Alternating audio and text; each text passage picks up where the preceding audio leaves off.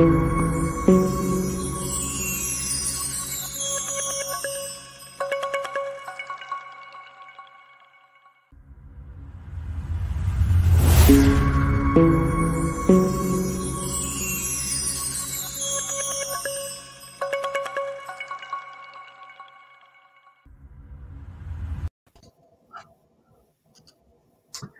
ይስጥልኝ። እንኳን ወደ UMD Media በሰላም መጣችሁ። UMD Media መረዳት፣ መለካት እንዲሁም መከወን ወይም በስራ መግለጽ ላይ አተኩሮ ይሰራል።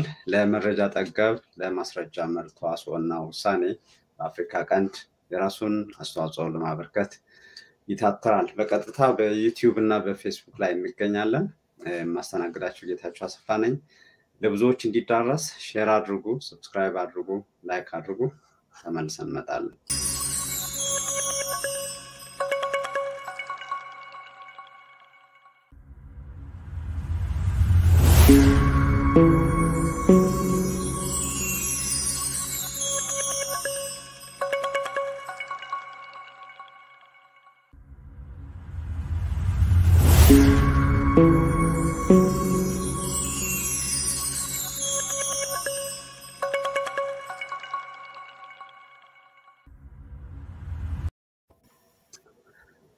በድጋሚ እንኳን ወደ የሚዲ ሚዲያ በሰላም መጣችሁ። ዛሬ የምናገረው ሰላም፣ የሰላም ጥሪ ምን፣ እንዴት፣ በማን እና ለምን በሚል እንናገራለን።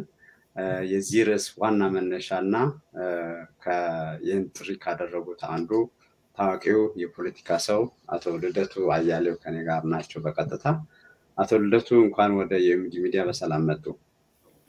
በጣም ነው የማመሰግነው። እንኳን ደህና ቆየህኝ ጌታቸው። ስለጋበዝከኝ ከልብ ነው የማመሰግነው። በጣም ጥሩ። እርስዎን ማስተዋወቅ ያው መቼስ በጣም አላስፈላጊ ጉልበትና ጊዜ መጨረስ ነው። ግን አንድ ዝም ብሎ እንዲያው ጉጉት የፈጠረብኝ ነገር አለ። በዚህ ሰሙን በዚህ ሰሙን ነው እንዴት የተወለዱት? አዎ ታህሳስ ሀያ ዘጠኝ ነው በኢትዮጵያ አቆጣጠር ማለት የገና ቀን ለዛ ነው ልደቱ የተባልኩት። በዛ ጠርጥሬ ነው ማለት አንድ አንድ እኔ ብዙ ቦታ ሄጃለሁ፣ ብዙ ቦታ ኖሬያለሁ። ልደቱ የሚባል ሌላ ስም ሰምቼ አይቼ አላውቅም። ግን አሁን ዝም ብዬ ቅድም ነው አሁን አንድ አስር አስራ አምስት ደቂቃ አይሆንም እና ልደቱ የሚለው ጭንቅላቴ ላይ መጥቶ እና ሰሞኑን ልደት ነው እንግዲህ እና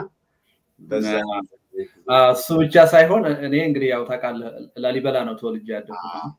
የልደት ጉዳይ ደግሞ ለላሊበላ እንደ ድርብ በዓል ነው የሚቆጠረው። ምክንያቱም ኢየሱስ ክርስቶስ የተወለደበት ብቻ ሳይሆን ቅዱስ ላሊበላም ንጉስ ላሊበላም የተወለደበት ዕለት ነው እና እንግዲህ ከዛ ጋር አያይዘው ይመስለኛል ቤተሰቦቼ የዕለቱ ዕለት ነው የተወለድኩት እና ጠዋት እዛ ነው ልደቱ የተባልኩት። ነገር ግን የመጀመሪያው ስም የኔ ነበር በዛ አካባቢ አሁን ግን አሁን ሶስት አራት እንዳሉ ሰምቻለሁ። ጌቸው እዛው ላሊበላ አካባቢ አይ በጣም ላሊበላ እንዳሉት ነው። በጣም ከፍተኛ ትኩረት ተሰጥቶት በሚገርም ሁኔታ ነው የሚከበረው። እኔም አንድ አጋጣሚ አግኝቼ ነበረ። ላሊበላ እና ልደት በጣም የተሳሰሩ ናቸው። አይ ደስ ይላል።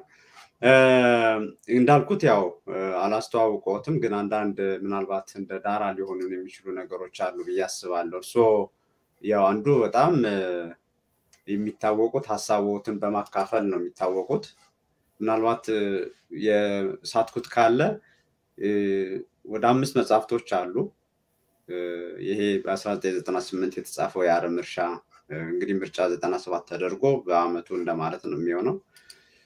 ከዛ ሁለት ሺህ ሁለት ይሄ ምናልባት ሁለተኛው እትም ሊሆን ይችላል። ከዛ በፊት አንደኛው እትም በዛው አመት ነው የታተመው ወይስ ከዛ በፊት ነው? ከአንድ አመት በፊት መሰለኝ። ሁለት ሺህ አንድ እንግዲህ መድሎት ሁለት ሺህ ነው ሁለት ሺህ ነው የመጀመሪያ የታተመው። ሁለት ሺህ ስለዚህ በሁለት አመት ውስጥ ነው እንግዲህ ሁለተኛ መጽሐፍትን ያሳተሙት። ይሄ የመጀመሪያው እትም አልቆ እንግዲህ ሁለት ሺህ ሁለት የታተመው ሁለተኛው እትም ነው። በብዛት የሚታወቁበት የሶስተኛ አማራጭ መንገድ የሚለው ላይ የሚያተኩር። ከዛ ሁለት ሺህ ሰባት ከአምስት ዓመት በኋላ ሁለተኛው እትም ከወጣ የቲያትር ፖለቲካ አልቧልታ የሀገራችን የፖለቲካ ገመና በሚል ይወጣል። ይህ ሶስተኛው ነው። አራተኛው በቅርብ የሚባለው ከሚባሉት አንዱ ማለት ነው ሀያ ሰባት ሲደመር። ሁለት እንግዲህ ይሄኛው ዲጂታል ቢሆን ጥሩ ነበረ እየቆጠረ እንዲሄድ። እውነት ነው።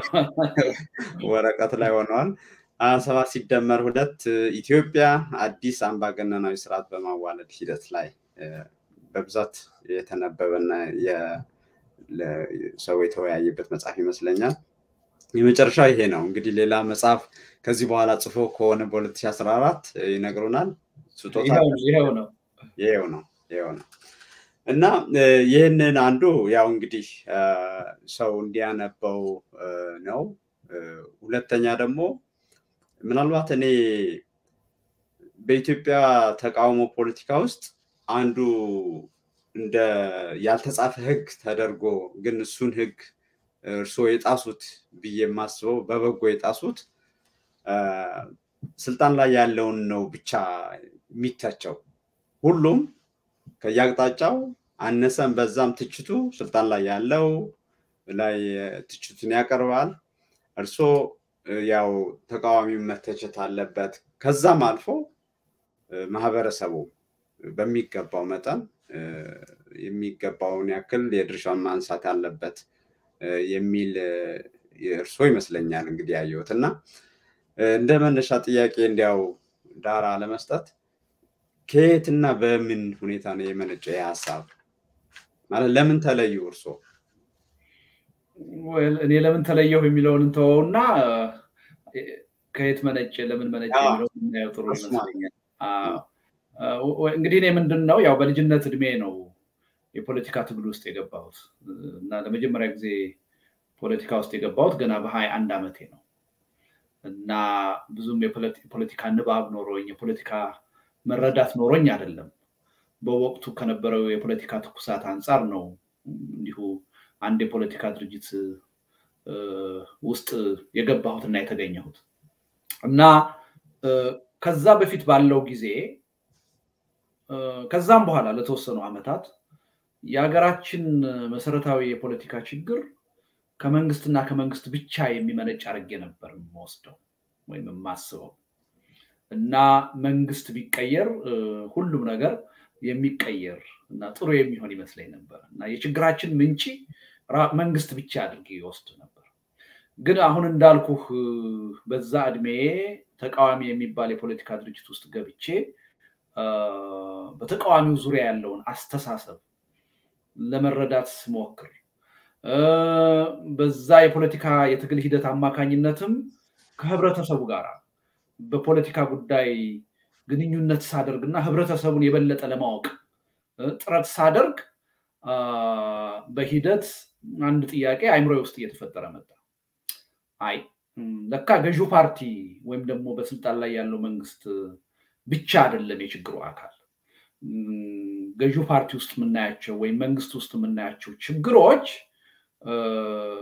ተቃዋሚውም ውስጥ አሉ ህብረተሰቡም ውስጥ አሉ። ስለዚህ የእኛ ሀገር የፖለቲካ ችግር ዘላቂ መፍትሄ ሊያገኝ የሚችለው መንግስትን ከስልጣን በማውረድ ብቻ አይደለም በተቃዋሚው ውስጥ ያሉ ለዲሞክራሲያዊ ስርዓት ግንባታ እንቅፋት የሆኑ አስተሳሰቦችንም በመታገል ጭምር ነው። ለዲሞክራሲያዊ ስርዓት ግንባታ እንቅፋት የሆኑ ስር የሰደዱ አስተሳሰቦችም በህብረተሰባችን ውስጥ አለ። ይሄንም በመታገል ነው። ስለዚህ በሶስቱም አቅጣጫ ማለት ነው መንግስትን ተቃዋሚውን እና ህብረተሰቡ የችግሩ አካል አድርጎ ያላየ የፖለቲካ ሂደት ወደ ዘላቂ መፍትሄ አይደርስም የሚል ድምዳሜ ላይ ነው እና ከመጀመሪያ ከገባሁበት የፖለቲካ ድርጅት ወጥቼ የራሳችንን ፓርቲ ከሌሎች ወጣቶች ጋር ለማቋቋም ጥረት ስናደርግ ወደ አንድ ዓመት የፈጀ ውይይት አድርገን ነበር። እና በመጨረሻ ላይ የደረስንበት የግምገማ ውጤት አሁን ያልኩ ነው። የኢትዮጵያ ችግር መንግስትን ከስልጣን በማውረድ ብቻ ሊፈታ አይችልም። በመንግስት ውስጥ ያሉ ገመናዎች ችግሮች በተቃዋሚው ጎራ ውስጥም አሉ በደንብ አሉ እነዚህ ደግሞ የፖለቲካ ኃይሎች በመንግስትም በተቃዋሚም ያሉት ከየትም የመጡ አይደሉም። ከህብረተሰቡ የመነጩ ናቸው። ራሳቸው የህብረተሰቡ ነጸብራቆች ናቸው። እንዲህ አይነቱን ለዲሞክራሲ ስርዓት ግንባታ እንቅፋት የሆነ አመለካከት፣ አስተሳሰብ ከየትም አላመጡትም። ካደጉበት ከተቀረጹበት ህብረተሰብ ነው ያመጡት የሚል ግምገማ ነው የነበረ እና ኢዴፓን ለመጀመሪያ ጊዜ ስናቋቁም ትግላችን ሶስት አቅጣጫ አለው ብለን ይሄን አስተሳሰብ ወደ መድረክ ይዘ ነው መጣ እና በወቅቱ የፈጠረው ድንጋጤ፣ ጫጫታ ከባድ ነበር። ምን አይነት ጉዶች መጡ ደግሞ አሁን መንግስትን ብቻ ሳይሆን ተቃዋሚን እንታገላለን የሚሉ ከዛም በላይ ደግሞ ህብረተሰቡም ችግር አለበት የሚሉ ምን ጉዶች መጡ ተብሎ በጣም ትልቅ ካምፔን የተደረገብን ለብዙ ዓመት የቀጠለ ማለት ነው እና መነሻው ይሄ ነው። ጌታቸው መልካም። ወደ እሱ ውስጥ ምናልባት በተለይ አሁን ህዝብ ስንል እዛ ላይ ትንሽ እንድናወራ ፈልጋለሁ። ግን ከዛ በፊት በዛን ወቅት አሁን የኢትዮጵያ ችግሮች ብላችሁ በግል ያው አንድ ጊዜ ነው ያወራ ነው እንግዲህ ለዚህ ዝግጅት ነግሬዎታለሁ እና በዛ ሰዓት ከምርጫ ዘጠና ሰባት በፊት ሰፍሮ ቆጥሮ ይሄ ነው የኢትዮጵያ ችግር ያለ ማለት ይሄ እንግዲህ በዝም ብሎ በንድፈ ሀሳብ ሳይሆን በጽሁፍ አስቀምጦ ይሄ ነው ችግሩ፣ ይሄ ነው ዳራው፣ ይሄ ነው ደግሞ መፍትሄው ያለ ፓርቲ የእናንተ ነበረ እኔ እስከማስታውሰው ድረስ። ምናልባትም በኋላ ለቅንጅት ማኒፌስቶም ሌሎችም ግብአቶች የሆነ ይመስለኛል እና አሁን ጥያቄው ብዙዎች ደግሞ ተቃዋሚዎች ምናልባት እናንተ ጋር ግርታ ያው የሚፈጥርባቸው እንግዲህ ያኔ ማለት ነው የሚታወቀው ዋናው ስልጣን እንያዝ እንጂ እኔ በራሴ የማስታውሰው ምርጫ ዘጠና ሰባት አካባቢ በዚህ በአካባቢ ጉዳዮች ላይ ክርክር ይደረግ ነበር እና ክርክር መድረኩን ያዘጋጀው ድርጅት ጋር ሄደው በአካባቢ ጉዳይ ላይ ምን ማለት እንዳለባቸው የጠየቁ ፓርቲዎች አስታውሳለሁ። ራሴ ማለት ራሳቸው አልተዘጋጁበትም እና አዘጋጅ መድረኩን ምን እንበል አይነት ነገር ማለት ነው እና የእናንተ ፓርቲ ሰፍሮ ቆጥሮ እንደነበረ አስታውሳለሁ እና አሁን ለዚህ ሰነድን መነሻ መወያ እንዲሆነን በዚህ በፖለቲካ ህይወቶ ውስጥ የነበሩትን ነገሮች እናነሳለን። ማለት ያው ስለ እንትን ነው የኢትዮጵያ ዋና ዋና ችግሮች ወይም ሰነዱ ላይ አንዱ ጋር የፖለቲካ ተቃርኖዎች ወይም ቅራኔዎች ተብለው የተገለጹ አሉ እና በአቶ ልደቱ እይታ በአሁኑ ሰዓት አንኳር የሚባሉ በአጣዳፊነትም በስር መስደድ አለመስደድም በወቅታዊነትም ሊለያዩቸው ይችላሉ። ምን ምንድን ናቸው የኢትዮጵያ ዋና ዋና ችግሮች? ሰፊ ጥያቄ ነው። ግን ይሄ መጀመሪያ ላይ ያልከው እንዳልከው የኛ ፓርቲ ሲቋቋም ያው በወቅቱ የነበረው ፖለቲካ እንዲሁ ዝም ብሎ በአብዛኛው ማለት ነው የመፈክር ፖለቲካ ነው የነበረው እና ደግሞ በምክንያት የሚካሄድ አልነበረም። የመጥላትና የመውደድ ጉዳይ ነው የነበረው። ወይ ከኔ ጋር ነህ ወይ ከነሱ ጋር የሚል ስለዚህ ዝም ብለህ በጭፍን ወይ መንግስትን ትደግፋለህ ወይ ተቃዋሚውን ትደግፋለህ፣ ወይ መንግስትን ትጠላለህ ወይ ተቃዋሚውን ትጠላለህ። ይሄ ይሄ ባህል ካልተቀየረና ወደ ምክንያታዊ ፖለቲካ ካልመጣ እና አንድን ነገር ስንፈርድ ስንበይን በምክንያት ካልሆነ በተጨባጭ ምክንያት ካልሆነ ይሄ ጉዳይ የፖለቲካ ጽንፈኝነትን የበለጠ እያከረረ ነው እና ከችግራችን እንድንወጣ አያደርገንም። ከግጭት እንድንወጣ ከጦርነት እንድንወጣ አያደርገንም እና ከትግል ስልት አንጻር ወደ መዋቅራዊ ሽግግር ለመግባት አያበቃንም የሚል እምነት ስለነበረን ነው እና በወቅቱ ገዢውን ፓርቲ ጭምር የሚሰራቸውን ጥሩ ያልሆኑ ነገሮች በደንብ በመረጃ አስደግፈን ከማንም ባላነሰ የምንተቸውን ያህል ጥሩ ነገር ሲሰራ ደግሞ ማበረታታት፣ እውቅና መስጠት እውነቱን ለመናገር መመጻደቅ አይሆን እንጂ እኛንን የጀመርነው በተለይም ደግሞ ፓርላማ ውስጥ ሆነን ይሄን በደንብ ማሳየት ችለን ነበር። እና ይሄ የምክንያታዊነት ፖለቲካ ትንሽም ቢሆን በፖለቲካ መድረኩ እንዲታይ ለማድረግ የራሳችንን አስተዋጽኦ አድርገናል ብዬ አምናለሁ። እና እንዳልከው ወደ ስድስት መቶ ገጽ የሚሆን የፖለቲካ ፕሮግራም ትንታኔ ነበር። በእያንዳንዱ ጉዳይ ላይ ምንድን ነው የምናስበው፣ ምንድን ነው አማራጫችን የሚለውን በዛ ደረጃ አዘጋጅ ነው። በነገር ላይ ተቃዋሚ ፓርቲዎች ብቻ አይደሉም፣ በገዢ ፓርቲም ደረጃ የዛ አይነት ዝርዝር ትንታኔ በወቅቱ አልነበረም።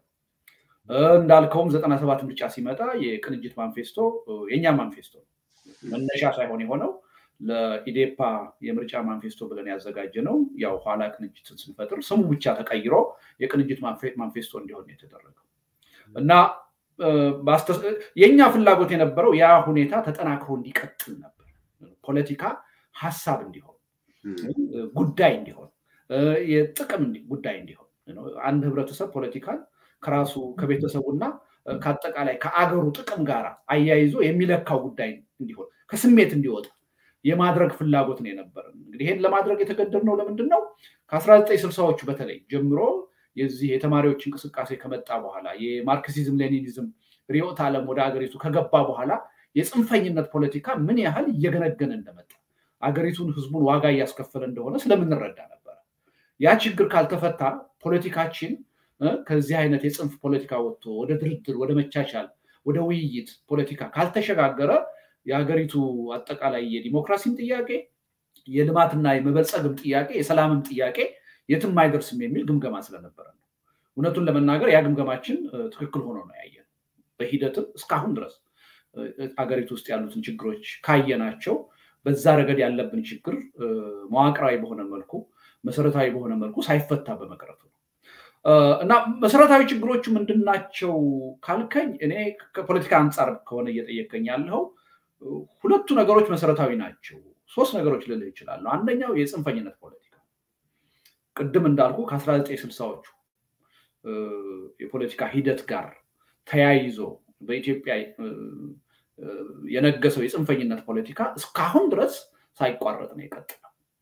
እሱን ሊቆርጥ የእሱን ሳይክል አንድ ቦታ ላይ ሊበጥስ ወይም ሊያስቆም የሚችል ሂደት አልተካሄደም እና በነገራችን ላይ አስተሳሰቡ ብቻ ሳይሆን በ1960 የፖለቲካ ሂደት አክተሮቹ ራሳቸው በዛን ጊዜ የነበሩት በአንድም በሌላ መልኩ አሁንም ተጽዕኖ ፈጣሪ ናቸው አሉ አሉ መድረኩ ላይ አሉ።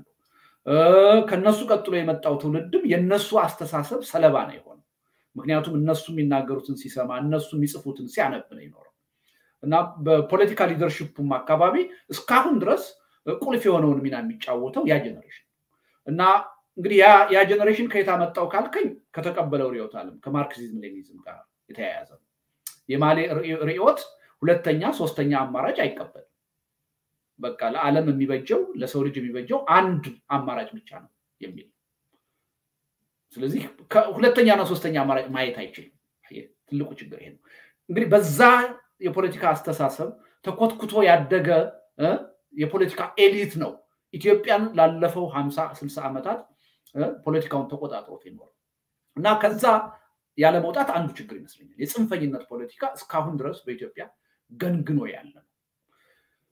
ሁለተኛው ከዛው ጋር ተያይዞ የጽንፈኝነቱ ፖለቲካ ባልተፈታበት ሁኔታ ከ1983 ጀምሮ ደግሞ ከፍተኛ የሆነ የብሔርተኝነት ስሜት መጣ።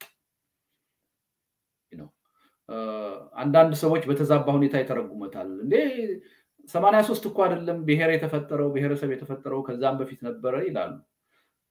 ስለሱ አይደለም እያወራሁ ያለሁት። ልክ ነው፣ ብሔር ብሔረሰቦች ነበሩ ድሮ። እያልኩ ያለሁት ብሔርተኝነት ነው። ብሔርተኝነት ህገ መንግስታዊ ሆኖ ተቋማዊ ሆኖ በኢትዮጵያ የተስፋፋው ከ1983 በኋላ። ስለዚህ ብሔርተኝነት ደግሞ የታወቀ ነገር ነው። የራሴ ለምትለው አካል ከፍተኛ የሆነ ስሜት ተቆርቋሪነት ማሳየት ነው። በጋራ ጉዳይ ላይ ብዙም ትኩረት አያደርግም ብሔርተኝነት። ስለዚህ ያ የጽንፈኝነት ችግር ሳይፈታ ብሔርተኝነት ተጨመረ። መጀመሪያ ሰዎች በፖለቲካ አመለካከታቸው ጽንፈኛ አቋም ሲያራምዱ የነበሩ አሁን ምን ተጨመረ? ብሔርተኝነት ተጨመረ። የኔ ብሔር የኔ ማንነት የሚል ልዩነት ላይ የበለጠ ትኩረት የሚያደርግ ፉክክር ላይ ትኩረት የሚያደርግ አሸናፊነት ላይ ትኩረት የሚያደርግ የብሔርተኝነት ፖለቲካ ኢትዮጵያ ውስጥ ተስፋፋ። አንዱ ሌላው መሰረታዊ ችግር ፖለቲካችንን እንደዚህ የግጭት የጦርነት ያደረገብን አንዱ ተጨማሪ ምክንያት እሱ ይመስለኛል። እንግዲህ ከዚህ ጋር ተያይዞ ሶስተኛ ልለው የሚችለው የአመራር እጦት ነው። አሁን እነዚህ ነገሮች እንዳሉ ሆነው እነዚህ ነገሮች በፖለቲካ ሂደቱ መሰረታዊ ችግሮች መሆናቸውን የተረዳ ሊደርሽፕ ብናገኝ ኖሮ ችግሩ ሊፈታ የሚችልበት እድል ይኖር ነበር። ግን አለመታደል ሆኖ ይሄን ችግር በአግባቡ የተረዳ ሊደርሽፕ ላለፉት ሀምሳ ዓመታት ማግኘት አልቻለም። የሚመጣው ሊደርሽፕ ሁሉ ይሄን ሂደት የበለጠ የሚያጠናክር ሆነ። ይሄ የሀገሩ ቁልፍ ችግር ነው። ይሄን ካላስወገድን ፖለቲካችን ወደ ጤናማ ወደ ሰለጠነ የፖለቲካ ሂደት ሊሸጋገር አይችልም የሚል አመራር ሊመጣ አልቻለም እስካሁን ድረስ እና እኔ ሁለት ሶስቱ ነገሮች ጽንፈኝነት፣ ብሔርተኝነት፣ የአመራር ጥንካሬ ወይም ደግሞ የአመራር ድክመት እነዚህ ሶስት ቁልፍ ጉዳዮች ይመስሉኛል። ከፖለቲካ አጠቃላይ ሂደት አንጻር ነው እንግዲህ ወደ አጀንዳ ከመጣን ያው ሁለት መሰረታዊ ቅራኔዎች ጎልተው ወጥተዋል። በተለይ ባለፉት ሰላሳ ዓመታት ቢያንስ ኢትዮጵያ ውስጥ ያለው አሁን መሰረታዊ የፖለቲካ ቅራኔ በሁለት መልኩ ሊገለጽ የሚችል ነው። አንደኛው የአንድነት ኃይል ወይም ደግሞ የዜግነት ፖለቲካ ተኮር ነኝ የሚል ኃይል አለ። ይሄ አንድ ጎራ ነው። ሁለተኛው ኃይል ደግሞ ብሔርተኛ ኃይል አለ። የኢትዮጵያ ቁልፍ የፖለቲካ ጥያቄ የብሔር ጥያቄ ነው። ስለዚህ ስንደራጅ በብሔር መሆን አለበት። አገሪቱ ስትደራጅ በብሔር መሆን አለባት። ቁልፉ ጥያቄ እሱ ነው የሚል ደግሞ የብሔርተኝነት አስተሳሰብ ወይም በብሔር ፖለቲካ የሚያምን ኃይል አለ። መሰረታዊ ሁለት የኃይል አስተላለፎቹ በዚህ ነው የሚገለጹት። ችግሩ ግን ሁለቱም ቅድም ያልኳቸው ችግሮች ሰለባዎች ናቸው። ሁለቱም ጽንፈኛ ናቸው። ይህን የፖለቲካ አቋማቸውን የሚያራምዱት በጽንፈኝነት መንገድ ነው። ሁለቱም ብሔርተኞች ናቸው። ስለ ሀገር የሚያወራው ሀገራዊ ብሔርተኛ ነው። ስለ ብሔር የሚያወራው የንዑስ ብሔር ብሔርተኛ ነው። በሁለቱም በኩል ደግሞ የሀገሪቱን መሰረታዊ ችግር ያለመረዳት፣ ያለመገንዘብ ከፍተኛ የሆነ የአስተሳሰብና የአመራር ድክመት አለ። እነዚህ ናቸው የሚታዩ መሰረታዊ ችግሮቹ ጌታቸው። መልካም። እነዚህ አሁን ምናልባት የሀያ አንድ ዓመት ሆነው ነው እንግዲህ ፖለቲካ የጀመሩት ወይም በስርዓት በወጉ የጀመሩት እና ያን ጊዜ ምናልባትም ያን ጊዜ ሲጀምሩ ምርጫ ዘጠና ሰባት አካባቢ ከዛ በኋላ ደግሞ የራሱ ምርጫ ዘጠና ሰባት ያመጣው ልምድ አለ። ከዛ በኋላ የሚያዩት እየተቀየረ መጣ ግንዛቤው። ለምሳሌ እነዚህ ወይስ ከመጀመሪያው እንዲያው በዚህ መልኩ ነበር? ይህን የምለው ለምንድን ነው? በእርሶ ሀዲድነት ያው የሌላውም ለማየት ነው። ለምን አሁን ብዙ ጊዜ አሁን በአሁኑ ወቅት ግራ የሚጋባው ሰው ምናልባት በመሰረታዊ ችግሮች የኢትዮጵያ ችግሮች እነዚህ ናቸው ብለው ከእርሶ ጋር ይስማሙ የነበሩ ሰዎች በግልጽም በተዘዋዋሪም ተፈቷል የሚል እምነት ያላቸው እስኪመስል ድረስ ያው ሌላ ቦታ ነው ያሉት። ያ ማለት ምንድን ነው እንግዲህ ፖለቲካ ያው ይቀያየራል፣ የታወቀ ነው። ይህ ምንም ችግር የለውም። ግን እነዚህ ዋና ችግሮች አሁን ዝርዝር እንዲያውም አልገባንም እንዳሉት፣ ግን ዋና ዋና ከላይ የሚታዩና ስር የሰደዱ የሚባሉ ችግሮች ሲያነሱ የእርስዎ ተቀይረዋል ወይ በጊዜ ሂደት ወይስ እዛው ቆርበው ነው ያሉት? ያው ያንን ማወቅ ፈልጋለሁ። እንግዲህ ጌቾ ሁላችንም ያው የህብረተሰብ ውጤት ነን። የህብረተሰብ ሲባል ግን ተቀርጸን የምናድገው በአንድ አይነት አቅጣጫ አይደለም። ተወልደን እንዳደግንበት ቤተሰብ እና አካባቢ ይወሰናል። ሞልድ የሚያደርገን እሱ ነው እና እኔ አሁን ቅድም በሀያ አንድ ዓመቴ ፖለቲካ ውስጥ ገባሁ ስልህ አሁን ያለኝ መረዳት ያኔ አልነበረኝም። ለምሳሌ እኔ ራሴ የማራመደው ፖለቲካ ያኔ በጣም ጽንፈኛ ነበር። በጣም ጽንፈኛ ነበር። ቅድም እንዳልኩህ የችግራችን ምንጭ መንግስት ነው። መንግስት ከወደቀ ችግራችን ይፈታል።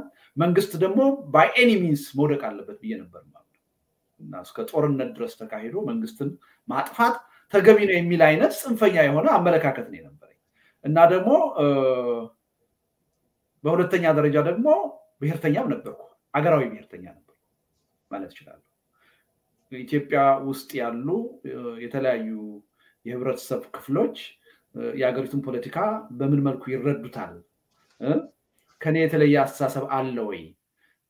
ብዬ ነገሮችን የምመረምርበት ሁኔታ አልነበረም ያኔ። ስለዚህ ራሴን ብሔርተኛ ነበርኩ፣ ኢትዮጵያዊ ብሔርተኛ ነበርኩ። እኔ በዛ ወቅት እንዳውም የብሔር ጥያቄ የሚያነሱ ሰዎች ከብሔር ከብሔረሰብ ጉዳይ ጋር የተያያዘ ፖለቲካ የሚያራምዱ ሰዎች ጤነኛም አይመስሉኝም ነበር። ሆን ብለው አገርን ለማፍረስ የሚጥሩ ሰዎች አድርጌ ነበር የምመለከተው እና በጣም ጥፋተኞች አድርጌ ከዛም አልፎ ልክ ሀገር የማይወዱ እኩዮች አድርጌ ነበር። በሂደት ግን እንግዲህ የብቃትም ጉዳይ ከመጣ ያው ከዚህ ጋር የተያያዘ የሀገሪቱን ፖለቲካ አላውቀውም ነበር። የሀገሪቱን ፖለቲካ አላውቀውም ማለት ሀገሪቱ ውስጥ ያለውን የፖለቲካ ቅራኔ በአግባቡ አልተረዳሁትም ነበር ማለት ነው። ህዝቡንም በአግባቡ አላውቀውም ነበር ማለት ነው። እኔ የማውቀው እኔ ተቀርጬ ያደኩበትን አካባቢ ነበር። እኔን የቀረጸኝን የኔን ማንነት የቀረጸውን አካባቢ ብቻ ህብረተሰብ ብቻ ነበር የማውቀው። ያን እንደ አጠቃላይ የኢትዮጵያ እውነት አድርጌ ነበር የምወስደው።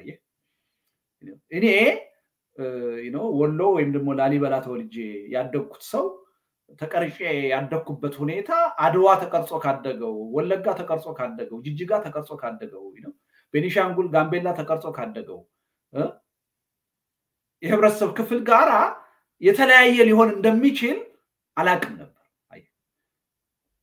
ኢትዮጵያዊ ስንባል ሁላችንም አንድ አይነት ምልከታ፣ አንድ አይነት ስነ ልቦና ያለን አድርጌ የመውሰድ ችግር ነበረ።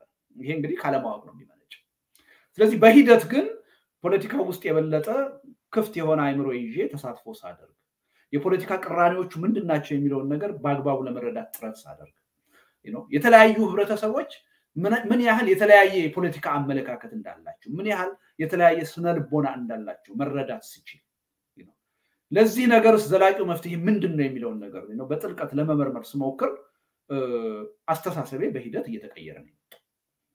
እውነቱን ለመናገር almost born again ሊባል በሚችል ደረጃ ተቀይሬያለሁ እና ይሄ በመሆኑ ደግሞ በጣም ደስ ይለኛል።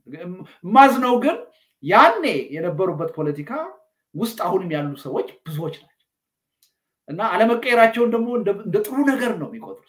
እኛ እኮ በዓላማችን በአቋማችን የጸናነን ጥንትም ዛሬም አንድ ነን ይለሃል እና እኔ ለውጥን በዚህ ደረጃ ሬዚስት ማድረግ ትክክል አይመስለኝም። ከሰው ተፈጥሮም የሚቃረን ነው የሚመስለኝ። እና አይምሮህን ነፃ አድርገህ አንድ ነገር ውስጥ ከገባህና በነፃ አይምሮ አንድ ነገር አስበህ ከደረስክበት ያን ሂደት መቀበል ተገቢ ነው ብያለሁ እና ዛሬ ያለሁበት ደረጃ እንግዲህ አሁን ማራምደውን ፖለቲካ ታውቀዋለህ፣ እዛ ደርሻለሁ። ይሄ ማለት ደግሞ የመጨረሻ ነው ማለት አይደለም። ዛሬ ያስኳቸው አንዳንድ አመለካከቶች ነገ ተሳስተው ላገኛቸው ይችላል። ስለዚህ ነገም ለመለወጥ አይምሮ ክፍት ነው ማለት ነው። ዝግጁ ነኝ ዝግጁ ነኝ።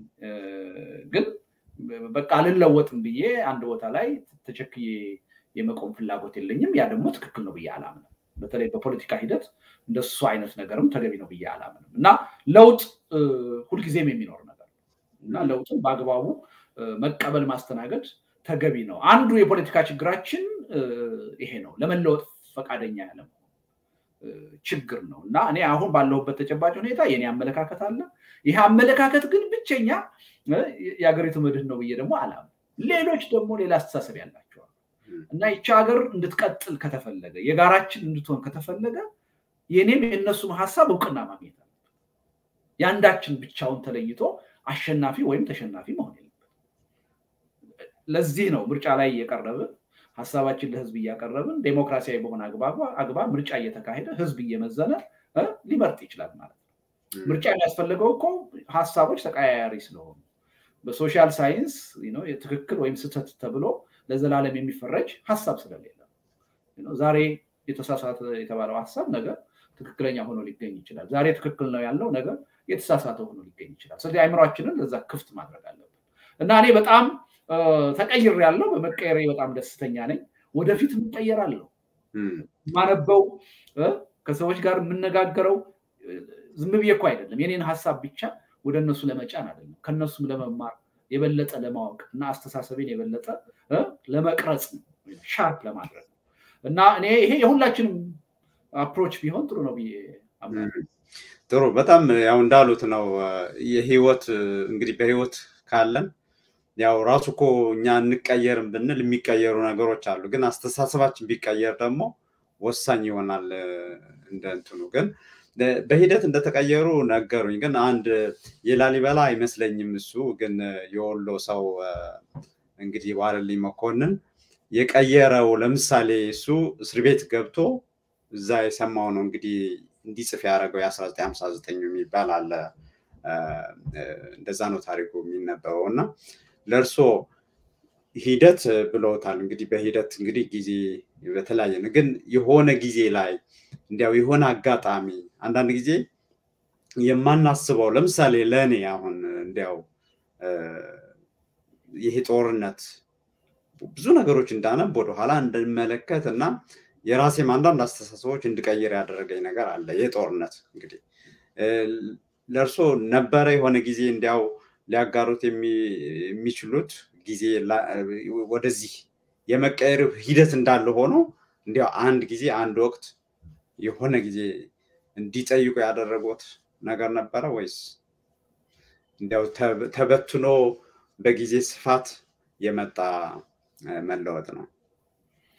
አይ እንግዲህ ቅድም እንዳልኩ መጀመሪያ የገባሁበት ድርጅት መአህድ የሚባለው ማለት በእነ ፕሮፌሰር አስራት የተቋቋመው በነገር ላይ ለፖለቲካ ድርጅትነት ተብሎ አልነበረም የተቋቋመው ያ ድርጅት በተለያዩ የሀገሪቱ አካባቢዎች የነበሩ የአማራ ተወላጆች ከፍተኛ የሆነ ጥቃት ችግር ይደርስባቸው ስለነበር ይሄ ለምን ይሆናል የሚል ተቆርቋሪነት ያነሳሳቸው ሰዎች ያቋቋሙት ማህበር ልንለው እንችላለን። ያኔ የፖለቲካ ድርጅት የመሆን ፍላጎትም አልነበራቸውም። ኋላ ምርጫ ቦርድ በፖለቲካ ድርጅት ካልተመዘገባችሁ ህልውና ሊኖራችሁ አይችልም ስላላቸው ነው ወደ ፓርቲነት የተቀየረው እና እኛም ያኔ የገባ ነው እንዴ ለምንድን ነው ይሄ የሚሆነው? አንድ ህብረተሰብ ተለይቶ የጥቃት ኢላማ ለምንድን ነው የሚሆነው? ይሄ ነገር እኮ መቆም አለበት በሚል ተቆርቋሪነት ነው እንጂ እውነቱን ለመናገር ያኔ ወደዛ ድርጅትም ስገባ የፖለቲካ አምቢሽን ኖሮኝ አይደለም። በፖለቲካ ሂደቱም እንደዚህ እቀጥላለሁ ብዬም አልነበረም። እኔ ያኔ ነጋዴ ነው የነበርኩት። የነጋዴ ልጅ ስለነበርኩ ወደ ንግዱ ዓለም ገብቼ ገንዘብ ሳባር ነው የነበረው እና የፖለቲካ እውቀቱም አለ ብዬ አላምንም፣ ልምዱም አልነበረኝም፣ አምቢሽኑም አልነበረኝም። በፖለቲካ እንደዚህ በፍጹም እቀጥላለሁ ህይወቴን የሚወስን ነገር ነው ፖለቲካ ብዬ በፍጹም አላምንም ነበር። ግን በአጋጣሚ ሆኖ ነው እንግዲህ እዛ ገባን። ነገሮች ራሳቸው ሁኔታዎች እየተቀያየሩ ሳላስበው ሳልጠብቀው ነው እኔ በፖለቲካው ሂደት ራሴን እንደዚህ ለረዥም ጊዜ ያሳለፍኩት። እና እዛ ድርጅት ውስጥ ከውጭ ሆነን ድርጅቱን ስናየው የነበረን ግምትና ውስጥ ገብተን ስናየው የተለያየ ሆነብኝ። እና በአጭር ጊዜ ነው በወራት ውስጥ ነው እዛ ድርጅት ውስጥ በገባሁኝ። በወራት ጊዜ ውስጥ የድርጅቱ የወጣት ክንፍ ፕሬዚዳንት ሆኜ ተመረጥኩ። አውቶማቲክሊ የፓርቲው ማዕከላዊ ኮሚቴ አባል ሆንኩ። በጥቂት ወራት ውስጥ ማለት ነው። እና አንደኛ ያ መሆኑ አስደንግጦኛል። ምንም የፖለቲካ ልምድ የሌለኝ ሰው የፖለቲካ እውቀት አለ ብዬ የማላምን ሰው እንዴት ሌላ ሰው ጠፍቶ ነው ወይ እዚህ ደረጃ ነው የደረስኩት የሚለው ጥያቄ ነበረ በውስጤ። ግፊት አድርገው ነው ሰዎች እዛ እንድገባ ያደረጉኝ እና ከዛ በኋላ ግን ውስጣዊ ሁኔታውን ስናየው የጠበቅነው አልሆነ። እንዴ ቅድም ያልኩ ነገር መጣ። መንግስት ላይ ገዢው ፓርቲ ላይ አሉ የምንላቸው ችግሮች እዛም ውስጥ በጎላ ሁኔታ እንዳሉ እየተረዳ ምን ማለት ነው? ይሄ አካል እንዴት አድርጎ ነው የህብረተሰብ ችግርን የሚፈታው? ራሱ በገዢው ፓርቲ ውስጥ ያሉ ችግሮችን እየፈጸመ የት ሊደርስ ይችላል የሚል ጥያቄ በወጣቶቹ መካከል ተፈጠረ። እና ጥያቄዎቹን ዲሞክራሲያዊ በሆነ አግባብ ማቅረብ ጀመር እና ጥያቄዎቹን ስናቀርብ በበጎ ሁኔታ አልታየም። ልክ እንደ አፍራሽነት ተቆጠረና ጥያቄዎቹን በአግባቡ ከማስተናገድ መልስ ከመስጠት ይልቅ የወጣቱ የምንመራው ሰዎች ላይ የአሉባልታ ወሬ ተጀመረ። ጥያቄያችንን በአሉባልታ አፋችንን ለማዘጋት ጸጥ ለማድረግ ሙከራ። በፍጹም እንዲህ አይነት ነገር ይገጥመኛል ብዬ ገምቼ አላውቅም። ምክንያቱም እኛ ለድርጅቱ ጥንካሬ፣ ደህንነት ብለን ነው ያን ሀሳብ ያነሳነው። ሌላ ምንም ከጀርባ ሌላ motive ኖሮን አይደለም። በጣም በማናምነው ደረጃ የአሉባልታ ዘመቻው በጣም ተጠናከረ። በተለይ እኔ ስለነበርኩኝ የወጣቱን ክንፍ ምመራው በእኔ ላይ በቃ በየቀኑ እየተፈለፈለ በሬ የወለደ አሉባልታ መወራት ጀመረ እና was shocked ደነገጥኩ። ምክንያቱም እንዳሁኑ ቆዳ ያልደነደነ እንዴት ባልዋልኩበት ባልሰራሁት ነገር ሰዎች እንደዚህ ያሙኛል ብዬ መንጨርጨር ጀመርኩ እና ያን ነገር ለማስተባበል ምናምን ያ አንድ shock ነበር። ትልቅ ምላቸው በዶክተር ደረጃ በፕሮፌሰር ደረጃ እዛ ውስጥ ነበሩ። የሰባ የሰማንያ ዓመት አዛውንቶች እዛ ፓርቲ ውስጥ ነበሩ፣ ትልልቅ የሚባሉ ሰዎች እና በዛ ደረጃ ያሉ ሰዎች እንዲህ አይነት የፖለቲካ intrigue ውስጥ ገብተው ሳይ I was shocked። ለትልቅ ሰው ለተማረ ሰው የነበረኝ አመለካከት ችግር ገጠመው። ምን ማለት ነው የሚል እንግዲህ እንዳልኩ ወጣት ነኝ፣ ነጭ ወረቀት ማለት ነኝ። አልጠበቅኩትም። እሱ ነገሮችን የበለጠ እንዳስብና በጥንቃቄ እንዳይ እንድመረምር አንድ አይነት አጋጣሚ የፈጠረልኝ ይመስለኛል። ከዛ አይነቱ ሾክ ነው ወደዚህ አይነቱ አስተሳሰብ የመጣው። ይሄ ነገር እንደገና ምናልባት አንድ አካባቢ ያለ ችግር ነው የሚል ግምትም ነበረኝ እና እንደገና ዘጠና ሰባት ምርጫ መጥቶ ቅንጅት ስንገባ በጣም በባሰና በሰፋ ሁኔታ ደግሞ እዛ ላይ ጎልቶ ወጣ። እኔ almost የአምልኮት ያህል የማመልካቸው ሰዎች አንቱ ምላቸው ሰዎች ነገ ኢትዮጵያን በጠቅላይ ሚኒስትርነት በፕሬዚደንትነት ሊመሩ ይችላሉ። የሞራል integrity ያላቸው ብዬ የማስባቸው ሰዎች እንደዛ እንዳልሆኑ በቅንጅት ውስጥ ሆኜ ደግሞ ተረዳሁ። ምን ያህል ፖለቲካችን ቅድም እንዳልኩ ከጽንፈኝነት ከብሔርተኝነት ጋር በጣም የተጣባ እንደሆነ መገንዘብ ቻልኩ እና ይሄም ሌላ ድጋሜ የመጣ ሾክ ነው ልለው እችላለሁ። እንግዲህ ይሄ ሲሆን ደግሞ ነጸብራቁ ህብረተሰቡም ውስጥ አለ። ላይ የሚወራውን ነገር ላይ የሚካሄደውን ዘመቻ ቆም ብሎ በምክንያት ለመመርመር ያለመሞከር፣ በጋዜጣ የሚነገረውን በቴሌቪዥን በሬዲዮ የሚነገረውን አሉባልታ ሁሉ እንዳለ ወስዶ ምንም ሳይመረምር አንተ ላይ ዘመቻ ማድረግ፣ አንተን መውቀስ፣ አንተን መርገም፣ አንተን መጥላት ይሄን ሳይ እነዛ አስተሳሰቦች የበለጠ እየጠነከሩ መጡ ማለት ነው እና ነገሮችን የማይበት ሁኔታ በሂደት እየተለወጠ መጣ። እኒህን ነው በደንብ ማስታውሰው። አይ ወሳኝ ነገሮች ናቸው ይመስለኛል። ደግሞ አሁን እኔ እርስዎ ጋር ያየሁት በቅርብ ጊዜ እንኳን አሁን ለምሳሌ የአሁኑ ለውጥ የዛሬ ሶስት ዓመት ሲመጣ መጽሐፉም ላይ እንግዲህ አንድ መጽሐፍ ያጻፎት ነገር ነው የዚህ አሉባልታ የመሳሰሉ ነገሮች ጉዳዮች እና ህብረተሰቡን በደንብ ያወቁ ይመስለኛል። እነዛ ያንን የሚጠቀሙ ሰዎች ልሂቃኑ ማለት የፖለቲካ ልሂቃኑ ህብረተሰቡን በደንብ አውቀው ያንን የሚጠቀሙ ይመስለኛል። ለምሳሌ እርስዎ ደጋግመው የጠየቁት እና በቀናነት ከታየ እና ደግሞ እውነት የሚፈልግ ቢኖር ምንድነው ማድረግ የነበረበት? እነዛ በተቃራኒ የሚያስወሩትን የሚያወሩትን እርስዎንም እኩል መድረክ ሰጥቶ ያው እንዲናገሩ ማድረግ ነበረ። ግን ያ እንደማይፈልጉ ያው በግልጽ በተደጋጋሚ ታይቷል እና ይሄ እውነት መናገር ያለባቸውም ሰዎች ስም መጥራት የለብንም። ግን አንዳንዶች ለምሳሌ ታመው አልጋ ላይ በነበሩበት ሰዓት ለምሳሌ በወቅቱ የቅንጅት ችግር የነ እገሌና የነ እገሌ ነው ያሉ አሉ። በቃ አስታውሳለሁ በወቅቱ። እና ይሄ ግን ለዛ በተለይ በቃ ታሎም ይሁን ባለማወቅም ይሁን በተለያየ ምክንያት ብቻ ዝም ብሎ ግር ብሎ የሚሄደውን ህዝብ መታደግ ይችሉ ነበረ። ማሰብና ኃላፊነት ቢኖር ኖሮ እና ይሄ መሰረታዊ ችግር ስለሆነ ነው። ስለ እርስዎ ብቻ ስለሆነ ሳይሆን በተደጋጋሚ በየቤተ እምነቱ ቤተ ፖለቲካው ቤተ ምኑ ውስጥ ያለ ጉዳይ ስለሆነ ነው የምናነሳው። አንድ ግን እንዳሉት እርስዎና የፓርቲ አጋሮቹ ለየት ያለ መንገድ እንዳሉት ነው። አሁን መንግስት መደገፍ በነበረበት ሰዓት ባልተለመደ ሁኔታ ለይታችሁ የመደገፍ ስትወቅሱ ደግሞ ያለ ምህረት ነበር እና ይህን ቪዲዮ ያገኘሁት የዛሬ ዘጠኝ ዓመት upload የተደረገው ነው፣ ግን ጊዜውን የሚያስታውሱት ይመስለኛል እና በአምስት ደቂቃ ተሰጥቶት ለእኔ በጣም አንኳር የሚባሉ ችግሮች አንስተው እዛች ውስጥም ደግሞ መደገፍ ያለቦትን የደገፉበት የፓርላማ ንግግር ነው እና ላጫውተው ውስጥ ከበሩ አቶ ልደቱ አምስት ደቂቃ አሉት። አመሰግናለሁ ክቡር አፈ ጉባኤ። በእኛ በኩል ያለንን ጊዜ ክቡር ጠቅላይ ሚኒስትሩ አስተያየት ከሰጡ በኋላ ለመስጠት እንፈልጋለን። አመሰግናለሁ። አሰራሩ ስለማይፈቅድ እርስዎ መጀመሪያ አስተያየት ይሰጣሉ።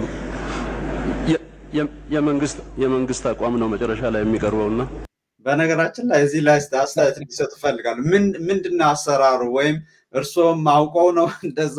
ምን ነበረ የተፈለገው? እንዲያው አውዱ እንዲገባ አዎ ጌታቸው፣ በጣም ትልቅ መሰረታዊ ችግር ነበር ፓርላማ ውስጥ። ይሄ ችግር አሁንም የቀጠለ ችግር ነው። ምን ማለት ነው? ለፓርቲዎች ወይም ለአባላት ጊዜ ይሰጣል ሀሳብ እንዲያቀርቡ። በጣም ውስን ደቂቃ ነው የሚሰጥህ። ሀሳብህን ታቀርባለህ። መጨረሻ ላይ ግን ሀሳብ እንዲሰጡ የሚደረገው ጠቅላይ ሚኒስተሩ ነበሩ እና ጠቅላይ ሚኒስተሩ የተናገርከውን ንግግር ከአውድ ውጭ በመውሰድ out of context በመውሰድ በጣም በተዛባ ሁኔታ የመተቸት ልምድ ነበራቸው እና እሳቸው ከተናገሩ በኋላ የሰጡት መልስ ከአውዱ ውጭ መሆኑን ወይም ትክክል አለመሆኑን ልናርምበት የምንችል እድል አልነበረም። እና ምን ማለት ነው interactive አልነበረም። አሁን የእንግሊዝን ፓርላማ አሰራር ታውቀዋለህ አይደለ? በጣም interactive ነው እና እንደዛ ባለመሆኑ fair ያልሆነ advantage ይወስዳሉ እሳቸው ሁልጊዜ የተዛባ ነገር ለህብረተሰቡ ይደርሳል፣ እኛን ይጎዳናል። እሳቸውን በአንጻሩ ደግሞ ያው በአንጻራዊነት ይጠቅማቸዋል እና ይሄ ትክክል ያልነበረ አሰራር ነበረ እና እኔ እሱ አሰራር ትክክል አለመሆኑን ለማሳየትም ጭምር ነው እንጂ እውነቱን ለመናገር አፈጉባኤው እንደማይቀበሉኝ ምንም ጥርጥር አልነበረኝም እና ፓርላማውም ያለ ምክንያት አይደለም የሳቀው እና የሚያሳዝነው ግን ያ ጉዳይ still በፓርላማ ውስጥ ቋሚ አሰራር ሆኖ ቀጥሏል፣ አልተቀየረም። መቼ የነበረ ጊዜ አዎ እንዳሉት እርስዎም አፈጉባኤውም የፓርላማ አባልም ያው የተግባባ ይመስለኛል። ያው ሲስቁ መቼ ነው ይሄ ዘጠና ስምንት መሆኑ ነው? ዘጠና ዘጠኝ ወይም ሁለት ሺህ እዛ አካባቢ እንግዲህ እዛ አራት ነገሮች ይነሳሉ ጉዳዮች። ሶስቱ ዋና ችግሮች ናቸው። እንዲያው ዝም ብሎ በጨረፍታም ቢሆን እንድናነሳቸው ፈልጌ ነው።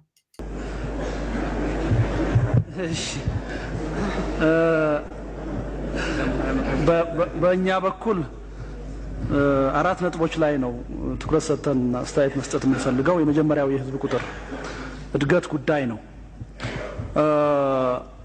ኢህአዴግ ስልጣን ከያዘ በኋላ የኢትዮጵያ ህዝብ ከ25 ሚሊዮን ያላነሰ ህዝብ ቁጥር ጭማሪ አሳይቷል። አሁን ከሁለት ነጥብ ሰባት አምስት ባላነሰ መጠን እያደገ ነው። ይሄ ማለት የዛሬ 20 ዓመት ከመቶ 50 ሚሊዮን ያላነሰ ህዝብ ኢትዮጵያ ይኖራታል ማለት ነው። ይህ እንግዲህ በእያንዳንዱ የመሰረተ ልማት አቅርቦት የሚያመጣው ችግር ግልጽ ነው። ነገር ግን አሁንም በዘንድሮ ዓመት በቀረበው የስራ ክንውን እቅድ ይሄ ጉዳይ አልተጠቀሰም። ይሄ ጉዳይ ምንም ትኩረት አልተሰጠው። እኔ በመጀመሪያ ደረጃ ክቡር ጠቅላይ ሚኒስትር እንደ አንድ አገር መሪ በዚህ ጉዳይ ያለውት ፍልስፍና ወይም theory ምን እንደሆነም እስካሁን በግልጽ የታወቀ አይመስለኝም። ብዙ ተባዙ የሚል እምነት ሊኖረውት እንደማይችል ገምታለሁ። ግን የህዝብ ብዛት ኃይል ነው ወይስ የህዝብ ብዛት ድህነት ነው? የት ላይ እንደሚያልፍ የእርሶ ፊሎዞፊ ራሱ ግልጽ አይደለም። ስለዚህ በእኛ እምነት አንድ ይሄን ጉዳይ በኃላፊነት ተረክቦ የሚሰራ ተቋም ሊቋቋም ይገባል። ተቋም ብቻ አይደለም፣ ይሄን ከፍተኛ የሆነ የህዝብ መጠን እድገት ሊቆጣጠር የሚችል ለመቀነስ የሚያስችለን ህግ መውጣት አለበት። በጣም በሚያሳዝን ሁኔታ በአንድ መምሪያ ደረጃ እንዳውም በሚገርም ሁኔታ በገንዘብና ኢኮኖሚ ልማት ሚኒስቴር ውስጥ ነው የስነ ህዝብ ጉዳይ ተሸጉጦ የሚገኝ አላስፈላጊ የሆኑ እንደ ማስታወቂያ ሚኒስቴር አይነት ቢሮዎች ሚኒስትሮች ግን በዚህ ሀገር እያየን ነው ሲሰሩ። ስለዚህ እዚህ ላይ ግልጽ የሆነ ለምንድን ነው ያልገባው ነው። ሁለተኛ የረሃቡ ጉዳይ ነው። የዛሬ ዓመት ስድስት ነጥብ ሶስት ሚሊዮን ህዝብ ተራበ የሚል official መግለጫ ሰምተናል። አሁን ሰሞኑን በሰማነው official መረጃ ስድስት ነጥብ አራት ሚሊዮን ህዝብ አሁንም እርዳታ ይፈልጋል። የረሃቡ ጉዳይ ሪፖርት ውስጥ አልተካተተም። ክቡር ጠቅላይ ሚኒስትር የዛሬ 17 ዓመት የኢትዮጵያ ህዝብ በቀን ሶስት ጊዜ እንዲበላ እመኛለሁ ብለው የገለጹት እውን ሳይሆን 17 ዓመት ሆነው እዚህ ላይ ሆነን እንኳ አዲስ አቅጣጫ አዲስ ፖሊሲ ያስፈልገናል ብለን ማሰብ መጀመር ለምንድን ነው የማንችለው? ይሄ ጉዳይ ስለምንድን ነው ትኩረት ሳይሰጠው በሪፖርት ውስጥ ሳይካተት የቀረበው ወይም በንግግር ውስጥ? ይሄ ግልጽ ሊሆን ይገባል። ሁለተኛው የሶማሌ ጉዳይ ነው። በሶማሌ ጉዳይ ላይ በአጠቃላይ መንግስታችን እየወሰደ ያለውን እርምጃ ደግፈናል። ይህን አቋማችንን በግልጽ አሳይተናል። ይሄ እርምጃ ሲወሰድ ሰራዊቱ በአጭር ጊዜ ከሶማሌ ይወጣል። መጀመሪያ በቀናት ነበር፣ ቀጥሎ በሳምንታት፣ ቀጥሎ በወራት፣ አሁን ግን አመታት አለፉ። ሶማሌ አካባቢ የተፈጠረው አደጋ ለሀገራችን ጥቅም ምን ያህል አደገኛ እንደነበር እንረዳለን። ወደፊትም በዛ አካባቢ ሊፈጠር የሚችለው አደጋ ምን ያህል በጥንቃቄ መያዝ እንዳለበት እንረዳለን። ግን አሁን ሶማሌ ውስጥ ያለው ሰራዊታችን መውጣት የለበትም ይቆይ እየተባለ የሚሰጠው ምክንያት የሶማሌ ሕዝብ የራሱን መንግስት እንዲያቋቁም እድል መስጠት ይገባናል እየተባለ ነው። ይህን እንደግፋለን፣ ጥሩ ነው። ግን በመጀመሪያ ደረጃ ክቡር ጠቅላይ ሚኒስትር የሶማሌ ሕዝብ የራሱ መንግስት ቢያቋቁም ጥሩ ሀሳብ ነው። ግን ጥሩ መንግስት ቢያቋቁም ኢትዮጵያ ተመሳሳይ ችግር ሊከሰትባት እንደማይችል እርግጠኛ መሆን ችለን ነው ወይ ይህን ጉዳይ የሞት የሽረት ጉዳይ አድርገን ሶማሌ ውስጥ አሁን ከዚህ በላይ የምንቆየው? ይሄ ግልጽ የሆነ መልስ ያስፈልገዋል። መካተትም ነበረበት፣ አልተካተተም በሪፖርት ውስጥ። አራተኛ የኑሮ ውድነትን ጉዳይ ነው እኛ የምንመለከተው። በመጀመሪያ ደረጃ በዚህ ዓመት በነጭ ጋዝ ላይ ድጎማ ሙሉ በሙሉ እንዲነሳ ሲደረግ ክቡር ጠቅላይ ሚኒስትር አጠገበዎት የኑሮ ውድነትን በተመለከተ ጥሩ አማካሪ እንደሌለዎት ተገንዝበናል። በጣም የሚያሳዝን ነው። የኢኮኖሚን ጉዳይ የኑሮ ውድነትን ጉዳይ የዛሬ ዓመት ስንከራከር እኛ ኢኮኖሚያችን የያዘው በሽታ ደም ብዛት ነው ስንል ክቡር ጠቅላይ ሚኒስትር የለም በሽታው ጉንፋን ነው ብለው ነበር። ከአንድ ዓመት በኋላ አሁንም እዛ አቋም ላይ ነው ያሉት፣ ተመሳሳይ አቋም ላይ ነው ያሉት። ይሄ ግልጽ በሆነ ሁኔታ እዛ እንትን ውስጥ ሪፖርት ውስጥ ተካቶ መንግስት አስቸኳይ የሆነ የአጭር ጊዜና የረዥም ጊዜ መፍትሄ ሊሰጠው የሚገባ ጉዳይ ነው። ይሄ የተቀመጠ ነገር የለም። ሁለተኛ ከዚሁ ጋር በተያያዘ ዓለም ትልቅ የሆነ የኢኮኖሚ crisis ውስጥ ነው ያለው። ያ crisis በኢትዮጵያ ኢኮኖሚ ላይ ምን እንደምታ ነው ያለው? ይህንም በሚመለከት ሪፖርቱ ላይ ምንም የቀረበ ነገር የለም። ዝግጅት እያደረግን ነው ወይ? ወዴት ነው የሚወስደን? ሌሎች ሀገሮች ሁሉ የተቀናጀ እርምጃ ለመውሰድ ግብ ግብ ውስጥ ነው፣ ጥረት ውስጥ ነው ያሉት። በዚህ ረገድ እኛ የት ላይ ነን ነው? አመሰግናለሁ። ይሄ መቼም በአምስት ደቂቃ ውስጥ አራት በጣም ወሳኝ ጉዳዮች ለእኔ አሁን ቀጠናዊ ጥቅማችንን እና ደግሞ ሚናችንን የገለጹበት የሶማሌ ጉዳይ ከዛ በተለይ መጨረሻ ላይ የረሃቡ ጉዳይ በቀን ሶስት ጊዜ መብላት ጉዳይ የኑሮ ውድነት ጉዳይ ምናምን ከአስራ አራት ዓመት በኋላም እንግዲህ ሁለት ሺህ ከሆነ ማለት ነው ይሄ የህዝብ ብዛት ጉዳይ የህዝብ ጉዳይ ለብቻው መለየት ፈልጌ ነው። ለምን የህዝብ የእነዚህ እንዲያው በቃ ግልጽ የሆኑትና የህዝብ ብዛት ጉዳይ ከተነሳ እርስዎ ዛሬም ይሄን ብለው የሚያምኑ ከሆነ ማለት ነው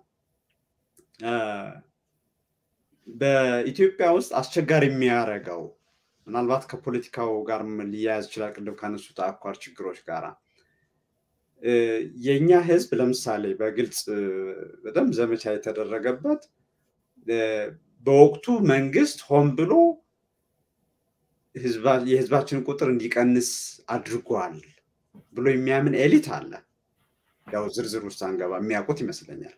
እና እዛ ላይ ምንድን ነው የሚታየኝ በጣም አንኳር ችግር ቅድም የተነሳን እርስዎ አስቀድሞ ያነሱት ነው። እዚህ እኔ አሁን ኢትዮጵያ ውስጥ ቤተ መንግስት አለ፣ ቤተ እምነት አለ፣ ቤተ ልሂቅ አለ፣ ቤተ ህዝብ አለ እና እኔ ቤተ ህዝቡን ነፃ ነው የማደርገው ከችግሩ።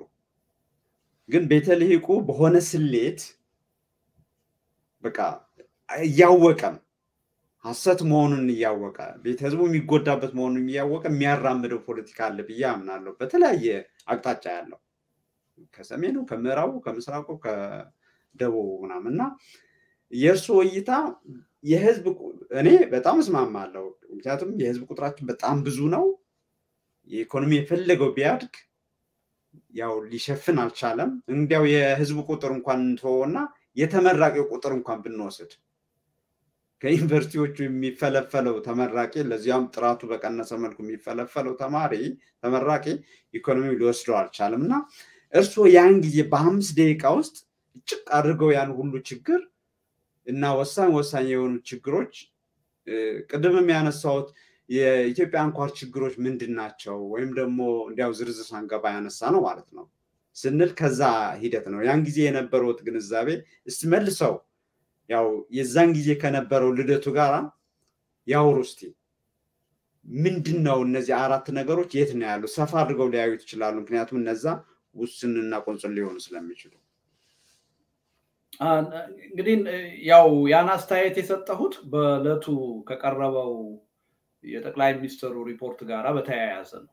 እንደው የሀገሪቱ ዋና ዋና ችግሮች ምንድን ናቸው ብዬ እነሱን thoroughly ለመገምገም ሳይሆን ከሪፖርቱ ጋር በተያያዘ ያነሳኋቸው ጥያቄዎች ናቸው እና አሁን እኔ በጣም ነው የማመሰግነው በእውነት እኔንም ራሴ አስታውሰህኛል። አሁን በዚህ መልኩ ነበረው እያቀረብኩት የሚለውን ይሄን ካየሁት በጣም ረጅም ጊዜ ሆኖኛል እና በነገር ላይ ከሁለት ሺህ ስምንቱ የኢኮኖሚ crisis ተከትሎ የመጣ ንግግር እንደሆነ አሁን አስታውሻለሁ። ከሱ አስታውሻለሁ እና ምንድን ነው የተነሱት ጥያቄዎች መሰረታዊ ጥያቄዎች ናቸው። ሁሉም አራቱም አሁን ባለው ተጨባጭ ሁኔታ ካያቸው የሀገራችን ድክመት ሆኖ የቀጠሉ ነገሮች ናቸው። የህዝብ ቁጥር ጉዳይ ኢህአዴግ ሲገባ አርባ ስምንት አርባ ዘጠኝ ማክሲመም ሀምሳ ሚሊዮን ነው የነበረው። እንግዲህ ተመልከት በሰላሳ ዓመት ጊዜ ውስጥ ከእጥፍ በላይ ነው። አሁን የሚገመተው መቶ አስራ ስድስት አስራ ሰባት ሚሊዮን ነው የጨመረ ነው። ይሄ እንግዲህ ተመልከት የፈለገውን ያህል infrastructure ብታቀርብ በተለይ መሰረታዊ በሚባሉ አቅርቦቶች በውሃ፣ በመብራት፣ በስልክ፣ በቤት ህብረተሰቡን ማርካት እጅግ እጅግ ከባድ የህዝብ ቁጥር እድገታችን በዚህ መጠን ከቀጠለ የፈለገውን አይነት ጠንካራ ጎበዝ መንግስት እንኳ ቢኖር የህብረተሰቡን የመሰረተ ልማት ፍላጎት በዛ መጠን እና የስራ ፍላጎት በዛ መጠን ማሟላት አይቻልም። በጣም ከባድ ነው። የፈለገው ሌት ከቀን ለሀገርና ለህዝብ ጥቅም የሚተጋ ጥሩ መንግስት ራሱ ብናገኝ በጣም በጣም ከባድ ነው። ለዛ ነው አሁን ለምሳሌ ባለፉት ሰላሳ ዓመታት ወይም ሀያ ሰባት ዓመት በውሃ ረገድ ከፍተኛ የሆነ የማስፋፋት ስራ ተሰርቷል። በኤሌክትሪክ በግድብ ግንባታ ከፍተኛ የሆነ ማስፋፋት ተሰርቷል። ችግሩ ግን እንደውም የባሰ ነው የሆነው። አሁን የአዲስ አበባ ከተማ የውሃ መቆራረጥና እጥረት የዛሬ ሰላሳ ዓመት ከነበረውም በላይ ነው የሆነው። አቅርቦቱ ጨምሮ እያለ የህዝብ ቁጥሩ ከዛ በላይ ስለጨመረ ህብረተሰቡን ማርካት አልቻልንም ማለት ነው። መብራት በመቶ percent አይደለም በብዙ ሺህ percent ነው ያደገው አቅርቦቱ። ግን የመብራት መቆራረጥ በደርግ ጊዜ ከነበረው በላይ ነው አሁን አዲስ አበባ ውስጥ። ለምን? ከአቅርቦቱ በላይ እንግዲህ አቅርቦቱ በሺህ percent ባደገበት ሁኔታ እንኳ የህዝብ ቁጥር እድገቱ በጣም በከፍተኛ ደረጃ በተለይ ከተሞች ስላደገ አቅርቦትንና ፍላጎትን ማጣጣም አልተቻለም እና ይሄ really በጣም መዋቅራዊ የሆነ ችግር ነው። እርግጥ ነው እንዴት ነው መፍትሄ የሚያገኘው ሲባል ከኢትዮጵያ ተጨባጭ ሁኔታ አንጻር ጉዳዩ በጣም ከባድ ጥያቄ ነው፣ ውስብስብ ነው። ስለዚህ ምልህ strict የሆነ አንድ ሰው ወይም አንድ ቤተሰብ አንድ ልጅ ሁለት ልጅ ነው መውለድ ያለበት ብለን በኢትዮጵያ ተጨባጭ ሁኔታ ህግ ልናወጣ አንችል፣ አስቸጋሪ ነገር ግን አሉ የተለያዩ ስልቶች፣ የተለያዩ ሀገሮች የተጠቀሙባቸው ስልቶች አሉ። ከወሊድ መቆጣጠሪያ ጋር በተያያዘ ከአስተሳሰብ ለውጥ ጋር በተያያዘ የልጆችን ብዛት ከኢንሴንቲቭ ጋር በማያያዝ የተለያዩ ስልቶችን መጠቀም ይቻላል። ግን ዋናው ነገር ትኩረት አድርጎ ያን ነገር መውሰድ ነው። መሰረታዊ የሆነ አንድ የሆነ የአገርና የህዝብ ችግር መሆኑን እውቅና መስጠትና ችግሩን ለመፍታት አቅጣጫ ማስቀመጥ ያስፈልጋል። እስካሁን ድረስ እኛ በዛ ጊዜ ብዙ ለፍልፈናል። ምንም አይነት ተጨባጭ የሆነ እርምጃ የተወሰደ የለም። ሌሎች ነገሮች በነገር ላይ ማስታወቂያ ሚኒስቴር አላስፈላጊ የሆነ ተቋም ባለበት ሀገር ብዬ ተናግሬ ነበር። ይሄን ማለቴ ስህተት እንደሆነ ጠቅላይ ሚኒስተሩ ተችተው ነበር ያኔ በለቱ። ግን ከወር በኋላ ማስታወቂያ ሚኒስቴር ፈረሰ እና የመንግስት ቃል አቀባይ በሚል ተተካ። Anyway ቁም ነገሩ ግን ይሄ የ population ጉዳይ መፍትሄ ሳያገኝ ቀጥሏል። ይሄ በጣም እጅግ መሰረታዊ ነገር ነው።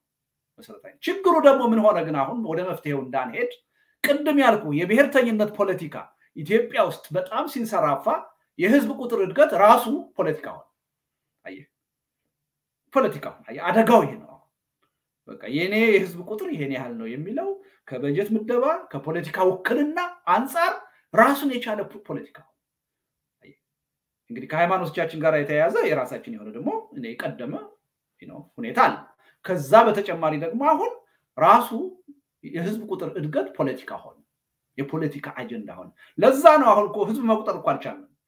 ባለፈው እኮ ህዝብ ለመቁጠር ተፈልጎ እኮ ትልቅ ግጭትና ቅራኔ ሀገሪቱ ውስጥ ቀውስ ይፈጠራል ተብሎ ህዝብ መቁጠር አልቻለም። ምክንያቱም የህዝብ ቆጠራውን ውጤት በዚህ የብሔርተኝነት ስሜት ውስጥ ያሉ ሰዎች የፈለገውን ያህል እውነተኛ ቆጠራ ቢሆን እንደማይቀበሉት እንደማይቀበሉት ጥርጥር አልነበር። ከፖለቲካችን ክረት ከብሔርተኝነቱ ክረት አንጻር አየህ ምን ያህል አስቸጋሪ ስትራክቸራል ችግር ውስጥ እንደገባ ይሄ ነው ትልቁ ችግር እና አንዱ እሱ ነው። የኑሮ ውድነት ጌታቸው ያኔ እኛ ስናነሳው በጣም በዝቅተኛ percent ነበር የኑሮ ውድነት እድገቱ። ግን ወደፊት ወዴት ሊሄድ እንደሚችል ተገንዝበን ለምን የአቅርቦትና የፍላጎት ከፍተኛ የሆነ አለመመጣጠንና ክፍተት እንዳለ ተረድተን ይሄ ነገር በአግባቡ address ካላደረግነው ወደፊት ኢኮኖሚው ላይ ከፍተኛ ጣጣ ያስከትላል ብለን ጥያቄውን አነሳን እና ጠቅላይ ሚኒስትሩ ይሄ ጉንፋን ነው አሉን እና በእኔ በኩል የለም ጉንፋን አይደለም ይሄ ደም ግፊት ነው የሚል ነበር።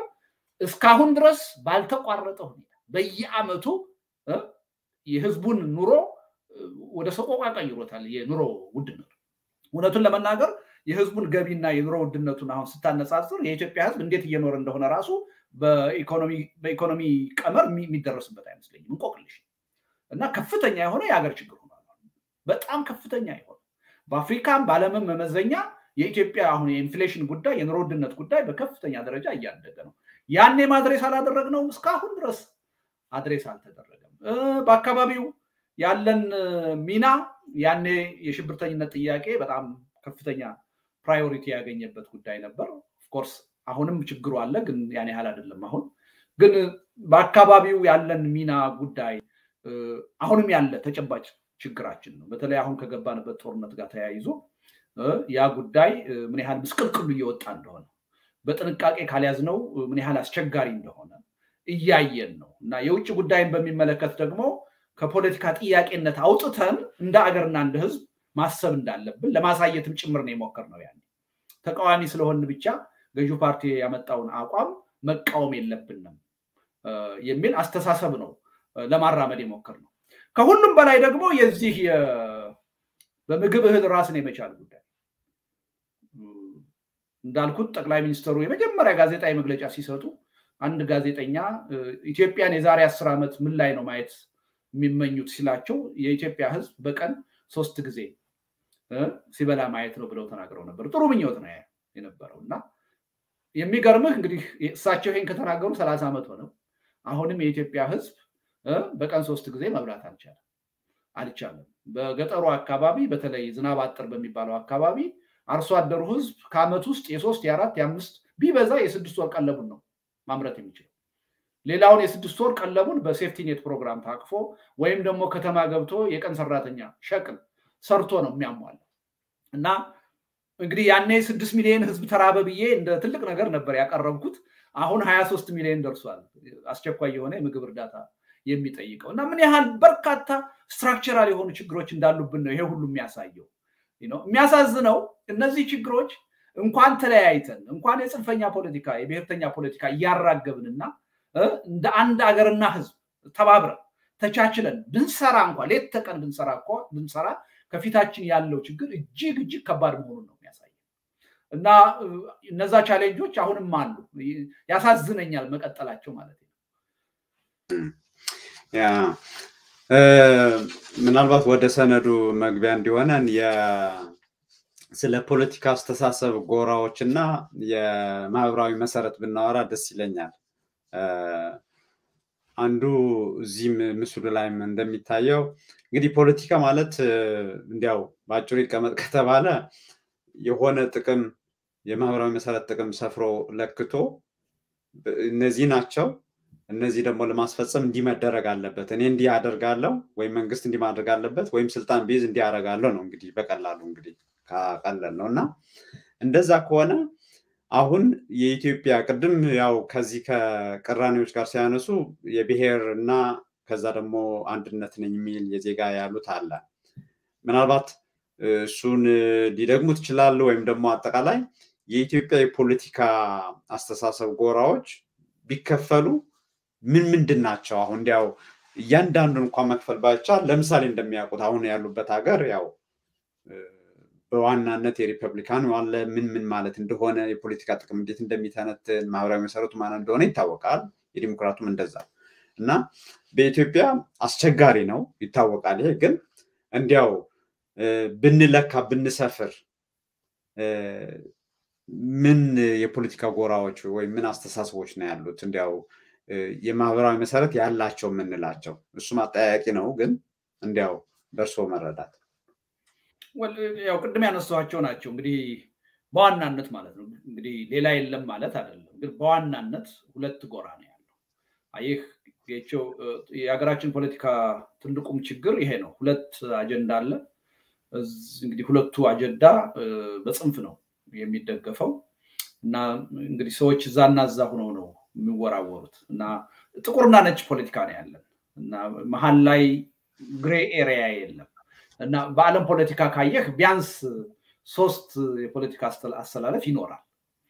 የቀኝ ኃይሎች ይኖራሉ፣ የግራ ኃይሎች ይኖራሉ፣ መሀል ላይ ደግሞ ይኖራሉ ሊበራል የሆኑ አማካኝ የሆነ አስተሳሰብ ያላቸው ይኖራሉ። ለምሳሌ አሁን እንግሊዝ ሀገር ከሄድክ እንደዛ ነው። እርግጥ ነው majority በማግኘት የመንግስትነት ቦታ ብዙ ጊዜ የሚይዙት ሁለቱ ሊሆኑ ይችላሉ። ግን ሶስተኛም ኃይል አለ እና እንዳውም ሶስተኛ ኃይሎቹ ብዙ ጊዜ king maker መሆን አንደኛው ኃይል የእነሱን ድምፅ ካላገኘ መንግስት የማይመሰረትበት ሁኔታ ይኖር እና በጣም important ይሆናል። አሜሪካን ሀገር በጣም እንትን ነው unique ነው። ሁለት ጎራ ብቻ ነው ያለው ትችላለህ፣ ሪፐብሊካን እና ዴሞክራት። ሌሎቹ በድምፅ ደረጃ ይህን ያህል influence ያላቸው አይደሉም። በብዙ ሀገሮች ግን at least ሶስት አይነት ኃይል አለ። እኛ ሀገር ስንመጣ አሁን ሁለት ነው ያለው። ሶስተኛ ኃይል ለመሆን የሞከርነው እኛ ነበርን። እኛ ብዙም ማህበራዊ መሰረት አለን ማለት አይቻልም። አለን ግን በጣም ጠባብና ቀጭን ነው ማለት ይቻላል። እና የእኛ አስተሳሰብ ላለሁ አንዳንድ ጊዜ ባለቤት የለውም። አሁን ኢትዮጵያ ውስጥ ጎዳና አዳሪ ነው ላለሁ እና ሁለት ነው ያለው እና ይሄን ካየን ደግሞ እንደ ሌሎቹ አሁን አሜሪካን ሀገር ካየን በምንድን ነው የሚለያዩት ካልን በተለያዩ value በኢኮኖሚ ጥያቄ በ foreign relation የሚለዩባቸው ጉዳዮች አሉ። ኢትዮጵያ ውስጥ ግን አጠቃላይ የሆነ የሀገረ መንግስት ሂደቱን የሚመለከት መሰረታዊ የሆነ ጥያቄ ነው ያለው። ወርደን ታች የኢኮኖሚ ጥያቄ፣ የትምህርት ፖሊሲ ጥያቄ፣ የጤና ፖሊሲ ጥያቄ፣ የማህበራዊ ደህንነት እነዚህ እነዚህ ነገሮች ሁሉ ኢሹ እንዳይሆኑ ያደረገ ማለት አጠቃላይ የሀገረ መንግስቱን የስርዓቱን ግንባታ በሚመለከት አገሪቱ እንዴት ትቀጥል በሚለው ጥያቄ በሚመለከት መሰረታዊ የሆነ ቅራኔ ነው። ይሄም ቅድም ያልኩ በኢትዮጵያ አንድነት እና በዜግነት ፖለቲካ አምናለሁ የሚል አንድ ጎራ አለ። ከዚህ በተቃራኒ ደግሞ በብሔር ማንነት ወይም ደግሞ በብሔር ፖለቲካ የሚያምን ሌላ ጎራ አለ። እነዚህ ሁለት ጎራዎች ናቸው ያሉት። አሁን የ1983ቱን የሽግግር ሂደት ካየን ይሄ የብሔር ጎራው የኢትዮጵያዊነት ጎራውን አሸንፎ ስልጣን የያዘበት ወይም ደግሞ ሴንተሩን ፔሪፌሪው ያሸነፈበት ወቅት ነው። አሁን መሆን የነበረበት ምንድን ነው? አስራ ሰባት ዓመት ሙሉ በደርግ ጊዜ የኢትዮጵያ ፖለቲካ በብዙ ጣውረድ ውስጥ ነው ያለፈው። ቀይ ሽብር በሚባል ዘግናኝ የከተማ እልቂት ውስጥ ነው ያለፈው። በአስራ ሰባት ዓመት ከፍተኛ የሆነ የጦርነት ሂደት ውስጥ ነው ያለፈው። ከዚህ የፖለቲካ ቀውስ ወጥተን ወደ አዲስ አቅጣጫ ለመሸጋገር ሰማንያ ሶስት ላይ ያ ሁኔታ ሲፈጠር መካሄድ የነበረባቸው ጉዳዮች ነበሩ፣ ሳናካሂዳቸው ያለ ጠንካራ የሆነ ብሔራዊ መግባባት ሊፈጥር የሚያስችል ብሔራዊ መግባባት መድረክ ያስፈልገን ነበር። ብሔራዊ እርቅም ያስፈልገን ነበር። ብዙ ቅራኔዎች፣ ብዙ ጠቦች፣ ብዙ መገዳደሎች አሳልፈናል። ጥሩ ያልሆነ የፖለቲካ ስሜት ውስጥ ነው ያለ ስለዚህ ሰማንያ ሶስት ኢህአዴግ ደርግን አሸንፎ ስልጣን ሲይዝ እንዲህ አይነት ብሔራዊ መግባባት ሊፈጥር የሚችል የነበሩትን ቁርሾዎች፣ ቂም በቀሎች ሊያጥብ የሚችል የእርቅ መድረክ መኖር ነበረበት። እሱን አላካሄድም። ምን ሆነ? ይሄ ብሔርተኛው ኃይል የማዕከሉን ኃይል ወይም ደግሞ የኢትዮጵያ አንድነት ኃይል ነኝ የሚለውን አሸንፎ ስልጣን ያዘ። ስልጣን ይዞ የሀገሩን መዋቅሮችና ህጎች በሱ አስተሳሰብ መቅረጽ ነው የጀመረው። ምን ሆነ ማለት ነው? ስርዓቱ የአሸናፊዎች ስርዓት ነው። አሁን በአንድ በኩል ያሸነፉ ኃይሎች የአሸናፊነት ስሜት ገነቡ። በሌላ በኩል ደግሞ በሂደቱ ተሸንፈናል ያሉ ደግሞ የተሸናፊነት ስሜት ውስጥ ገቡ። ይሄ ቅራኔ መፋጠጥ ጀመረ። በአግባቡ አገር የሚጎዳ ቅራኔ መሆኑን አምነን ለችግሩ መፍትሄ ልንሰጠው አልሞከርንም አልሞከርንም። በመንግስት በኩልም ያለው ምንም ችግር የለውም፣ አሸንፌዋለሁ፣ የትም አባቱ አይደርስም፣ ከዚህ በኋላም ተመልሶ ይሄ ኃይል ወደ ስልጣን አይመጣም ብሎ በያዘው መንገድ ቀጠለ። ተቃዋሚውን ጎራ ይሄን ኃይል አቴኒ ኮስት በሰላምም ይሁን በትጥቅ ትግል ታግዬ አሸንፈዋል። እሱን አሸነፌ በእሱ መቃብር ላይ ሌላ አዲስ የኔን አስተሳሰብ የሚደግፍ ስርዓት እገነባለሁ የሚል አይነት አካሄድ መከተል ጀመረ። ይሄ ትልቁ መሰረታዊ ችግር የተፈጠረው እዛ ላይ የፌዴራል አከላለሉ ህገ መንግስቱን ሁሉንም ካየን የአሸናፊ ኃይል በራሱ ፍላጎት የቀረጸው ነው። የሀገሪቱ ህገ መንግስት የኮንሰንሰስ ውጤት ነው መሆን የነበረው። የፖለቲካ ቅራኔዎቹ በአግባቡ ታውቀው ታውቀው የፖለቲካ ቅራኔዎቹ በውይይት የሚቻቻሉበት መድረክ ተፈጥሮላቸው ህዝቡ እነዛን ልዩነቶች በአግባቡ አይቶ የራሱን ፍርድ የሚሰጥበት እድል genuinely ተፈጥሮለት ህገ መንግስቱና የሀገሪቱ የፌዴራል መዋቅሮች የ consensus ውጤት ነው መሆን የነበረባቸው። የአሸናፊ ውጤት ሆኖ አሁን አሸናፊው የአሸናፊነት ስነ ልቦና ይዞ ቀጠለ። ተሸንፌያለው የሚለው ኃይል ደግሞ bitterly የተሸናፊነት ስሜት ይዞ ቀጠለ። እስካሁን ድረስ ለዚህ ጦርነት ሁሉ ያበቃል ችግር መነሻው እዛ ላይ ሀያ ሰባት ዓመት ሙሉ የነበረው ስርዓት በዚህ ረገድ ከህብረተሰቡ ይነሱ የነበሩ ጥያቄዎችን ትኩረት ሰጥቶ ሊፈታቸው አልሞከረም። አንደርማይን አደረጋቸው። ዝም ብሎ የጠላት ወሬ አድርጎ አያቸው አየ እና በሂደት እየገነገኑ እየገነገኑ እየገነገኑ መጡ እና መንግስት ራሱ እነዚህን ቁልፍ የሆኑ የፖለቲካ ጥያቄዎችና ቅራኔዎች አግባብ ባለው መድረክ ከመፍታት ይልቅ የኢትዮጵያን ህዝብ ጥያቄ በልማት ጥያቄ እፈተዋለሁ የሚል የተሳሳተ አቅጣጫ ያዘ። ህዝቡ የኑሮ ችግር ላይ ነው። ልጆች አሉት። ልጆቹን ማስተማር ይፈልጋል። መብላት፣ መጠጣት፣ ኑሮውን ማሳደግ ይፈልጋል። ስለዚህ በልማት ረገድ ቁልፍ የሆነ ተጨባጭ የሆነ ውጤት ካመጣው የፖለቲካ ጥያቄ ሁለተኛ ይሆናል፣ ሰፕረስ አደርገዋል ብሎ አመነ። ይሄ ትክክል እንዳልሆነ በወቅቱ ስንገልጽ ነበር። እኔ በተደጋጋሚ በተደጋጋሚ በየክርክር መድረኮቹ የኢትዮጵያ ህዝብ ጥያቄ በልማት ብቻ አይመለስም። የእኩልነት ጥያቄ አለ፣ የፍትሐዊነት ጥያቄ አለ፣ የዲሞክራሲ ጥያቄ አለ፣ የመልካም አስተዳደር ጥያቄ አለ፣ የሀገር ህልውና ጥያቄ አለ፣ የማንነት ጥያቄ አለ። ማንነት በብሔር ስሜት ብቻ አይደለም መታየት አለበት። ራሱ ኢትዮጵያዊነትም አንድ ማንነት ነው፣ ቦታ ሊያገኝ ይገባል። ገዢው ፓርቲ ግን የለም።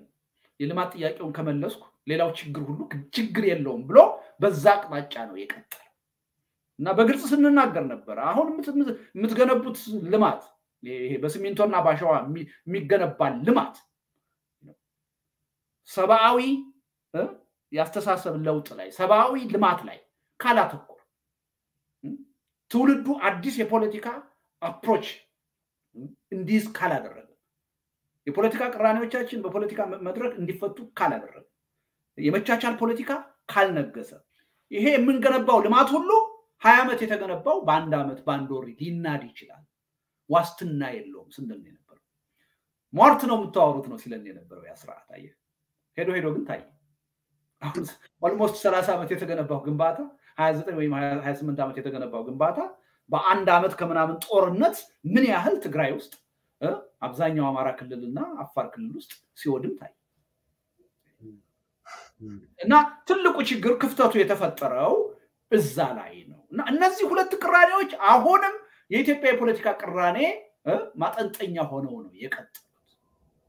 ስለዚህ በአግባቡ መስተናገድ መቻል አለባቸው። እነዚህ መቻቻል አለባቸው። እነዚህን ለማቻቻል ይሄ ሰነዳችን ውስጥ ስንገባ አብዛኛዎቹ ነገሮች የተቀመጡት ከዛ አንጻር እንዴት አይነት ብሔራዊ መግባባት ይካሄድ፣ ምን አይነት የሽግግር መንግስት ይቋቋም፣ በዛ ውስጥ ውክልናው እንዴት ይካሄድ? ምናምን የሚለው ህገ መንግስቱ እንዴት ይሻሻል? የሚሉ ጥያቄዎች ሁሉ እነዚህን ሁለት መሰረታዊ ቅራኔዎች በማቻቻል በማስታረቅ ረገድ ምን ማድረግ አለብን የሚለውን ጥያቄ ለመመለስ ከመፈለግ ይመለች እሱ ካልታረቀ አሁንም በአሸናፊና በተሸናፊነት አዙሪት የምንቀጥል ከሆነ የትም መድረሳቸው የሀገሩ ህልውና ዋስትና አሁን እየታየ ያለው ነገር ይሄ ወደ እሱ ወደ የትግራይ ጦርነት ከዚህ ከሰነዱ ጋር በዋናኝነት ስለሚተሳሰር እናነሳዋለን።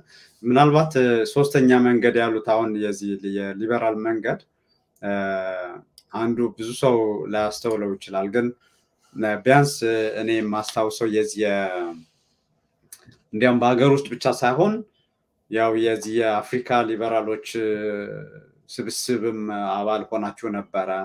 ምናልባት የዓለም አቀፉ የዓለምም እና አንዱ ግን ያነሱት የእኛ ማህበራዊ መሰረቱ የለውም ወይም በጣም ስስ ነው ወይም ቀጭን ነው ምናምን ያሉት እሱ ላይ አይደለም ወይ ችግሩ? ምናልባት አሁን ማህበራዊ መሰረት እንግዲህ ይዞ እንዲያም አንድ ወቅት አሁን ትተዋል እንጂ የነገው ፓርቲ የሚልም ትጠቀሙ ነበረ። በቃ ዛሬ የለም ያው የሚሰማንም የሚያየንም የለም ከሚል ይመስለኛል። እና ይህንን አስታውሰን ግን አሁን እንግዲህ እነዚህ ሁለት እና ሶስተኛ መሀል ላይ እናደርገውና ከሆነ የሰነዱን ያዘጋጀው አሁን የእናንተ ስብስብ ይህን ሰነድ ሲያዘጋጅ የኢትዮጵያ ህልውና ተቆርቋሪዎች ስብስብ ይባላል። እና እርግጥ ነው ያው ሰዎቹን አንገልጽም። ምናልባት ግን እንደ ዳራ እንዲሆን ስንት ናችሁ? ሁለተኛ ደግሞ ከፖለቲካ አስተሳሰብ እንግዲህ በተደጋጋሚ ቃለ ምልሶች ላይ የፖለቲካ አስተሳሰብ ውክልና እንዳለ ያንጸባረቁበት አለ። ምናልባት አሁን እነዚህ ብሔርተኞች የሚባሉ ወይም ብሔር ተኮር የሆነ አስተሳሰብ ያላቸው ከዛና እርስዎ ለምሳሌ የመሀሉን አድርገን ብንወስድ የአንድነት እነዚህ በሙሉ ተወክለዋል እዛ ውስጥ ይህን ሰነድ ስታዘጋጁ? ከሞላ ጎደላው ተወክለዋል። በእኩል መጠን ነው ባይባልም ተወክለዋል። ግን ሰነዱን ስንሰራው በሰነዱ ውስጥ አስተሳሰባቸው በአግባቡ ሊወከል በሚችልበት ደረጃ ነው የሰራ ነው እና ቁጥራችን ብዙ ነው። ይሄን ያህል ነው ብዬ መናገር ባልፈልግም አገር ውስጥም አውሮፓም እዚህ ሰሜን አሜሪካም የተለያዩ አካባቢዎች ያለን ሰዎች ነን። በፖለቲካ አመለካከታችን በጣም የተለያየ አሁን አሁን ካቀረብኩልህ የኃይል አስተላለፍ አንጻር ራሱ በጣም የተለያየ አመለካከት ያለን እና በአንድ አጀንዳ ዙሪያ ነው የተግባባ ነው። አሁን አገሪቱ ሌሎቹ ጥያቄዎች ሁሉ አሁን እድሜ ለዶክተር አብይ አህመድ ቅንጦት ሆነዋል። እኛ ስንታገል የኖርነው ለዲሞክራሲ ነው፣ ለእኩልነት ነው፣ ለማህበራዊ ፍትህ ነው፣ ለልማት ለብልጽግና ነው። ግን አሁን already አገሩ መቀመጫችን ራሱ አገር የሚባለው ከፍተኛ የሆነ የህልውና አደጋና ፈተና ውስጥ ወድቋል። ስለዚህ መጀመሪያ አገሩና ህዝቡ ህልውና ኖሮት ካልቀጠለ ሌሎቹ ጥያቄዎች ሁሉ ሁለተኛና ሶስተኛ ደረጃ ነው የሚሆኑት። ስለዚህ ሌሎቹን ልዩነቶቻችንን ወደ ጎን አስቀምጠን ይሄን አገራዊ የህልውና ጉዳይ እንዴት ነው ለመታደግ አንድ አይነት አስተዋጽኦ ማበርከት የምንችለው ከዚህ አደጋ ለመውጣት የሚያስችል ምን አማራጭ የሰላም ሀሳብ ማቅረብ እንችላለን በሚለው ጥያቄ ብቻ ነው የተሰባሰቡ እና በቻልነው መጠን የኢትዮጵያ የፖለቲካ ኃይል አስተላለፍን በማየት በተለይ በሁለቱ ጎራዎች ውስጥ ያሉ ኃይሎች የሚያነሷቸውን ጥያቄዎች ግምት ውስጥ በማስገባት ነው። ከውስጣችን በተለይ ሁለቱ ጎራዎች አሉ። ሶስተኛው ምምልህ አማካኝ ያለውም በተወሰነ ደረጃ አለ። ግን በእኩል መጠን ናቸው ልልህ አልችልም። ሀሳቡ ግን የሁሉንም ሊወክል በሚችል የሁሉንም በሚዛናዊነት ሊያስተናግድ በሚችል መልኩ እንዲቀረጽ ነው ጥረት ያደረግነው እንጂ እውነቱን ለመናገር አንድ ፓርቲ የሚበቃን ሰዎች አይደለንም። አሁን ወደ ፖለቲካ ፓርቲ ውስጥ እዛ ስብስብ ያሉ ሰዎች እንግባ ብንል ሶስት አራት ፓርቲ ውስጥ ልንገባ የምንችል እና አንዳንዶቹም ደግሞ በፓርቲ ፖለቲካ ውስጥም ጭራሽ ገብተው የማያውቁ አሁንም የሌሉ ናቸው። ወደፊትም ደግሞ የፖለቲካ አምቢሽንም የሌላቸው ናቸው እና እንደ ስብስብ ስንናገር በዚህ ሂደት ውስጥ እኛ የአደራዳሪነትም የተደራዳሪነትም ሚና ሊኖረን አይገባም። የእኛ ሚና ሀሳብ ማቅረብ ብቻ አማራጭ የሆነ መነሻ ለመሻሻል፣ ለመታረም፣ ለመለወጥ ክፍት የሆነ አማራጭ ሀሳብ በማቅረብ ረገድ አንድ ሚና አንድ አስተዋጽኦ እናበርክት ነው። ሌላ ምንም ከጀርባው ጥያቄ የለውም። አንድ አስተዋጽኦ እናቅርብ። ወደዛ አይነት ሂደት ሀገሪቱ እንድትገባ ለህብረተሰቡ አቅጣጫ እናመላክተው። ኢትዮጵያ አሁን ያለችበት ችግር በጦርነት ሊፈታ አይችልም። ዘላቂ አሸናፊ ሊኖረው አይችልም። ሌላ የሰላም አማራጭ አለ ይሄን ለመፍታት። ይሄንም ማየት አለብህ፣ የሚጠቅምህም ይሄ ነው ብለን በዋናነት ለኢትዮጵያ ህዝብ አፒል ለማድረግ እና በስርዓቱ ላይ በተቀናቃኝ ኃይሎች ላይ ግፊት እንዲያደርግ እድል ለመፍጠር እና ወደዛ አቅጣጫ ከተሄደ ደግሞ መነሻ የሚሆኑት ስራዎች ለዛ አካል ብናቀርብለት ትልቅ ሸክም ይቀልለታል፣ እገዛ ይሆንለታል ከሚል በጣም ገንቢ ከሆነ ቅን አስተሳሰብ የመነጨ ነው። of course አንዳንድ ሰዎች በቅንነት እንደማያዩት አያለው። ይሄ የእኛ ችግር አይደለም፣ የነሱ ችግር ነው። እኛ ሌላ ምንም ambition፣ ሌላ ምንም ተልእኮ የለንም። ሀገራችን ከህልውና ጥፋት ድና የፖለቲካ ልዩነቶቻችንን በሰላማዊ መንገድ፣ በህጋዊ መንገድ፣ በዲሞክራሲ አግባብ የምናስተናግድበት ሁኔታ እንዲፈጠር ህዝባችን ከእልቂት እንዲድን፣ ከጦርነት እልቂት፣ ከረሃብ እልቂት እንዲድን፣ አገሪቱ ከመፍረስ እንድትድን፣ ከመፈራረስ እንድትድን የበኩላችንን አስተዋጽኦ ለማለት እንችላለን ብለን አይደለም። በዛ ደረጃ confidence አለን ማለት አይደለም። አቅማችን ውስን ነው እናውቃለን። ግን የሀገር ጉዳይ ስለሆነ ተስፋ መቁረጥ የለብን። አቅማችን የሚፈቅደውን ጥረት ማድረግ አለብን ከሚል ውስጣዊ ቁጭት ነው ያለብንን የሞራል ጥያቄም ለመመለስ ነው። መልካም። እኔ የእንትኑን ያነሳሁት አንድ ትችት ለምሳሌ ትናንት ሰምቼ ነበረ ከአንድ የህግ ምሁር ናቸው። ምናልባት በዚህ በሰነዱም አሁን ባሉትም እንዲያው ጎራ ከተመደበም ለዚህ ለህብረ ብሔራዊ ወይም ብሔር ተኮር ወደ ተባለው ውስጥ ሊገቡ የሚችሉ ናቸው እና ምንድን ነው ያሉት ያን ትችት ምሳሌ ከቃላት አጠቃቀሙ ጀምሮ ቅንነቱን አምነው ማለት ነው። እዚህ በቀናነት ነው የተነሱት። ግልጽ ነው ከሰነዱ ራሱ በቀናነት እንደተነሱ ያስታውቃል ብለው ከተቹ ማን ነው ካወደሱ ካመሰገኑ በኋላ ግን ከቃላት አጠቃቀሙ ጀምሮ ግን ለምሳሌ የብሔርተኛ የሚባለው የማይጠቀምባቸው የማይላቸው ናቸው የሚል ትችት እና ምናልባት ወደ አንዱ ጎራ ያደላ ስብስብ ሊሆን እንደሚችል እና ይሄም ደግሞ ይሄም ራሱ ከልምድ ማለት ኑሯቸው ልምዳቸው እሱ ስለሆነ ነው ያንን ቃል የተጠቀሙበት የሚል አለ። እና ለዛ ነበረ ስብስብ ለማጥራት ያክል ምን ያክል ለምሳሌ ምንድን ነበር ያውቃል ጌታቸው? ለመማር ነው። ለምሳሌ የዚህ በቃ የአዳኝነት መንፈስ አለው። ለምሳሌ አሁን አገር ማዳን የሚለው ማለት አገር እንግዲህ እንመጣበታለን። እርግጥ የዚህ ከጠቅላይ ሚኒስትሩ ጋር በተያያዘ ብዙ ጊዜ የሚነሳው ኢትዮጵያ አትፈርስም ይባላል ህዝቦቿ ግን የት ነው ያሉት ተብሎ ሲሰላ ግን ያው እሱ ላይ እንዲያው እመጣለሁ ጠይቆታል ግንዛቤ እና ከእሱ ጋር በተያያዘ አንድ አንድ ሁለት ሌሎች ጋር ደግሞ በተያያዘ የዚህ ዜጋ አሁን ለምሳሌ የዜግነት ተኮር ሲባል የብሔር ፖለቲካ የሚያራምዱትም እኮ ያው ዜጋ የለም አይሉም ማለት አሁን ዜጋ የሚለው አሁን የዚህ የቡድን የግለሰብ ጋር የሚለው ነው እንጂ ችግሩ እና ከታሪክ ጋር በተያያዘ እንዴት ይፈታ ከሚለው እንጂ ልክ እነዛ የዜግነት የሚለው ራሱ የቃላቱ ለምሳሌ ያው ዘርዝረው ነው እሳቸው ከሰሜንም ይምጣ ከምዕራብም ከደቡብም ይምጣ ብሔርተኛ የሚባሉ የማይጠቀምባቸው ቃላቶች ናቸው። እና እነዚህ በሙሉ የሚያሳዩት ሰነዱን ያዘጋጁት ሰዎች ልምዳቸውም የፖለቲካ አስተሳሰባቸው እንዲያ ምንድነው? የማይታያቸው መኪና ሲነዳ እንግዲህ የማይታየን ቦታ አለ። በመስተዋት መረዳት ያለብን የማይታያቸው ቦታ እንዳለ ያሳብቃል የሚል ነው የእሳቸው ትችት። እና ሊተቹት ይችላሉ እሱ ምን እኛ ቅድም እንዳልኩ ምንድን ነው ያው እንዳየኸው በግልጽም ሰነዱ ላይ አማራጭ የሰላም የሰላም መነሻ ሀሳብ ነው ይሄ የሚያሳየው ምንድነው ትችትን የሚፈልግ መሆኑ ነው። ምንም ከትችት እጠቀማለሁ ብሎ የሚያምን ሰነድ ነው። በግልጽ እንደዛ ደግሞ ብላችኋል። ብለናል። እና በበጎነት ነው የሚቀርብን ትችት የምንፈልገው።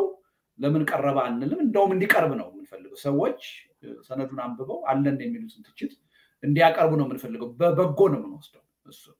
ግን ዞሮ ዞሮ አሁን ካነሳቸው አንጻር የቀረቡት ትችቶች አሳማኝ ናቸው ወይ ካልክ አሁን የጠቀስካቸው ማለት ነው። ለምሳሌ ሁለቱ ነገሮች ኢትዮጵያን የማዳን ወይም ሀገርን የማዳን። እኔ ምንም ችግር አላይበትም እዚህ ውስጥ ማለት ነው። አሳማኝ የሆነ ትችት ነው ብዬ አላምንም። ኢትዮጵያ ስንል ደጋግሜ ገልጬዋለሁ። ወንዙን ተራራውን ሸለቆውን ማለታችን አይደለም። እሱማ የት ይሄዳል። ምኑን ነው የምናድነው? የት ይጠፋል? እያወራን ያለ ነው ስለ ህዝቡ ነው። okay? እኔ በዚህ ደረጃ መገመት ያለብን አይመስለኝም። ስለ ሀገር ስናወራ ስለ ኢትዮጵያ ስናወራ ዋናው ቁም ነገር ለኛ ህዝብ መሆኑን መረዳት ጥሩ ይመስለኛል። ምክንያቱም በዛ ደረጃ ለመረዳት የሚያቅተን አይነት ሰዎችም አይደለንም። እና በየትም ዓለም የተለመደ ነገር ነው። ሀገርን የማዳን ጉዳይ ማለት ሌላ ማለት አይደለም። ህዝብን የማዳን ጉዳይ ነው። በጦርነት እኮ ተራራው አይፈርስም።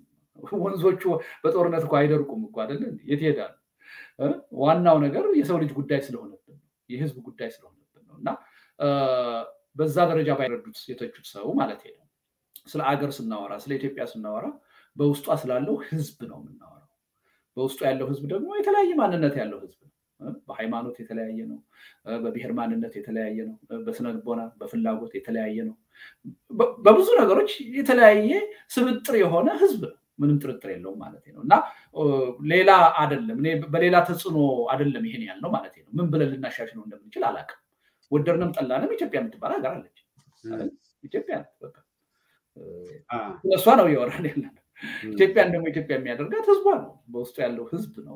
በውስጡ ያለው ማንነት ነው እና በዛ ቢረዱት ጥሩ ይመስለኛል። የዜግነት የሚለው of course አሁን ልክ ብሔርተኛ የሆኑት ኃይሎች እኛ እኮ ስለ ብሔረሰብ ስናወራ ስለ ዜግነትን አልካድንም፣ ስለ ዜግነትም ነው የምናወራው ይላሉ።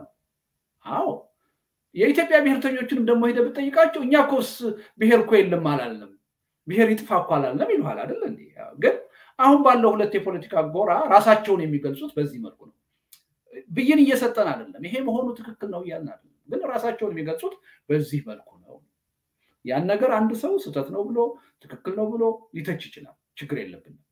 ግን እየገለጹ ያሉት ራሳቸውን በዚህ መልክ ነው የሚል ነው ያቀረብነው እና በዛ መልኩ ቢረዱት ጥሩ ነው። anyway እኛ ወደዚህ እንትን ትችት ሲቀርብ defensive ለመሆን አይደለም ፍላጎት ያለን ያን ካደረግን self defeating ነው ማለት ነው። ምንም ይሄ ሰነድ ተሻሽሎ ለሀገር የሚጠቅም ሊሆን አይችልም ማለት ነው እና ትችት በደንብ ነው የምንፈልገው። አሳማኝ የሆነ ትችት ማለት ነው ይምጣ እና እኛ ከዚህ ውስጥ ሀምሳ ፐርሰንቱ እንኳ ተቀባይነት ካገኘ እሰየው ነው። አንድ ትልቅ አስተዋጽኦ ነው ብለን ነው የምንወስደው እና አሁንም ለትችት ክፍት ነው።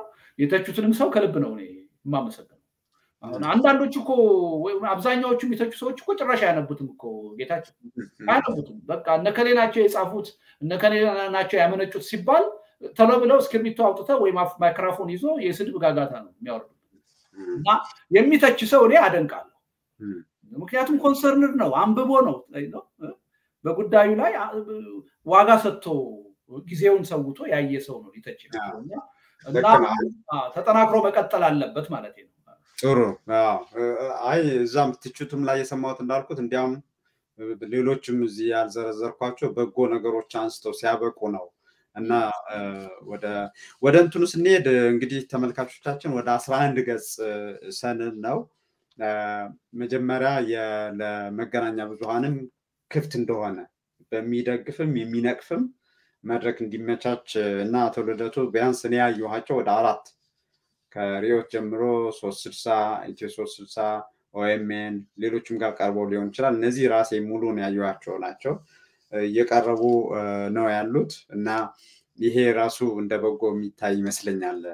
ወጥቶ እንዲያው የሚያነብ የሚያነበው እንደ ፍርጥርጡ ሳይሉ ያው ለመከላከልም ይሁን ለመተንተን መጥቷል። ከዛ ከመግቢያው በፊት ለኢትዮጵያ ሕዝብ የሚያስተላልፈው መልእክት አለ። እሱም ላይ ግፊት እንዲደረግ ይላል። እና እዛ ላይ ምናልባት አሁን ትንሽ አሁን እየቆየ ስለሆነ እንዲያነሱት የምፈልገው ለነዚህ ያው ጥሪዎች አድርገዋል። ለፖለቲካ ፓርቲዎች፣ ሲቪል ማህበራት፣ መገናኛ ብዙሃን፣ የውጭ መንግስታት እና ዓለም አቀፍ ድርጅቶች እና ለኢትዮጵያውያን ዜጎች ይላል። እና እስካሁን በተለይ አሁን የውጭ መንግስታትን በተመለከተ ይህ እንግዲህ በአማርኛ የተጻፈ ሰነድ ነው። እንግዲህ በይፋ የተበተነ ነው። ለውጭ መንግስታት፣ ዓለም አቀፍ ድርጅቶች የደረሰበት መንገድ አለ። አዎ አቅማችን በፈቀደ መጠን የውጭ መንግስታት በተለይ ኢትዮጵያ ውስጥ ባሉ አምባሳደሮች አማካኝነት እንዲደርስ አድርገናል። በእንግሊዝኛ ተሰርቶ እንዲደርሳቸው አድርገናል። ለአንዳንድ ዓለም አቀፍ ድርጅቶችም በተለይ በዚህ በድርድር ሂደት ውስጥ ተሳትፎ ለሚያደርጉ አካላት አቅማችንና ሁኔታው በፈቀደ መጠን እንዲደርስ ለማድረግ ሞክረናል። የተገኘ ግብረ መልስ አለ እስካሁን? ያው በግልጽ ባይሆንም አንዳንዶቹ በጣም ጥሩ ሀሳብ እንደሆነ ጥሩ መነሻ ሆኖ ሊያገለግል እንደሚችል ጥሩ እይታ እንደሰጣቸው ይነግሩናል። ግን ያው አብዛኛዎቹ እንግዲህ በዚህ ጉዳይ ላይ የውጭ የምንላቸው ያው የዲፕሎማሲ ጉዳይ ስለሆነ ሰነዱን በይፋ ወጥቶ የመደገፍ ጉዳይ ብዙም ላይ አስኬድ ይችላል። አንደርስታንድ እናደርጋለን። እሺ ወደ ይዘቱ ጋር ስንገባ አሁን እንግዲህ ቅድም እርሶ ያው እንዲያው ለእኛ አይመጥንም በሚመስል መልኩ ነው የመለሱት የዚህ ሀገርና ህዝብ የሚለው። በአንድ በኩል ደግሞ ያው ድሮ ፓርላማም ይሁን በተለያየ መድረክ ታነሱት የነበር ሁሉም ሰው ያነሳ የነበረው የቅንጦት ወደ መሆን ደረጃ ደርሷል ሲባል አሁን እንደ መለኪያ ወይም ልኬት ይጠራ ከተባለ አገሪቱ ፈርሳለች? አልፈረሰችም፣ ትፈርሳለች? አትፈርስም አይነት የሚገርም ነገር ላይ ነው ያለ ነው እና ይሄ እርስዎ አገር ሲሉ ህዝብ መሆኑ ወይም ደግሞ የእርስዎ ስብስብ ያው እንዲያው በማያሻማ ነገር ተናግረዋል። ግን ታዋቂ ሰዎች አዋቂ ታዋቂም እንግዲህ ተምታቷል፣ ግን አዋቂም ታዋቂም የሆኑ ሰዎች ከጠቅላይ ሚኒስትሩ ጀምሮ ያው የሚያልቅ ያልቃል እንጂ ኢትዮጵያ አትፈርስም፣ ያው እኛ እናልቃለን እንጂ ኢትዮጵያ ትቀጥላለች የሚሉ አሉ። እና ይሄ እንዲያው ለእርስዎ ግልጽ የሆነው ነገር በፖለቲካ መድረኩ እንዲያው የህዝቡን አይደለም እያነሳ እንዲያም ያለ ነው። ያውቃሉ እንዲያው ማወቅ ያለባቸው የምንላቸው ሰዎች ሳይቀሩ ይሄን የምትቀጥለው ምን እንደሆነች ግራ እስኪገባ ድረስ በደንብ ለሚያስብ ሰው ማለት ነው የሚባልበት ሁኔታ አለ። እና እርስዎ ለኩ ይለኩ ቢባሉ አገር ፈረሰ የምንለው መቼ ነው?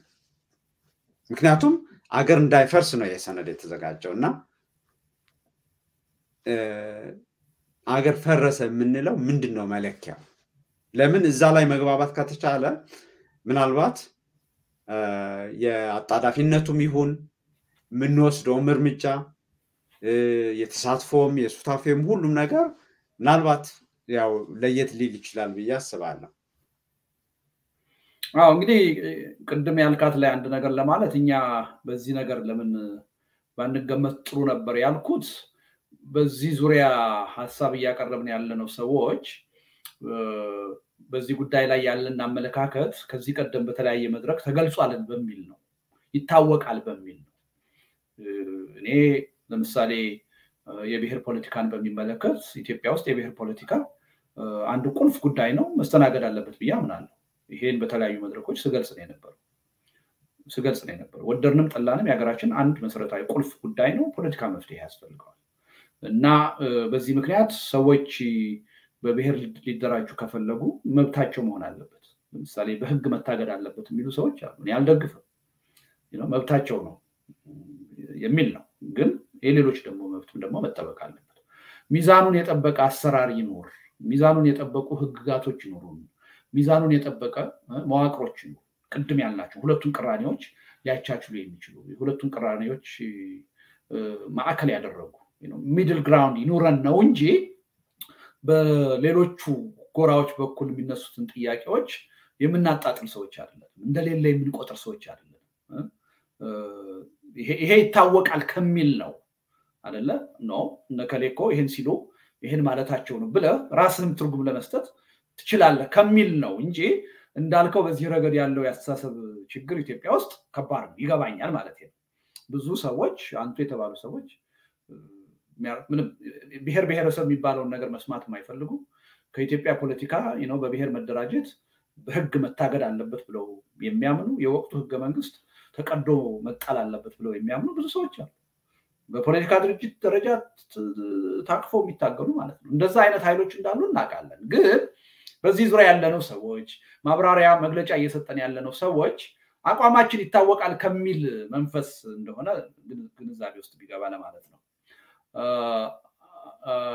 ሌላው ያነሳው ነገር መቼ ነው ሀገር ፈረሰ የምንለው እኔ ደግሜ ደጋግሜ በዚህ ጉዳይ ላይ ሀሳቤን ለማካፈል ሞክሬያለሁ። እኔ አገር የሚፈርሰው አይምሮ ውስጥ ነው ብዬ አምናለሁ። ጭንቅላታችን ውስጥ ነው መጀመሪያ የሚፈርሰው። በቃ የጋራ ነገር ካጣ የኔነት ብቻ ከነገሰ የሰጥቶ መቀበል ፖለቲካ ከተጸየፍን ሁሉን ነገር ለእኔና ለእኔ ብቻ ካል። ጥሩ ነገር ሲሰራ የምናደንቀው እኛን የሚመለከት ጉዳይ ብቻ ከሆነ። ጉዳት ሲደርስ የምናለቅሰው እኛን እኛ ወይም የኛ የምንለውን ህብረተሰብ ብቻ የሚመለከት ከሆነ እና የጋራ ነገር ከጠፋ አገር መፍረስ በዋናነት እዛ ጭንቅላት ላይ ነው መሬት ላይ የሚመጣው ከዛ በኋላ እና ሁለተኛ እንደ ህዝብ ጎራ ለይተን ጠበንጃ ተማዘን መዋጋት ከጀመር ትልቅ የሀገር መፍረስ ምልክት እሱ ነው እሱ ነው እና ዋናው በአንድ ሀገር ውስጥ የሚኖር ህዝብ ምንም ጥርጥር የለውም ልዩነት በውስጡ ይኖራል። ልዩነቶቹ ተጠብቀው መቀጠል አለባቸው፣ ውበቱ ናቸው። ግን ደግሞ የጋራ ጉዳይ አለው። በብዙ የታሪክ መስተጋብር ውስጥ ያለፍልን ልዩነት ብቻ አይደለም ያለን፣ አንድነትም አለን። እሱን ልንረሳው አይገባም፣ ቦታ ልንሰጠው ይገባል። ሲቻል በሂደት ዋናው ዓላማችን አንድ የኢኮኖሚና የፖለቲካ ማህበረሰብ መፍጠር ስለሆነ የጋራ ጉዳይ ሆን ተብሎም እኮ ይፈጠራል by design ብዙ ሀገሮች የጋራ ማንነት እኮ ሆን ብለው ፈጥረዋል አይደለ? በአስገዳጅ ሁኔታ መሆን የለበትም፣ በተጽዕኖ መሆን የለበትም እንጂ natural በሆነ ሁኔታ የሀገር አንድነትን ሊያጠናክር የሚችል የጋራ ማንነት መፈጠሩ ለአንድ ሀገር አስፈላጊ ነው፣ ለአንድ ህዝብ አስፈላጊ ነው። ያ ማለት ግን ልዩነትን መጨፍለቅ ማለት አይደለም። ልዩነትን በኃይል በተጽዕኖ ማጥፋት ማለት አይደለም። እሱ ተገቢ አይደለም፣ ወንጀልም ነው እና በኢትዮጵያ ተጨባጭ ሁኔታም መሞከርም የሌለበት የማይቻልም ነገር ነው። የማንንም ማንነት በኃይል ማጥፋት አይቻልም። ስለዚህ አገር ፈርሷል የምንለው ይሄ ነው። የጋራ ጉዳይ ሲጠፋ ሁሉም ለእኔ ለሚለው ጉዳይ ብቻ ትኩረት ሲሰጥ ለዛ ጉዳይ ብቻ ነው የምሞተው ሲል ያንተ ጉዳይ አያገባኝም ካለ አይመለከተኝም ካለ አሁን ይሄን ነው የማየው። አሁን ለምሳሌ እኔ በዚህ የጦርነት ሂደት የትግራይ ህዝብ ላይ ስለሚደርሰው በደል ስናገር አንዳንድ ሰዎች አንተ ምን አግብቶ ነው ይሉኛል። ለምንድን ነው ለትግራይ ህዝብ ይሄን ያህል ተቆርቋሪ የሆንከው ይሉኛል። አየህ እነዚህ ሰዎች ኢትዮጵያ አእምሯቸው ላይ ፈርሳለች። እኔ አእምሮ ውስጥ ግን አልፈረሰችም። የአማራ ህዝብ የኢትዮጵያ ህዝብ ነው ብዬ እንደማምነው ሁሉ የትግራይም ህዝብ የኢትዮጵያ ህዝብ ነው፣ ህዝቤ ነው ብዬ ነው ስለዚህ አማራ ህዝብ ላይ የሚደርሰው ችግር እንደሚቆጠቁጠኝ ሁሉ የትግራይ ህዝብ ላይ የሚደርሰው ችግርም ይቆጠቁጠኛል፣ ይመለከተኛል። ጥሩ ነገር ሲያገኝ እደሰታለሁ፣ መጥፎ ነገር ሲደርስ አለቅሳለሁ አብሬ። የጋራ ጉዳይ ነው ብዬ ስለማምን ነው። በትግራይ ውስጥ ያሉ ማንነቶች ብዙዎቻችን የምንጋራቸው ናቸው። በአስተዳደጋችን በታሪካዊ ሂደት የራሳችን ያደረግናቸው ናቸው። እሱን የሚያጠፋ ነገር ሲመጣ ዝም ብዬ ላይ አልችል ላይ አልችል እና አገሩ ስለፈረሰ ሁልጊዜ ተወልጀበታለሁ ለምትለው አካባቢ እና ህዝብ ብቻ ወይም ብሔር ብቻ እንድትቆጭ ተቆርቋሪ እንድትሆን ነው የሚፈለገው። እኔ ይሄ ጭንቅላታችን ውስጥ አገር መፍረሱን የሚያሳየው ይሄ ይሄ ነው መሬት ላይ ወደ ጦርነት ወደ ግጭት የወሰደ የወሰደ እና ኢትዮጵያ አሁን እውነቱን ለመናገር በመፍረስ ገና ትፈርሳለች አትፈርስም አይደለም ጥያቄ። already በመፍረስ ሂደት ላይ ነች፣ እየፈራረሰች ነው። ስለዚህ ጥያቄው አሁን ይሄን መፈራረስ እንዴት ብለን በፍጥነት ማስቆምና ወደ ትክክለኛ አቅጣጫ ወደ አለመፍረስ ልንቀይረው እንችላለን ነው እንጂ በመፈራረስ ሂደት ላይ ነው። እንግዲህ አንድ ምሳሌ አድርገን የምናየው አሁን የትግራይና የኢትዮጵያ ጉዳይ ነው። እንግዲህ የትግራይና የኢትዮጵያ ብዬ ለመጥራት ራሱ የተገደድኩት ወድጄ አይደለም። ትግራይ ኢትዮጵያ መሆኑን አጥቼዋለሁ። እንዲህ ብለን እንድንናገር ራሱ ተገደናል። ትግራይና ኢትዮጵያ እያልን እንድናወራ አየህ፣ ሁለት ሀገር ፈጠርን ማለት ነው። de facto የሆነ ሁለት ሀገር ፈጠርን ማለት ነው። እነሱና እኛ ሆኗል አሁን ንግግሩ። ማዕከላዊ መንግስቱ ሳይቀር ብድግ ብሎ መቼ ነው የምትደራደረው ሲባል ከትግራይ ማን ነው ከአማራ ክልልና ከአፋር ክልል TPLF ሲወጣ ነው ይላል። ዋዳዝት ማዕከላዊ መንግስቱ ኢትዮጵያ የምትባልን ሀገር ሙሉ በሙሉ የማስተዳደር ኃላፊነት ነው ያለበት። ትግራይ የኢትዮጵያ አካል እንዳልሆነች ቆጥሮ ከሷ በመለስ ያለውን ቦታ ሲለቁ ነው ሲልህ አገር መፍረሱን የምትረዳው በዚህ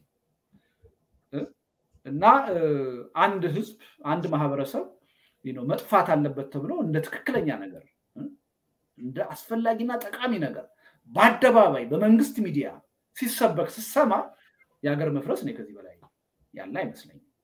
እና መፈራረሱ እጅግ ብዙ ርቀት ሄዷል፣ ብዙ ርቀት ሄዷል። ስለዚህ ይሄን እንዴት አድርገን እናስቁመውና ወደ ተሻለ አቅጣጫ እንቀይረው ነው እንጂ ገና ወደፊት ሀገር ይፈርሳል አይፈርስም የሚል ጥያቄ ክርክር መነሳት ያለበት አይመስለኝም። እየሆነ እያየ ነው ነው ይሄ ህዝቡ ሊያልቅ ይችላል እንጂ ሀገሩ ይቀጥላል የሚሉ ሰዎች የሀገር ትርጉም ያልገባቸው ሰዎች የሚናገሩትም እውነቱን ለመናገር የማያውቁ ሰዎች ናቸው።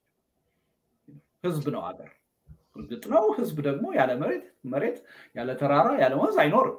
እውነት ነው። የሚነጣጠሉ ነገሮች አይደሉም። ግን ዋናው ነገር አገርን አገር የሚያደርገው ህዝብ ነው። የሰው ልጅ የማይኖርበት ምድረ በዳ ምኑን አገር ትለዋለህ? ሀገር አይደለም። አገር የሚባለው ዋናው የሰው መኖሪያ ሲሆን ሰው ነው ሀገርና ሀገር የሚያደርገው።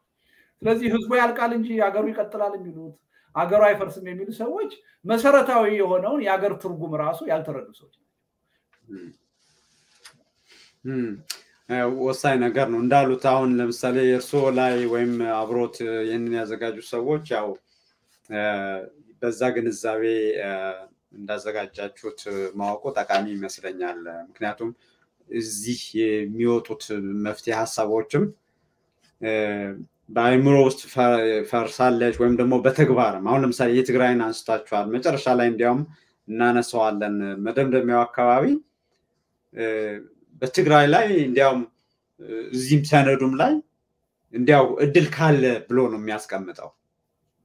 እና ይሄ ነበራዊ ሁኔታ ያገናዘበ ብዬ ወስደዋለሁ። ለምን አጠቃላይ አሁን ቅድም ያሉት አለ እንደ መፍትሄ የተማሩ የሚባሉ አንዳንዶች እንዲያውም የፍልስፍና ተማሪዎች ብቻ ሳይሆን የፍልስፍና አስተማሪዎች ሳይቀሩ የትግራይን ህዝብ ከቦ በመቆየት ከህዋት መነጠል ይቻላል እና ያ እንደ ስትራቴጂ ብለው ያለምንም መሸማቀቅ የሚጽፉበት ወቅት ላይ ነው ያለ ነው እና ያንን የሚያሰምር ይመስለኛል።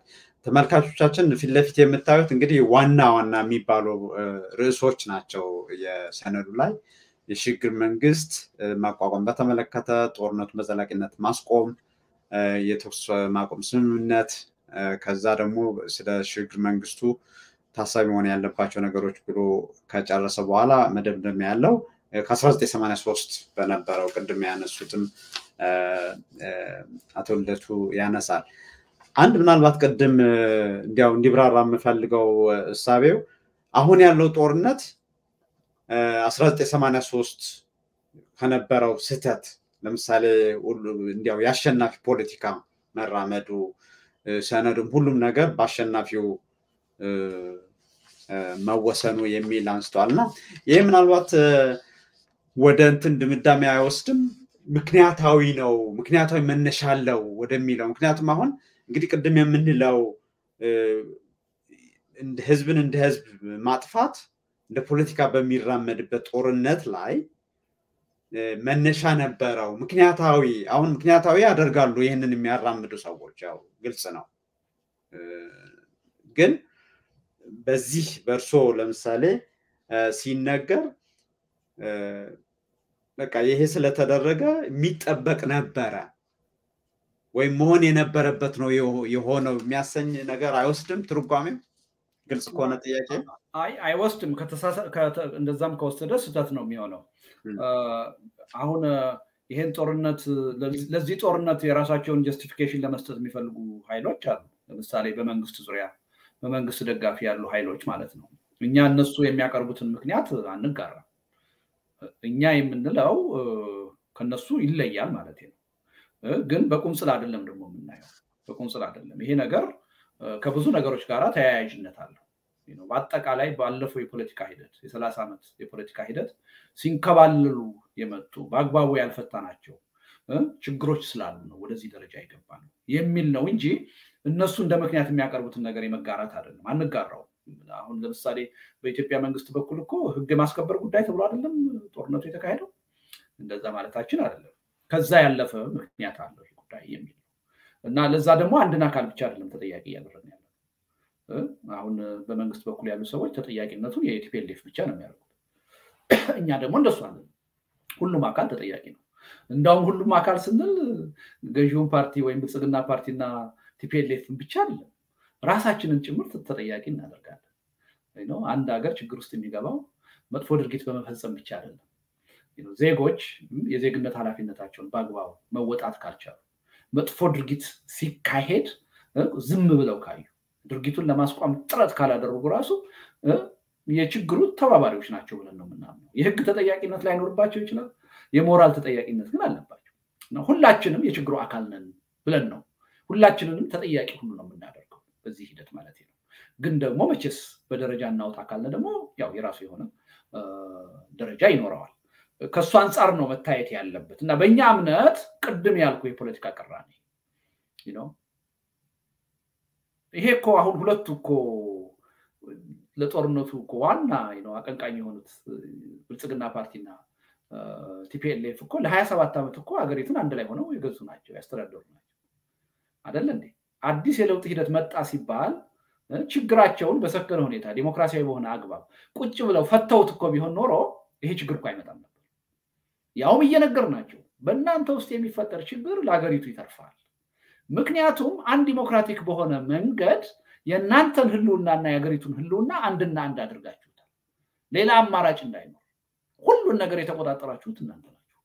እናንተ ውስጥ የሚገጥም መፍረስ፣ መለያየት ለሀገሩ ይተርፈዋል። እባካችሁን ይሄን ህዝብ መካስ የምትፈልጉ ከሆነ ቁጭ ብላችሁ በጠረጴዛ ዙሪያ ተነጋግራችሁ የውስጥ ችግራችሁን ፍቱ እና የለውጥ ሂደቱን የሰመረ አድርጉት ብለናቸው እኮ ነበር። አልሰሙም። ሀያ ሰባት ዓመት ሙሉ አንድ ሆነው አንድ አይነት ሆነው አብረው ተቀምጠው ሁሉንም ተጽዕኖ ሲያደርጉ የነበሩ ሰዎች ተለያይተው እንደገና ሁለት ሆነው ነው ይችን ሀገር ወደ ጦርነት ውስጥ ያስገባል። ከዛ ጊዜ ጀምሮ የመጣ ነው። ይህ ቅድም ያልኩ የመሸናነፍ አዙሪት በውስጣቸው መሆን የነበረበት ምንድን ነው እንዴ? ምን ስህተት ብንፈጥር ነው 1983 ላይ ወደዚህ አይነት ቅራኔ የመጣ ነው? በህዝብ የተጠላ ነው። እንደዚህ አይነት የመረረ ተቃውሞ የመጣው ምን ቢሆን ነው? በሰላም ከመፈታት በላይ ወደ ግጭት፣ ወደ ጦርነት የሚወስድ ጣጣ ውስጥ የገባ ነው። ምን ስህተት ብንሰራ ነው? ምን ያልሰራነው ነገር ቢኖር ነው ብለው ራሳቸውን መጠየቅ ነበረባቸው። መጠየቅ አልፈለጉም። በዚህ የለውጥ ሂደት ውስጥ እኔ አሸናፊ ሆኜ እንዴት አድርጌ በስልጣን እቀጥላለሁ የሚለው ላይ ነው ያተኮሩት። ስለዚህ ምን ሆነ? ተለያዩ። ተለያይቶ ሀገሪቱን እንደገና ሌላ የጦርነት አዙሪት ውስጥ አስገቧል።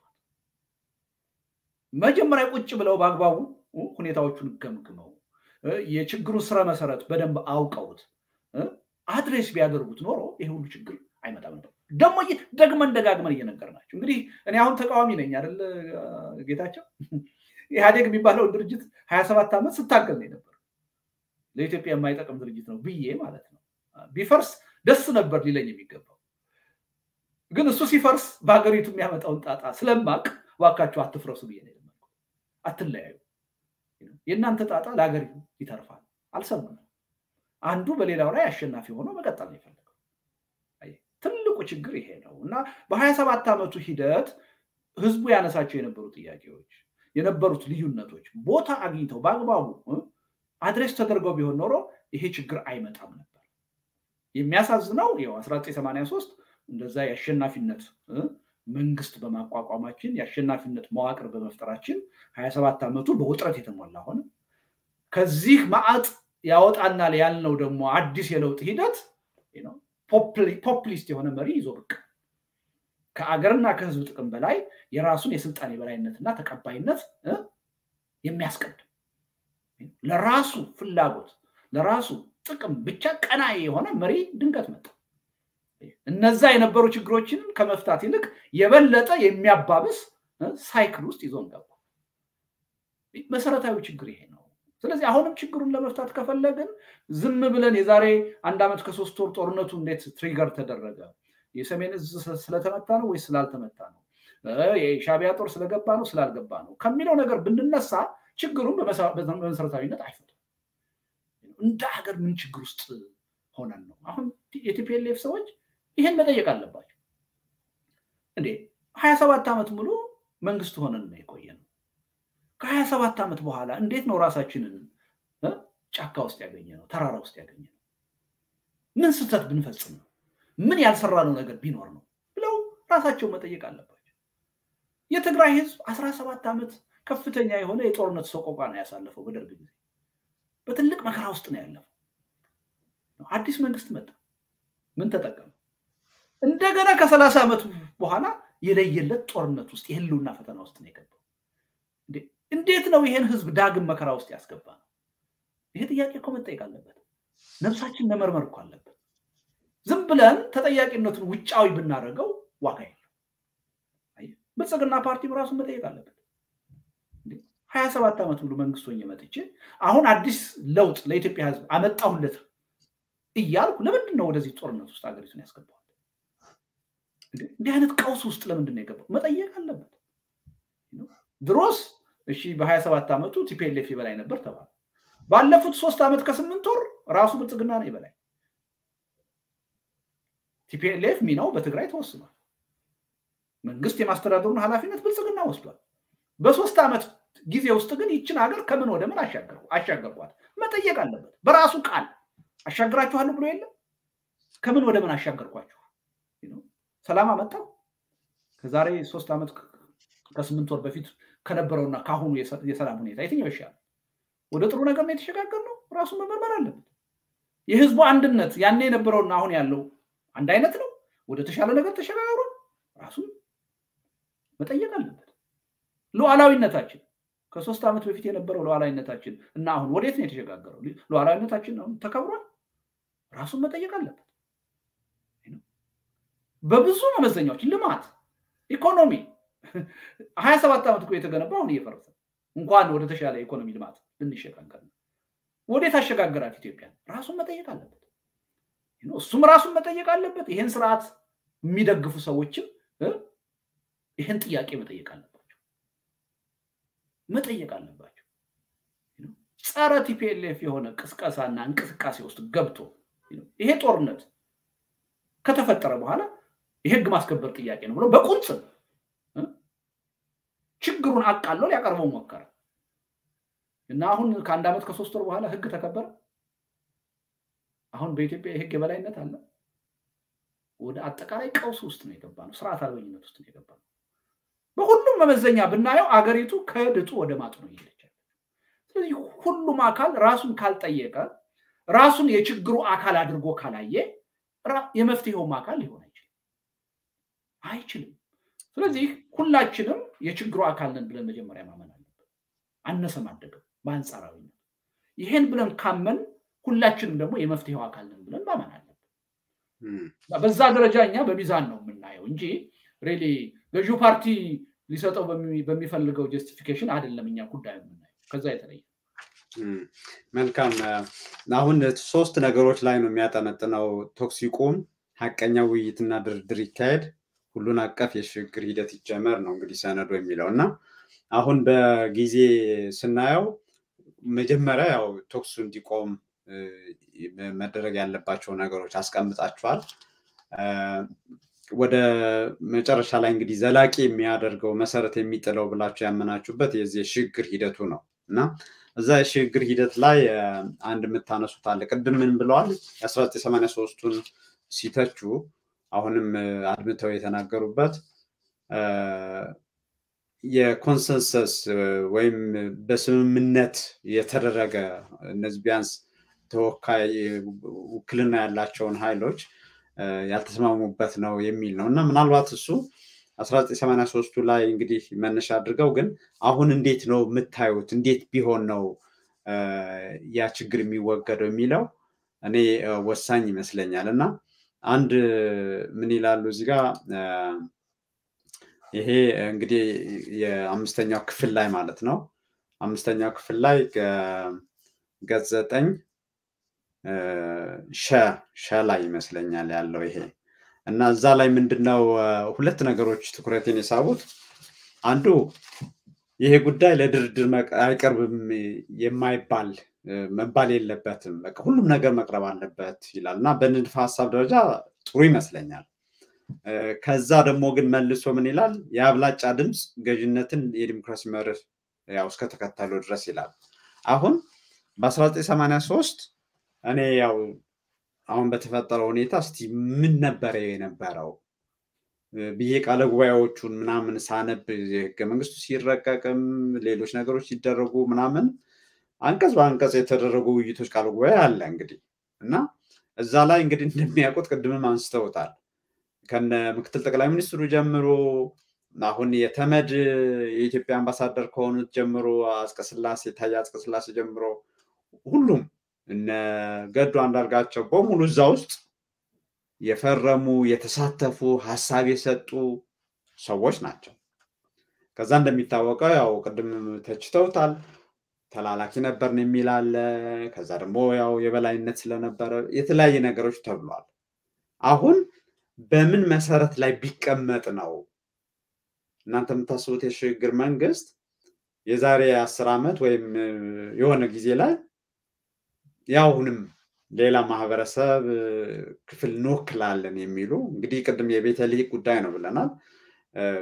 ቢያንስ እኔ ብዬ ያለው እና ተነስተው አልተወከልንም እንዲህ ምክንያቱም እናንተ እርሶም አንድ እዚህ የመጨረሻ መጽሐፎ ላይ ሽፋኑ ላይ ይላል ህገ መንግስታችን የምንለው ህገ መንግስት እንዴት ነው መኖር የሚችለው የሚለው ማለት እና ይሄ ቀላል ነው። ቅድም ማህበረሰቡንም ተቃዋሚውንም ከተቹበት እና ተገቢ ትችት ይመስለኛል አለበት ከሚሉት እንከን አንጻር ይሄ ይቻላል ወይ ወይስ ላማለኝ በሰማይ ነው? ለምንድን ነው ያን የምለው? አንድ እዚህ የአብላጫ ድምፅ ገዥነት እና የድርድር ለድርድር አይቀርብም ሲባል ለምሳሌ ብሔርተኛ ተብሎ የሚፈረጀው የፖለቲካ ኃይል የራስን እድል በራስ መወሰን እንዲያው ለድርድር መቅረብ አለበት ብሎ ያምናል ብዬ አላምንም።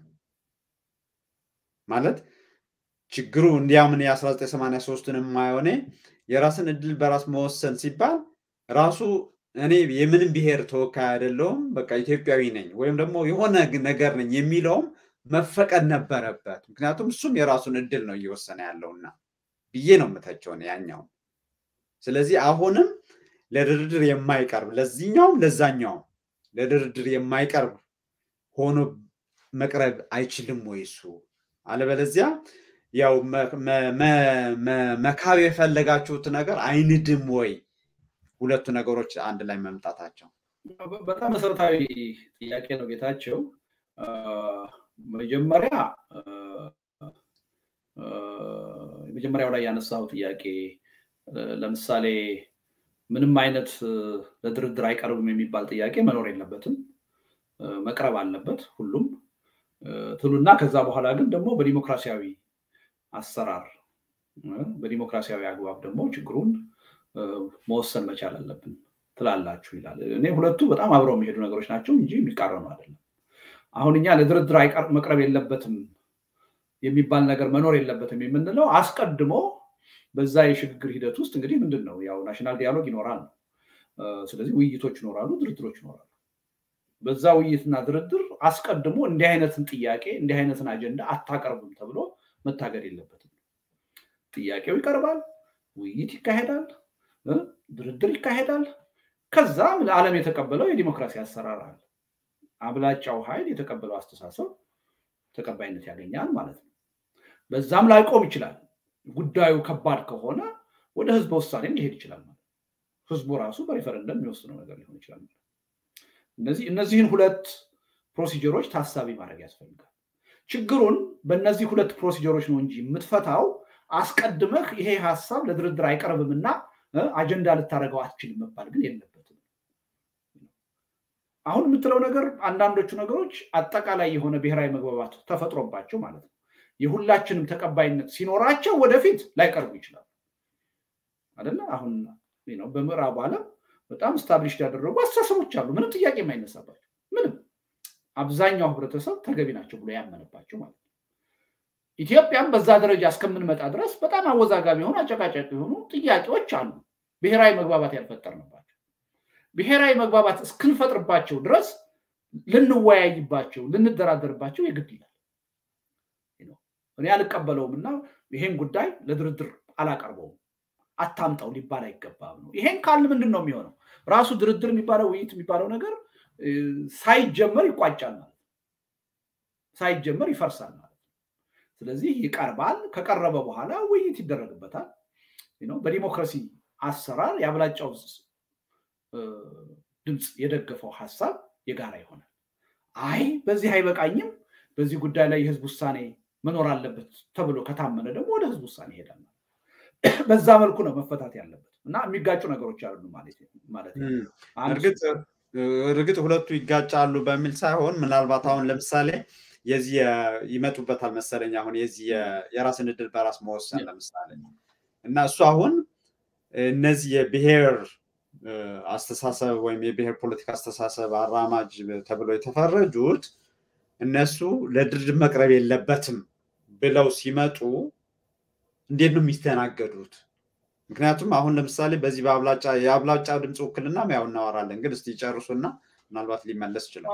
አንዱ ታሳቢ መሆን ያለበት ስለያዝነው አቋም በራስ መተማመን ሊኖረን ይገባል። የያዝነው አቋም የህዝብ ድጋፍ አለው ብለን ካመን በዛ ጉዳይ ላይ ለመወያየትና ለመደራደር መፍራት የለብን። እኔ እንዲያውም የሚታየኝ ምንድን ነው አንድን ሀሳብ ለውይይት አይቀርብም፣ ለድርድር አይቀርብም ስትል በዛ ደረጃ በራስ መተማመን የለህም ማለት ነው። በመድረኩ ውሳኔ ከዛም አልፎ በህዝቡ ውሳኔ አትተማመንም ማለት ነው። ጉዳዩ ለህዝቡ ውሳኔ ቢቀርብብኝ ይወድቃል ብለህ ትፈራለህ፣ ትሰጋለህ ማለት ነው። እኔ እንደዛ መስጋት ያለብን አይመስለኝም። በሀሳቡ የምንተማመን ከሆነ ለሀገርና ለህዝብ የሚጠቅም ከሆነ ምንም ጥርጥር የለውም። ህዝቡ ስለዚህ ይቺ የአብላጫ ድምፅ ገዥነት አሁን እዚህ ተሳስራ ያላችሁ ከተደራዳሪዎች ጋር ነው። ግን እርስዎ እያሉ ያሉት ከህዝብ ጋር ነው። አሁን ለምሳሌ ከህዝብ ላይ ከሆነ እንዳሉት ነው። መቼም ህዝብ የማይፈልገው ለምሳሌ ምንድን ነው አሁን ያልነው የራስ እድል መወሰንም ራሱ ህዝብ አልፈልገውም ካለ እንግዲህ ለማን ነው የሚሰራው? ያው ለህዝብ ነው እንዳሉት።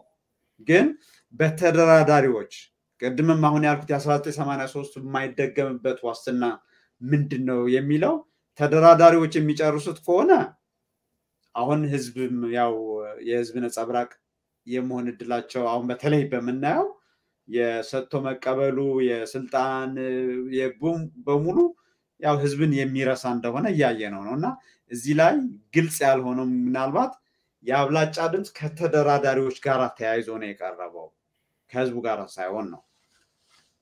ሁለቱም ፕሮሲጀር አስፈላጊ ነው ብለን ነው የምናምነው። ለምንድን ነው ሁለቱም አስፈላጊ ነው ብለን የምናምነው? የፖለቲካ ኃይሎች በታሪክ አጋጣሚ እዛ መድረክ ላይ ስለተገኙ ቁልፍ በሆኑ የህዝብ ጥያቄዎች ብቻቸውን እንዳይወስኑ ለማድረግ ስለዚህ በእነሱ ደረጃ ሊወሰን የሚችለው ነገር ይወሰናል። በጣም የልዩነት ማዕከል የሆነ አላግባባ ያለ ጥያቄ ግን ሌላ አማራጭ የለም። በጉልበት ዝም ብለህ አንዱ በሌላው ላይ ሊጭነው አይችልም። ወደ ህዝብ ውሳኔ ይሄዳል ማለት ነው።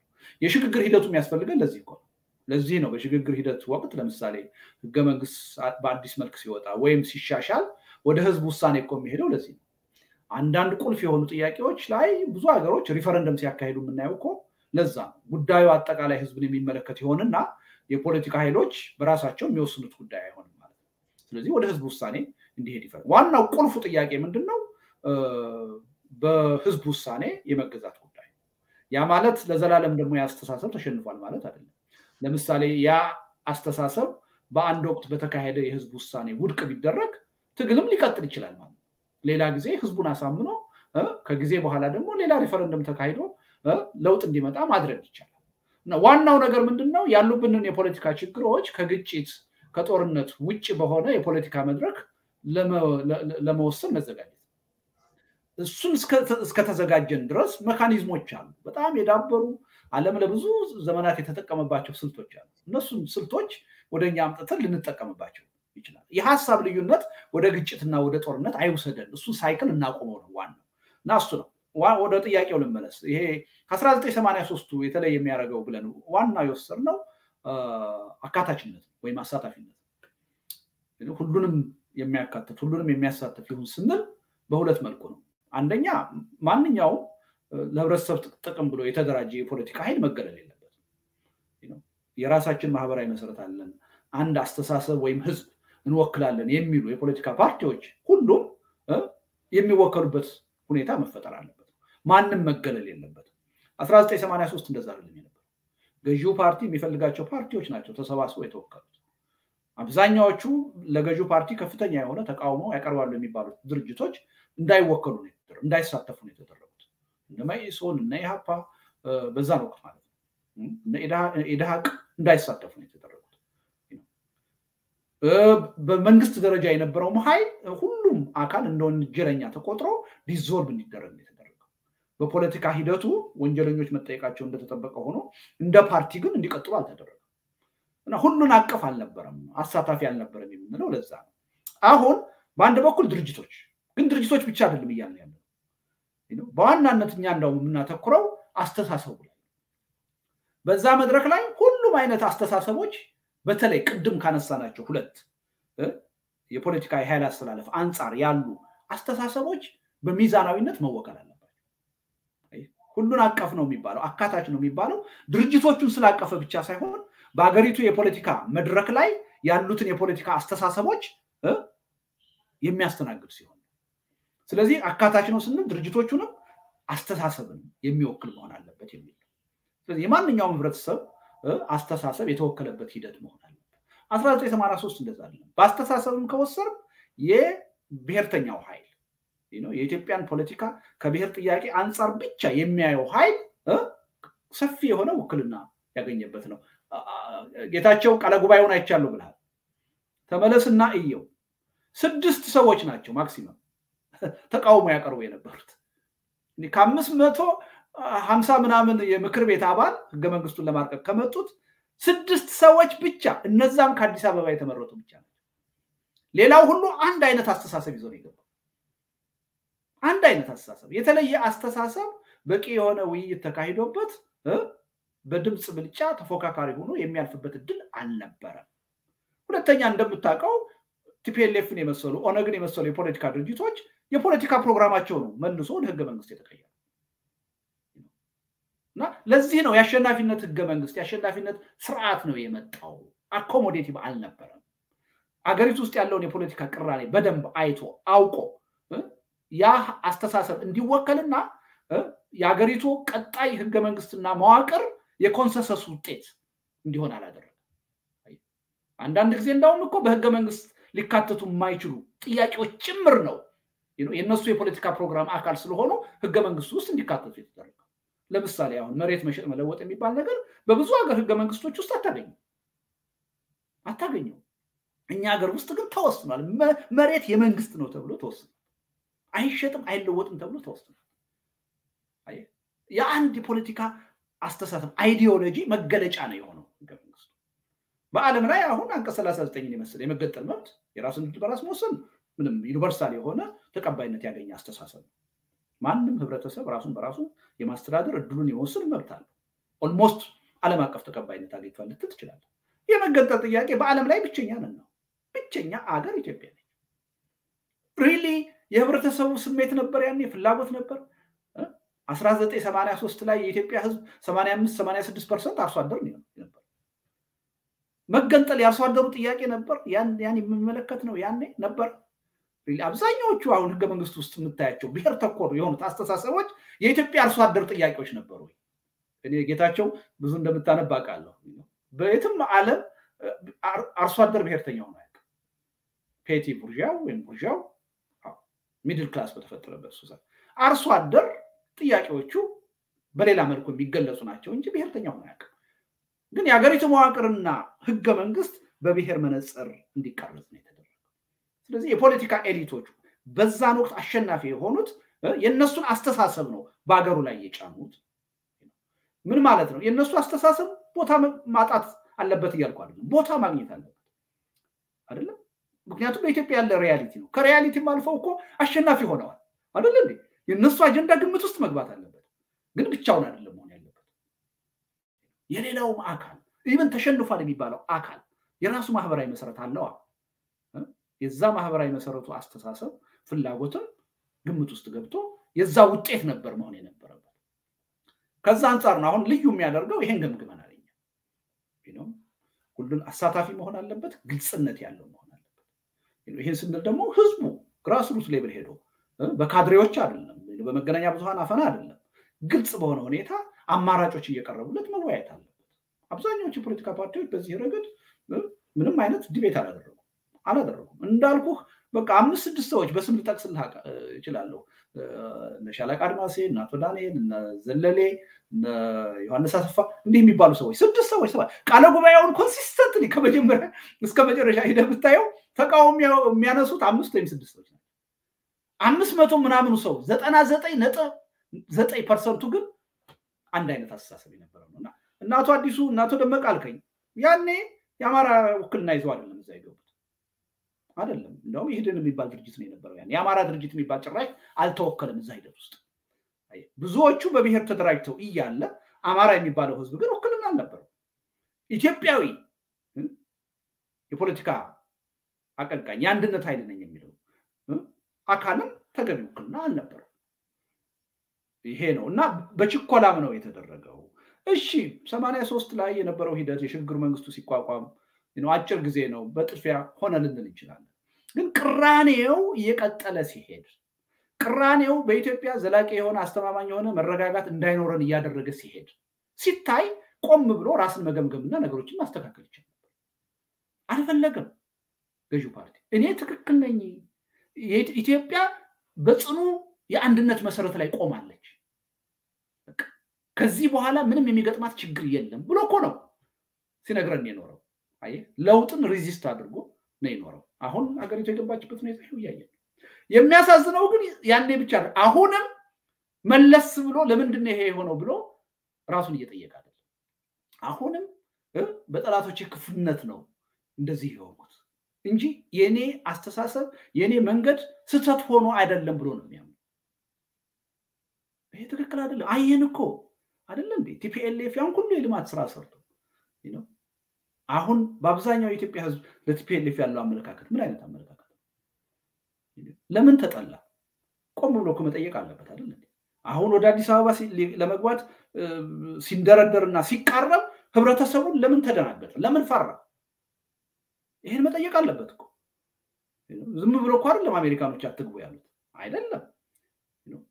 እነ ዶክተር አብይ የትኛው የሰሩት ጥሩ ስራ ኑሮ ነው አሁን በህብረተሰብ በተወሰነ ደረጃ የተደገፉት? ምን ሰርተው ነው? ህብረተሰቡ ፍርሃት አደረበት። TPLF ከጥፋቱ ከስህተቱ ያልተማረ እንደሆነ ተገነዘበ።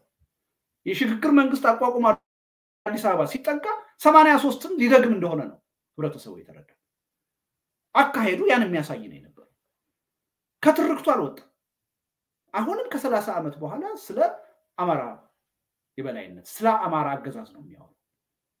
አሁን ያለውን ስርዓት ራሱ የአማራ ስርዓት አድርገውን አብዛኛዎቹ የ TPLF አመራሮች የሚመለከቱት ይህን እያሉ ከአማራው ህዝብ ምን አይነት reaction ነው የሚጠብቁት? ይህን መገንዘብ ያስፈልጋል። ቆም ብሎ ማሰብ ምን ስህተት ሰርቼ ነው፣ ምን ሳልሰራ ስለቀረሁ ነው ይሄ ችግር የተፈጠረው የሚለውን ራሳችን ነብሳችን መመርመር አለብን። ሁልጊዜ ችግሩን ውጫዊ አናድርግ። ያን ካላደረግን የትም አንደርስም ነው። ይሄ ለሁሉም የሚሰራ ነው፣ ለሁላችንም የሚሰራ ነው እና ዋናው ከ1983ቱ እንማር ስንል ሁሉን አቀፍ መሆን አለበት፣ አሳታፊ መሆን አለበት፣ ግልጽነት ያለው መሆን አለበት።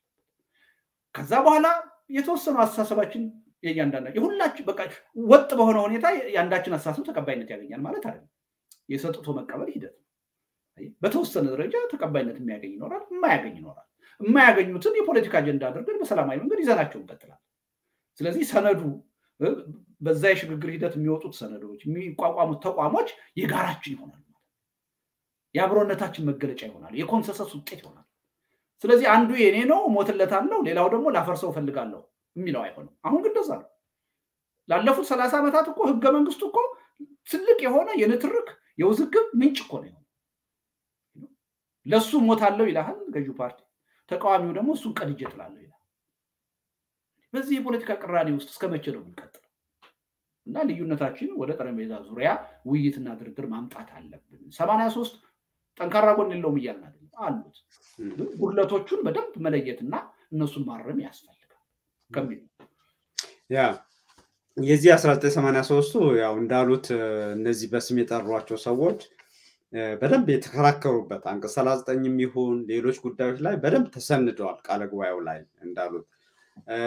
ሁለተኛ ቅድም የጠቀስናቸው በዚህ በቀድሞ ኢህአደግ የነበሩ ሰዎች አሁን ብልጽግና ያሉ ሰዎች በዛ ሰዓት የፖለቲካ ፓርቲ የህገ መንግስቱ ቃለ ጉባኤም ላይ የፈረሙበት ላይ የማንም ቢሆን የወከሉት ፖለቲካ ፓርቲ አልተጻፈም። የወከሉት ክልል ነው የተጻፈው እና እነሱም ላይ ቃለ ጉባኤው ላይ በፊርማቸው ላይ ያለውን ነገዱም ይሁን እና አዲሱ እነደመቀ የአማራ ክልል ክልል በሚል ነው ቃለ ጉባኤው ላይ ያለው እና ጌታቸው ፓርቲ ወክሎ አይ እንትኑ ላይ ቃለ ጉባኤው እኔ ቃለ ጉባኤው ነው ያልኩት። እንዲያውም በነገራችን ላይ ጉጉት ስላደረብኝ ነው። ለአንዳንድ ዝግጅቶችም ላይ ነው ወደኋላ ፈልጌ ያነበብኩት እንጂ በወቅቱ የነበረው እንዲያውም ምንም አላስታወስም። እና ምንድነው ግን ያን ስንል ያው መረሳት የሌለበት እኔ የማምንበት በወቅቱ እንዲያውም በኋላ ተላላኪ ነን ከሚሉ ሰዎች ጋር ሳይሆን በትክክል ማህበራዊ መሰረት ኑሯቸው ግን ህወሓትም የሆነ ኢህአዴግ ከሚያምንበት እጅግ በጣም ተቃራኒ የሆነ እምነት ያላቸው ማካተት ነበረበት። ምንም በቃ የጥያቄ መኖር የለበትም። ለምን ያው እንግዲህ እንዳልነው ቅድም መጀመሪያ የሚያነሳው ማህበራዊ መሰረት፣ የፖለቲካ አስተሳሰብ የሚለው ትስስሮች የሚመነጩት ግን ጌቸው ምናልባት አንድ ነገር ላስታውስህ፣ በደንብ ቃለ ጉባኤውን አይተው ከሆነ ህገ መንግስቱ ከመውጣቱ በፊት የህገ መንግስት አርቃቂ ኮሚሽኑ አንድ ጥናት አካሂዷል በሀገሪቱ አይተዋል። አይቼዋል። እሱ ላይ ካየህ ለምሳሌ ብዙዎቹ አጀንዳዎች በክልል ደረጃ የራሳቸው የሆነ የሚቃወማቸው ህብረተሰብ እንዳለ በግልጽ ታይቷል። ለምሳሌ አሁን የመገንጠል ጥያቄ አማራ ክልል ላይ በተወሰነ percent ድጋፍ አላገኘም። አፋር ክልል ላይ ድጋፍ አላገኘም። ብዙ ልጠቅስልህ ይችላል። real የሆነው የህገ መንግስቱ ውይይት ስትመጣ ግን አንድ ግለሰብ እንኳን ተቃዋሚ አልቀረበም። አማራ ክልል single አየህ፣ ቅድም እንዳልኩ አምስቱም ስድስቱም ግለሰቦች አዲስ አበባ ላይ ብቻ ናቸው። በየክልሉ የመጡት ሰዎች ሙሉ በሙሉ የአንድ ፓርቲ ሰዎች ናቸው በዛ ጥናታቸው እንኳ ራሱ የተንጸባረቀው የህብረተሰብ የአስተሳሰብ ልዩነት የህገ መንግስቱ ክርክርና ውሳኔ ላይ ሊንጸባረቃቸው። ያኔ ነበር ቁሞ ማሰብ የነበረባቸው እንዴ? ቢያንስ እኮ ከአምስት መቶ ምናምን ከአምስት መቶ ሀምሳው ተወካይ ሰላሳ percent ኡ አርባ percent ኡ እኮ የተለየ ሀሳብ ይዞ መምጣት አለበት። በትክክል የኢትዮጵያን reality የሚያሳይ ከሆነ።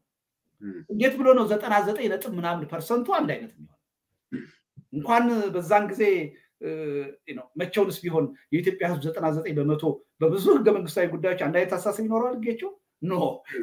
ሰባና ሰላሳ percent ኡ ከሆነ ትልቅ ነገር ነው። ያ ጥናት በደንብ እየው ማለት ነው። እኔ መጽሐፍ ያስቀምጨዋለሁ በነገራችን ላይ አሁን ለምሳሌ እኔ ያው አስራ ዘጠኝ ሰማንያ ሶስቱ እናንተ ሰነዱም ላይ ያነሳችሁት እዚህም የምናነሳው የማነሳው ያሁኑ ላይ የታሰበው ያሰባችሁት በእናንተ ወይም ሊደረጉ የሚችሉ በሌሎች መነሻዎችም ምንድን ነው በምን መሰረት ላይ ቢቆሙ ነው ያ የማይደገመው የሚለው ነው ዋናው የኔ ፍላጎት። ምክንያቱም ለምሳሌ ጦርነቱ ብናይ አሁን ለምሳሌ አቶ ልደቱ ጦርነቱ ለእኔ እስካሁን የማይገባኝ የፖለቲካ ሊሂቁ የፊደል ሊሂቁ የእምነት ሊሂቁ የምጣኔ ሀብት ሊሂቅ በሙሉ እንዴት በዚህ ደረጃ ሊደግፈው ቻለ? ማለት ትግራይ እንርሳውና ማለት ነው። ትግራይን ረስተ ነው ራሱ የተቀረው የኢትዮጵያ ክፍል እየከፈለው ያለው ዋጋ እንዴት አስልቶ የተወሰነ እንዲያው ማለት ፍኝ የሚሞላ ያክል እንኳን እንዴት የሚቃወመው አልተገኘም ብዬ ሳስብ ይህ አሁን የምለው የሰማንያ ሶስቱ አሁንም ያው በኋላ አታሎን ነበረ ወይም ተላላኪ ነበር ጦርነቱም ላይ የማለት እድሉ ከፍተኛ ነው የሚል እምነት ስላለኝ ነው። እና የምናነሳው ያን ጊዜ አሁን እንዳሉት ፓርቲው እኮ የሚሰራው እኔ በነገራችን ላይ ኢህአዴግ የህዋት ላይ የነበረኝ አንዱ አንኳር ከሚባሉ ችግሮች አጠቃላይ የካድሬ system ሲሆን ካድሬው ምንድን ነው የሚያደርገው? ራሱ በተፈጥሮ ማለት ነው። ታች ያለው ህዝብ ደስ ብሎታል ሺህ ዓመት ንገስ ብለዋል ይላል እንጂ ህዝቡ ከፍቶታል ቢል ከላይ ያለው ምንድን ነው የሚለው? አንተ ስራን አልሰራም ነው የሚለው። በቃ በተፈጥሮ እንደዛ ነው ብዬ አምናለሁ እኔ። እና ስለዚህ የካድሬ ስርዓት ስለነበረ እንዳሉት ቅድም ለምሳሌ ጥናቱ የሚለው ሌላ በኋላ የሚንጸባረቀው ሌላ ያው ይሆናል ላይ ሲወጣ እና አንድ ነገር አስታወስከኝ ወደ ሌላ ከመሄድ በፊት። አቶ መለስን ጠባብ መድረክ ላይ ለመጀመሪያ ጊዜ ያገኘኋቸው አስራ ዘጠኝ ዘጠና ስምንት ዓመተ ምህረት ነው። የመጀመሪያ ያነሳሁላቸው ጥያቄ ይሄን ነበር። በእውነት እናንተ ኢህአዴጎች Prime Minister ህዝቡ በቴሌቪዥን በሬዲዮን የምታወሩት በዚህ መጠን ይወደናል ብላችሁ የምታወሩት ከልባችሁ አምናችሁበት ነው ብዬ ጠየኳቸው። እና ሳቅ አሉና የዘጠና ሰባት ምርጫ ያስተማረን ይሄ አለመሆኑን ነው አሉ። ግን በተግባር ምን ተጨባጭ እርምጃ ወሰዱ? ያው አይተናል። እስከ መጨረሻ አልተቀየረ እና ይሄ ያኔ ብዙ ቅሬታዎችም ህብረተሰቡ ያነሳቸው ነበር። አሸናፊ ስትሆን ማግናኒመስ ካልሆንክ ተሸናፊ ምንድን ነው የሚያስበው? በምን አይነት የስነ ልቦና ችግር ውስጥ ነው ያለውን የሚለውን ነገር ካላጤንክ አስቸጋሪ ነገር ከሰማንያ ሶስት ጀምሮ ከፍተኛ የሆነ የተሸናፊነት የተገላይነት ስሜት ውስጥ ያለ ቀላል የማይባል ህብረተሰብ ነበር። አየህ? ለምንድን ነው መሪዎቻችን ይሄን ያላዩት የሚለው የራሱ ጥያቄ ነው። ቅድም እንዳልከው የደህንነት ተቋማቸው ምን አይነት መረጃ ነው የሚሰጣቸው? ካድሬው ምን አይነት መረጃ ነው የሚሰጣቸው የኢትዮጵያ ቴሌቪዥን ሬዲዮ ምን አይነት መረጃ ነው የሚሰጣቸው? በጣም የተዛባ እንደሆነ አውቃለሁ። ግን እውነቱን ለመናገር በትክክል ችግሩን ለማወቅ ደግሞ ተነሳሽነቱ ቢኖራቸው ይህን ለማወቅ የሚያስቸግር አልነበረ ትልቁ ችግር ንቀውት ነበር። አንደርማይን አድርገውት ነበር። ያ ነው እየተጠራቀመ እየተሰባሰበ እዚህ የደረሰው። ህብረተሰቡ መሰረታዊ የሆኑ ጥያቄዎች ነበሩት በእውነት። በልማት ብቻ የማይመለሱ እነዛ ጥያቄዎች በቦታ በጊዜው ቦታ አግኝተው አልተመለሱም። የሚያሳዝነው ይሄ አሁን የለውጥ ኃይል ነኝ የሚለው አካል ዋናው እንደዛ አይነት አስተሳሰብ ተቀባይነት እንዳያገኝ እንደዛ አይነት የህዝብ ጥያቄ መልስ እንዳያገኝ ዋናው አፋኝ የነበረ ኃይል ነው። አብሮ አብሮ ይሄ አሁን ተላላኪ ነበርኩ የሚለው እውነቱን ለመናገር። ግን ነው ያ ጉድለት ነበረ። ይህን በደንብ ማመን ያስፈልጋል። ይህን መቀበል ያስፈልጋል እሱን ስንቀበል ነው አንድ የተሻለ አቅጣጫ ልንይዝ የምንችለው የዚህ የተኩስ አቁም ላይ እንግባ አንዳንድ ዝርዝሮች እና ሁለተኛው ክፍል ላይ ሀ ላይ ታነሳላችሁ። ለምሳሌ የሰብአዊ መብት በተመለከተ ሰብአዊ እርዳታ በተመለከተ ለድርድር ምንም አይነት ቅድመ ሁኔታ ማቅረብ ሆነም ድርድር መጀመር ሳያስፈልግ ትላላችሁ። ይሄ ወሳኝ ነጥብ ይመስለኛል። ግን መልሳችሁ ደግሞ አንድ ቦታ ላይ የድርድሩ ውስጥ ታሳቢ መሆን ያለባቸው የምትሉት ላይ መልሳችሁ እሱን ታነሳላችሁ እንደ የድርድሩ አካል አይጋጭም? አይ አይጋጭም። ምንድነው የፈለግነው? ይሄ የሰብአዊ መብት ጉዳይ የሰብአዊ እርዳታ ጉዳይ ምንም ፋታ የሚሰጥ ነገር አይደለም። በህብረተሰብ ህይወት ላይ በሰው ህይወት ላይ ያለ ጉዳይ ነው። ስለዚህ ተኩስ ማቆም ራሱ ስምምነት እስኪደረግ ድረስ መጠበቅ የለበትም። እሱን ለህብረተሰቡ ለማቅረብ ቅድመ ሁኔታ መቅረብ የለበትም የሚል እምነት አለ። እዛ ላይ በቁጥር አንድ ያሰፈር ነው ያለ ምክንያት አይደለም፣ ሆን ብለን ነው። ይሄ ጉዳይ ግን ቀጣይነትም አለው። አሁን ለምሳሌ ተኩስ ከቆመ በኋላ ይቀጥላል። ይሄ ጉዳይ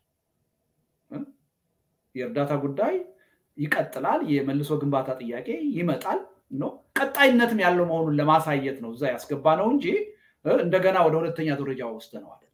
እና አሁንም በእኛ አቋም ደረጃ በምንም ተአምር በጦርነት በሚካሄድባቸው አካባቢ ያለው ህዝብ የዕለት እርዳታ የመድኃኒት እርዳታ፣ ምግብ፣ እነዚህ መሰረታዊ የሚባሉትን ነገሮች የማግኘቱ ጉዳይ ከምንም ጉዳይ ጋር በቅድመ ሁኔታ መያያዝ የለበትም። ስህተት ነው። ስለዚህ ተኩስ ማቆም ሲፈለግ ይሄ ነገር በምንም ተአምር ለድርድር ለቅድመ ሁኔታ የሚቀርብበት ጉዳይ መሆን የለበትም የሚለው በጣም ጠንካራ አቋም ነው ያለን። ግን ተኩስ ከቆመ በኋላ ችግሩ ይፈታል ማለት አይደለም፣ ይቀጥላል። እርዳታ የማቅረቡ ጉዳይ በጣም የሚቀጥል ነው የሚሆነው። የመልሶ ግንባታ ጥያቄ የሚቀጥል ነው የሚሆነው እና እሱን ለማሳየት ነው እዛ ላይ እንዲገባ ያደረግነው። በድርድር ለምሳሌ national dialogue ኡ ሲጀመር፣ የሽግግር ሂደቱ ሲጀመር አንዱ ራሱ ኃላፊነቱ ይሄ ይሆናል ነው አሁንም እርዳታ የማቅረብ ጉዳይ ቀጣይ ነው የሚሆነው፣ መልሶ ግንባታ ቀጣይ ስራ ነው የሚሆነው የሚለውን ለማሳየት ነው። ሌላው አንኳር ጉዳይ የሚመስለኝ ለእኔ በጣም ወሳኝ እዚህ ሰነድ ላይ የክፍል ሶስት ላይ ያለ ነው። ስለ ፍትህ፣ እውነት፣ እርቅ እና ሰላም በተመለከተ ማለት ነው። እና እርቅና ምህረት እዛ ላይ ትኩረቴን የሳበውና በጣም ማውራት አለብን ብዬ የማምነው ስለ ሚዛን ታወራላችሁ። ሚዛንን የጠበቀ በእነዚህ መካከል በፍትህ በእርቅና በምህረት ሚዛን። ሚዛን ለምን? በጣም ጥሩ ጥያቄ ለምንድን ነው ምናልባት ላፍታታውና ለምን? እኔ እንዲያም በጣም አንኳር ችግር ብዬ የማምነው እኔ ኢትዮጵያ ውስጥ በየትኛውም አንጓ የታሪክ አንጓ ላይ 83 የሚባል አሁን 2018 የሚባል ምን ፍትህ ስለማይሰፍን ነው። አጠቃላይ አገሪቱም የህግ የበላይነት ከምር እና ለማንም ያለምንም ቅድመ ሁኔታ በማንኛውም ጊዜ ስለማይሰፍን ያ ቁርጠኝነት ስለማይደረግ ከፖለቲካ አመራሩ ያው የሚማር ይማራል፣ የሚታሰር ይታሳል። ዛሬ አልታሰረም፣ ነገ እንደሚታሰር ታሳቢ ተደርጎ የሚደረግበት አሰራር ነው እዚህ ሁሉ ውጥንቅጥ ውስጥ የከተተን ብዬ አምናለሁ እኔ እንደ መሰረታዊ ነገር እና ሚዛን ጭራሽ ሚዛን መጠበቅ አለበት ስትሉ ለማን ሰለባው ሰለባ ነው እንግዲህ የትም ቦታ በማንም የሚፈጸምበት እና ሰለባ የሆኑትና ግፉአን ታሳቢ ያላደረገ ሚዛን ምንድን ነው? አይ እሱን እሱን ለማለት አይደለም። እሱ ላይ ምንም የሚጠበቅ ሚዛን የለም። እሱ ሀሳብ በሌላ መልኩ ነው እኛ ያየ ነው። አንደኛው ምንድን ነው ብዙ ጊዜ እንደዚህ አይነት ጦርነት ውስጥ ሲገባ፣ ግጭት ውስጥ ሲገባ ከዛ የሰላም ውይይት ድርድር እንዲካሄድ ሲፈለግ ሁልጊዜ አንድ እንቅፋት የሚሆን ነገር የተጠያቂነት ጉዳይ ነው። ተፋላሚ ወገኖች በግጭቱ ወይም በጦርነቱ ሂደት የሰሯቸው ወንጀሎች ይኖሩና ሰላማዊ መድረክ፣ ሰላማዊ ሂደት ከተፈጠረ ተጠያቂነት ይመጣል በሚል ሂደቱን የማደናቀፍ እርምጃ ውስጥ ይገባል። ይሄ ቀላል ዳይለም አይደለም። ግን ይሄን ብለን ደግሞ የፈለገው ቢሆን ለተፈጸሙ ወንጀሎች ማንም አካል ተጠያቂ ሳይሆን ደግሞ ማለፍ የለበትም። ፍትህ ሰርብ ካልተደረገ በዘላቂነት ችግሩ መፍትሄ ሊያገኝ አይችልም። ቀጣይ ነው የሚሆነው። ስለዚህ ለተፈጸሙ ወንጀሎች ተጠያቂነት የግድ መኖር አለበት።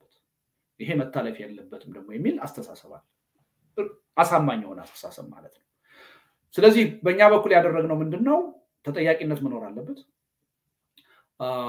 ተጠያቂነቱ ግን በዋናነት ሁለት ነገሮችን የህግ ተጠያቂነትንና የምህረትና የይቅርታን ጉዳይ ሚዛን ውስጥ ባስገባ ቢሆን ጥሩ ነው። ሰጀሽን ነው። ይሄ ማለት ምን ማለት ነው? የሽግግር ጊዜ ፍትህ ለማቋቋም አንድ ራሱን የቻለ ኮሚሽን ነው የሚቋቋመው። ያ ኮሚሽን ተፈጸሙ የሚባሉትን ወንጀሎች ይለያል። ከለየ በኋላ ክብደታቸውን ይመዝናል። ከመዘነ በኋላ ለእነዚህ ችግሮች መፍትሄው ምንድን ነው? የህግ ቅጣት ነው? በይቅርታ ማለፍ ነው? ምህረት ነው የሚያስፈልጋቸው የሚለውንም ነገር ያያል። ስለዚህ ከባድ የሚባሉ ወንጀሎችን በህግ ቅጣት እንዲስተናገዱ ሊያደርግ ይችላል። ደግሞ ቀለል ያሉ መለስተኛ የሆኑ የወንጀል ድርጊቶች ከሆኑ ለሀገሩ ሰላምና መረጋጋት ሲባል በይቅርታ ሊያልፋቸው የሚችል ሊኖር ይችላል። በምህረት ሊያልፋቸው የሚችል ሊኖር ይችላል። እንዲህ አይነት ደግሞ ልምድ በተለያዩ ሀገሮች አይተናል። ለምሳሌ ጥሩ ምሳሌ የሚሆነው የደቡብ አፍሪካ ጉዳይ ነው። ወንጀል የፈጸሙ አካሎች መድረክ ተመቻችቶላቸው የተበደሉትም የተበደሉትም መድረክ አግኝተው ተወቃቅሰው ይቅርታ ተጠያይቀው ችግሩን ካለዘቡት የህግ ተጠያቂነቱን የመተው ጉዳይ አይተናል። ይሄ ለማንም ተብሎ ሳይሆን ለሀገሩ ደህንነት ተብሎ ለተሻለ የፖለቲካ መረጋጋት ተብሎ የተደረገ ነገር እኛ ዝርዝሩ ውስጥ ገብተን እንዲህ አይነት እንዲህ አይነት ወንጀል እንዲህ አይነት ቅጣት እንዲህ እንዲህ አይነቱ ወንጀል እንዲህ አይነት ምረት ይሰጠው አላለም። ለሽግግር ጊዜ ፍትህ ሂደቱ ነው የተው ነው። ግን አጠቃላይ አቅጣጫ ነው ያስቀመጥነው። ተጠያቂነት መኖር አለበት። ተጠያቂነቱ ግን ለሀገር ደህንነት ሲባል እነዚህን ነገሮች ሚዛን ውስጥ ያስገባ ይሁን ነው። የህግ ተጠያቂነት አይኑር አላለም፣ ይኑር ብለናል። ግን ደግሞ በምህረትና በይቅርታ ደግሞ የሚታለፉ ነገሮችን ቢኖሩ ይጠቅማል። የነዚህን ሚዛን የጠበቀ ነው። ያ ሚዛን የት ላይ ነው መወሰን የሚችለው? በዛ ሂደት ውስጥ የሽግግር ሂደቱን የሚመራው አካል ነው። ይሄን የ transitional justice ኡን የሚመራው አካል ነው ይሄ ጉዳይ የመወሰን ስልጣን የሚኖረው ማለት ነው። እና በዛ ደረጃ ነው ለማየት የሞከርነው እንጂ ወንጀለኝነት ይታለፍ የሚል አይደለም። እንዳውም ተጠያቂነት መኖር አለበት ነው የኛ አቋም። ተጠያቂነቱ እንዴት የሚለው ላይ ነው አቅጣጫ ለማሳየት የሞከርነው እና ዝርዝር ውስጥም አልገባንም።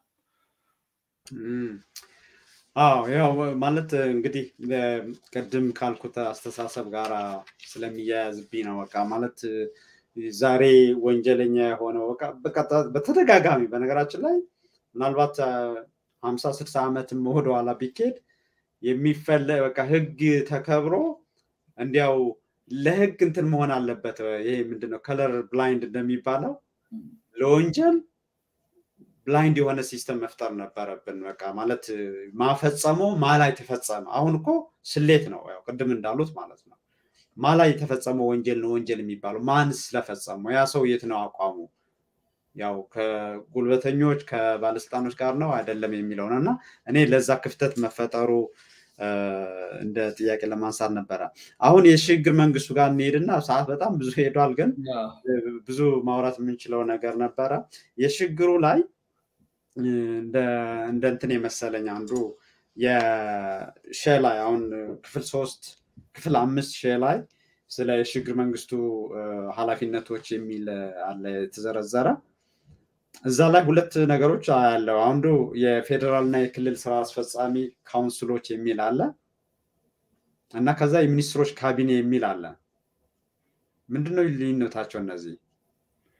እንግዲህ ምንድን ነው ያው የሰነዱ ላይ አይተው ከሆነ አንዱ ለየት ባለት ባለመልኩ ከ1983 በተለየ መልኩ ማለት ነው። በአዲስ መልክ ያመጣ ነው ጉዳይ ምንድን ነው ሂደቱ የህጋዊነትንና የህዝባዊ ቅቡልነትን ያጣመረ እንዲሆን እንፈልጋለን። እና ምን ማለት ነው? አሁን ለምሳሌ የሽግግር ሂደቱ የሚመራበት ቻርተር ይኖረዋል ምክንያቱም አሁን ያሉት ህጎቻችን አንድን የሽግግር ሂደት ለመምራት ተብለው የወጡ አይደለም ህገ መንግስቱን ጨምሮ። ስለዚህ የምናቋቁመውን ህገ መንግስት ሊመሩት አይችሉም ለዛ ተብለው የተሰሩ ስላልሆኑ። ስለዚህ የሽግግር ሂደቱ በልዩ ሁኔታ የሚወጣ ቻርተር ያስፈልገዋል። ያ ቻርተር ይኖራል ማለት ነው። ያ ቻርተር ግን በዋናነት የሚመለከተው የፖለቲካና የጸጥታ ጉዳይ ነው የሚሆነው። ያ የሽግግር ሂደት በማዕከል ደረጃ ነው መጀመሪያ የሚካሄደው እና የፖለቲካ ጉዳዮችና የጸጥታ ጉዳዮችን በዋናነት የሚመለከተው እሱ ይሆናል። ነገር ግን አገሪቱ ትቀጥላለች፣ ህይወት አላት። ኢኮኖሚ ጉዳይ አለ፣ ማህበራዊ ጉዳይ አለ። ያን ማን ይመራዋል? ለዛ ሁሉ አዲስ ተቋም እናቋቁም ቢባል አዲስ ስርዓት እንደመመስረት ነው። ስለዚህ ያሉት የሚኒስቴር መስሪያ ቤቶች ለምሳሌ በማህበራዊ ጉዳይ፣ በኢኮኖሚ ጉዳይ ስራ የሚሰሩት መስሪያ ቤቶች መስሪያ ቤቶቹ ይቀጥላሉ ማለት እስከ ወረዳ እስከ ቀበሌ ድረስ ያሉ አስተዳደሮች እና እነሱን የሚያስተዳድሩት ህጎች ወደፊት እስኪሻሻሉ ድረስ ባሉበት ይቀጥላሉ ማለት ነው። በዋናነት ግን የሽግግር ሂደቱ የሚመራው በቻርተሩ ይሆናል። የሚመለከታቸው ጉዳዮችም ፖለቲካዊና ጸጥታዊ ጉዳዮች ናቸው። ይሄን ይሄን ሊያስታርቅ በሚችል አንደኛ ከዜሮ ያለመጀመር ጉዳይ ነው። በተለይ ከኢኮኖሚና ከማህበራዊ ጉዳይ ጋር የተያያዙትን ጉዳዮች አገሪቱ አሁን ያላት ስርዓትና መዋቅር እንዲቀጥል ማድረግ ወደፊት የራሱ ማሻሻያ ይኖረዋል።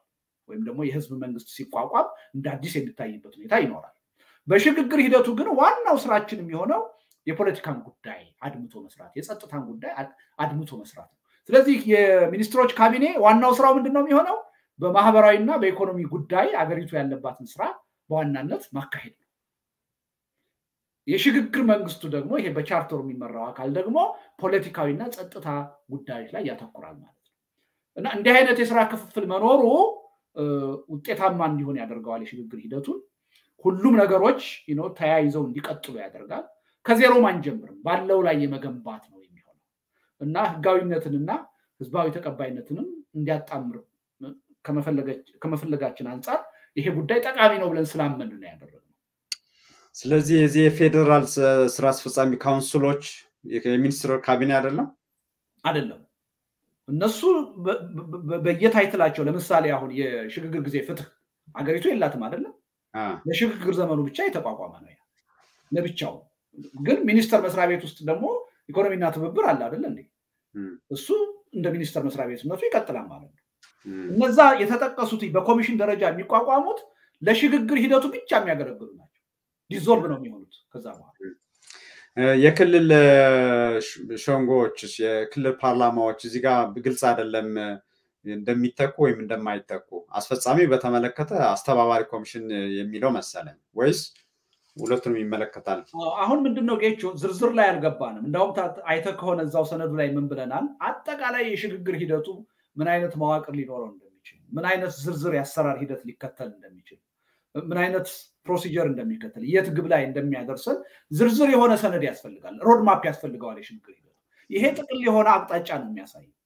ስለዚህ ያን roadmap ራሱ ካስፈለገ እኛ አዘጋጅተን ልናቀርብ እንችላለን። አዘጋጅተን ልክ አሁን እንዳደረግነው ሰነዱን አዘጋጅተን ልናቀርብ እንችላለን ብለናል። ያኔ የሚታይ ይሆናል። በዋናነት አሁን ምንድን ነው ያደረግነው? ለምሳሌ ክልሎችን በሚመለከት የሽግግር ሂደቱን የሚመራ አንድ ኮሚሽን አለ በማዕከል ከተዘረዘሩት ውስጥ አይተዋል አይደለም? እሱ አካል ነው በክልል ደረጃ ያሉትን የሽግግር ጉዳዮች ማለት ነው የሚመራ። ሌሎች ግን አስተዳደራዊ ጉዳዮች፣ ኢኮኖሚያዊ ጉዳዮች እና ማህበራዊ ጉዳዮችን ግን በእኛ እምነት ያሉት መዋቅሮች አዲስ መንግስት በህዝብ እስከሚቋቋም ድረስ ሊቀጥሉ ይችላሉ የሚል እምነት አለ። ግን ዞሮ ዞሮ ይሄ ነገር በምን መልኩ ይቀጥል የሚለውን ነገር ሂደቱ እንዲወስነው ነው የምንፈልገው እና ያ ዝርዝር ሮድማፕ ሲመጣ እዛ ላይ እስከታች ድረስ እንዴት ነው ይሄ መዋቅር ፈንክሽን ሊያደርግ የሚችለው የሚለውን ነገር ዝርዝር ማቅረብ ይቻላል። አጠቃላይ አቅጣጫውን ለማሳየት ነው የሞከርነው።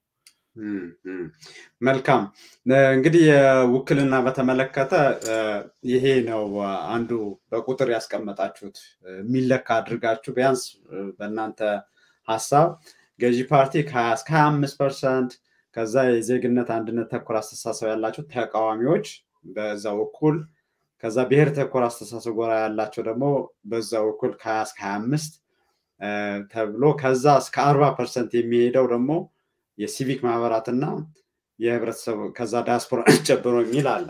እዚህ ላይ እንግዲህ ጥያቄ የሚነሳው ቅድም መጀመሪያ ያነሳሁት ከማህበራዊ መሰረት እና ፖለቲካ የሚሰራው እንግዲህ የሆነ ፖለቲካ ጥቅም ሰፍሮ ቆጥሮ ለዚህ ማህበራዊ መሰረት ይህን እሰራለሁ ብሎ መነሳ በማድረግ ስናየው አንድ ቅድም ጎራዎች ሲለዩልኝ ያው እነዚህ ሁለት ጎራዎች ናቸው በዋንነት ያው ሶስተኛ መሀል አለ ያው ብዙ እንትን የሌለው ብለናል እና አሁን እንግዲህ በዛ አይን ካየ ነው እዚህ ሰነዱ ላይ እርግጥ አንስታችሁታል። ለምሳሌ ገዢው ፓርቲ አንዳንዶች ከዚህኛው ጋር ይደርቡታል፣ አንዳንዶች ደግሞ ከዛኛው ጋር ይደርቡታል ብለዋል። መጽሐፍ ቅዱስ ላይ ምን የሚል አለ? ያው ሰዎች ምን ማን ይሉኛል ብሎ ሲጠይቅ እንግዲህ ክርስቶስ በኋላ እንትና ይሉሃል እንትና ይሉሃል ብለው መጨረሻ የጠየቀው ጥያቄ እናንተስ ማን ነው ትላላችሁ ብለዋቸው ነበረ እና አሁን ሰዎች የሚሉትን ያው ተናግራችኋል ሰነዱ ላይ እናንተ ገዢው ፓርቲ ማን ነው ነው የምትሉት? እንግዲህ የኔን ነው የምጠይቀኝ። ተወያይታችሁ ከሆነ እንደ ስብስብ በተደጋጋሚ በነገር ላይ ይህን ጥያቄ ለመመለስ ሞክሬያለሁ እና ብዙ ሰዎች አሁን በስልጣን ላይ ያለውን ብልጽግና ፓርቲ እና የዶክተር አብይን መንግስት እንደ ብሔርተኛ ኃይል የሚያዩ አሉ። ይሄ ብሔርተኛ ኃይል ነው ይላሉ። መነሻ አላቸው። ምክንያቱም ህውሀት ተቀነሰ እንጂ እነዛ ሶስት ድርጅቶች አምስት እንደገና ሌላ የብሔር ድርጅቶችን አጋር ድርጅት የሚባሉትን አካተው ስምንት የብሔር ድርጅቶች ናቸው ወደ ብልጽግና ፓርቲ የተቀየሩት። የብሔር ድርጅቶች ናቸው የነበሩት። አሁን ስማቸው ነው የተቀየረው። በአስተሳሰብ ደረጃ የተቀየረ ነገር የላቸውም። ህገ መንግስቱም እንዲቀየር እስካሁን ድረስ ምንም ተጨባጭ ነገር አላደረጉም። ስለዚህ ብሔርተኞች ናቸው የሚሉ ሰዎች አሉ፣ ወይም ደግሞ የሚል አስተሳሰብ አለ በአንድ በኩል። በሌላ በኩል ደግሞ የለም የኢትዮጵያዊ ብሔርተኛ ነው ይሄ ኃይል፣ ስለ ኢትዮጵያ አንድነት ነው የሚያወራው። ስለዚህ እንዳውም ለአህዳዊ ስርዓት የሚሰራ ነው፣ ጠቅላይ ነው። ይሄን ደግሞ ጠቅላይ ሚኒስትሩ በየጊዜው እየወጡ በሚናገሯቸው ንግግሮች ጠቅላይ ሚኒስትሩ በዙሪያቸው አማካሪ አድርገው ባሰባሰቧቸው ሰዎች ታይቷል ይላሉ። እኔ በሁለቱም አልስማማም። እኔ አሁን ዶክተር አብይን ብትወስድ የብሔር ብሔርተኛም ናቸው ብዬ አላምንም። የኢትዮጵያ ብሔርተኛም ናቸው ብዬ አላምንም። እውነቱን ለመናገር እሳቸውን ላለፉት ሶስት ዓመት ከስምንት ወር እንደተከታተልኩትም በምንም ጉዳይ ለእንዲህ አይነት አስተሳሰብ ታማኝ ናቸው ልትለው በምትችል ደረጃ የምንም አስተሳሰብ ታማኝ አይደለም፣ ጠበቃ መድረኩ ሁኔታው በፈቀደውና ባመቸው መልኩ ነው አቋም የሚያራምዱት። ስለዚህ እሳቸው ዋናው ትኩረታቸው የስልጣን የበላይነታቸው እና የስልጣን ቀጣይነታቸው ላይ ለዛ የሚጠቅማቸው አጀንዳ ካለ ማንኛውንም ይወስዳል። ታማኝነታቸው ለስልጣናቸው ብቻ ነው። የኢትዮጵያን ብሔርተኛም አይደሉም፣ የኦሮሞም ወይም ደግሞ የብሔር ብሔርተኛም አይደሉም ብዬ ነው የእኔ የግል አመለካከት። ስለዚህ ከዚህኛው አካል ናቸው ብሎ አሁን መፈረጅ አስቸጋሪ ነው የሚመስለው።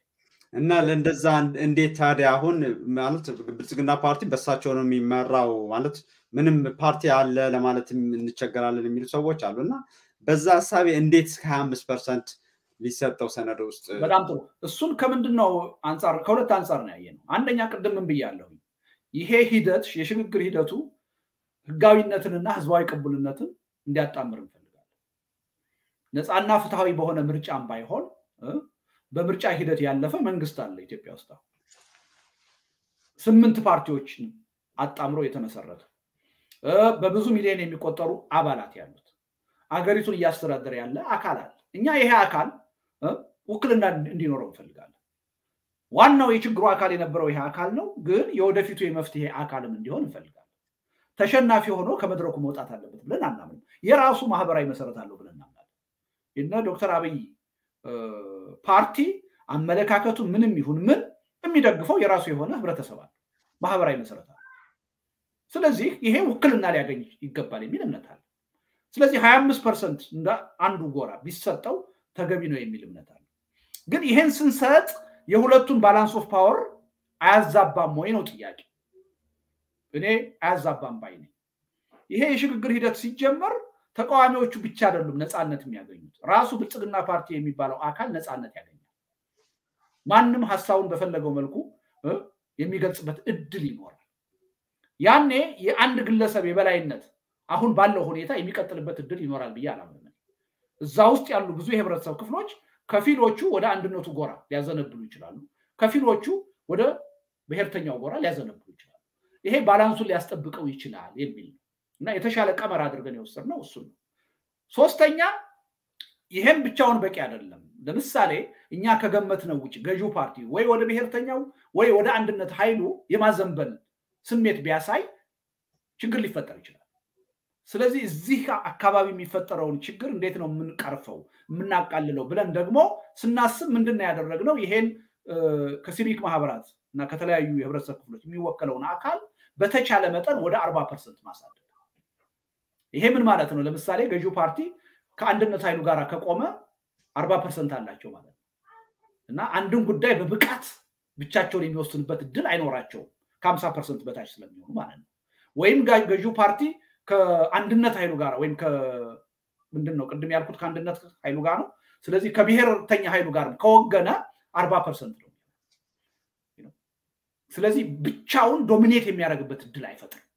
ምንድነው ያሰብነው? አሁን በሁለቱ የፖለቲካ ቅራኔዎች ውስጥ አንደኛው ኃይል ብቻውን ተጽዕኖ የማይፈጥርበት ሁኔታ እንዴት እንፍጠር ብለን ስናስብ አንዱ መፍትሄ ሆኖ ያገኘነው የሲቪክ ማህበራቱን ከቻል እስከ አርባ percent ድረስ እንዲያድግ ማድረግ። እሱን አርባ percent አደረግን ማለት ሌሎቹ ሀያ ሀያ percent ይሆናሉ ማለት ነው።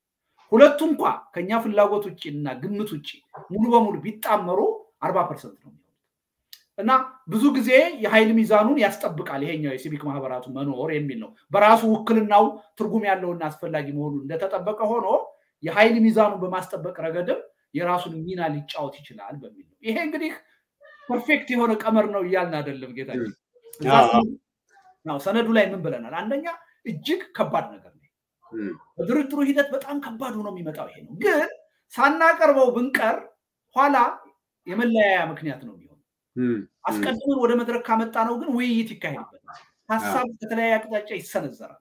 ስለዚህ ይዳብራል። ያኔ አዲስ ነገር አይሆንም፣ አያፈርሳቸውም፣ ይዘጋጁበታል የሚል ግን ከባድነቱን እዛው ሰነዱ ላይ ያስቀምጠናል። ከባድ ብቻ አይደለም። እንዳውም በዛን ወቅት የፖለቲካ ፓርቲዎቹ ከራሳቸው የግልና የቡድን ጥቅም በላይ የአገርና የሕዝብን ጥቅም እንደሚያስቀድሙ ዋናው የሚፈተኑበት አጀንዳ ይሄ ነው ብለን ነው ያስቀምጠ ልክ ነው። በግልጽ አስቀምጣችኋል። እንዲያውም እኔ ምንድነው አንዱ የወደድኩት ለምሳሌ እንዳሉት በቁጥር ሳይቀር አስቀምጣችኋል። ከዛ የሚተችም የሚደግፍም የሚያዩ ነገር አለ። ዝም ብሎ አየር ላይ የተንጠለጠለ አይደለም እና ይሄ ዋናው እንትኑ ነው። የኔ ጥያቄ አሁን እዚህ ጋር የሁለት ነገሮች ያለው እንደ ችግር የማያቸው አንዱ ወጥ አስተሳሰብ እሳቤ አለ እዚህ ውስጥ። አሁን ለምሳሌ የብሔር ተኮር አስተሳሰብ የሚለው አንድ ላይ ሲመደብ እንዲያውም በጣም ውስጡ ልዩነት በብዛት አለው ብዬ የማምነው እሱ ነው።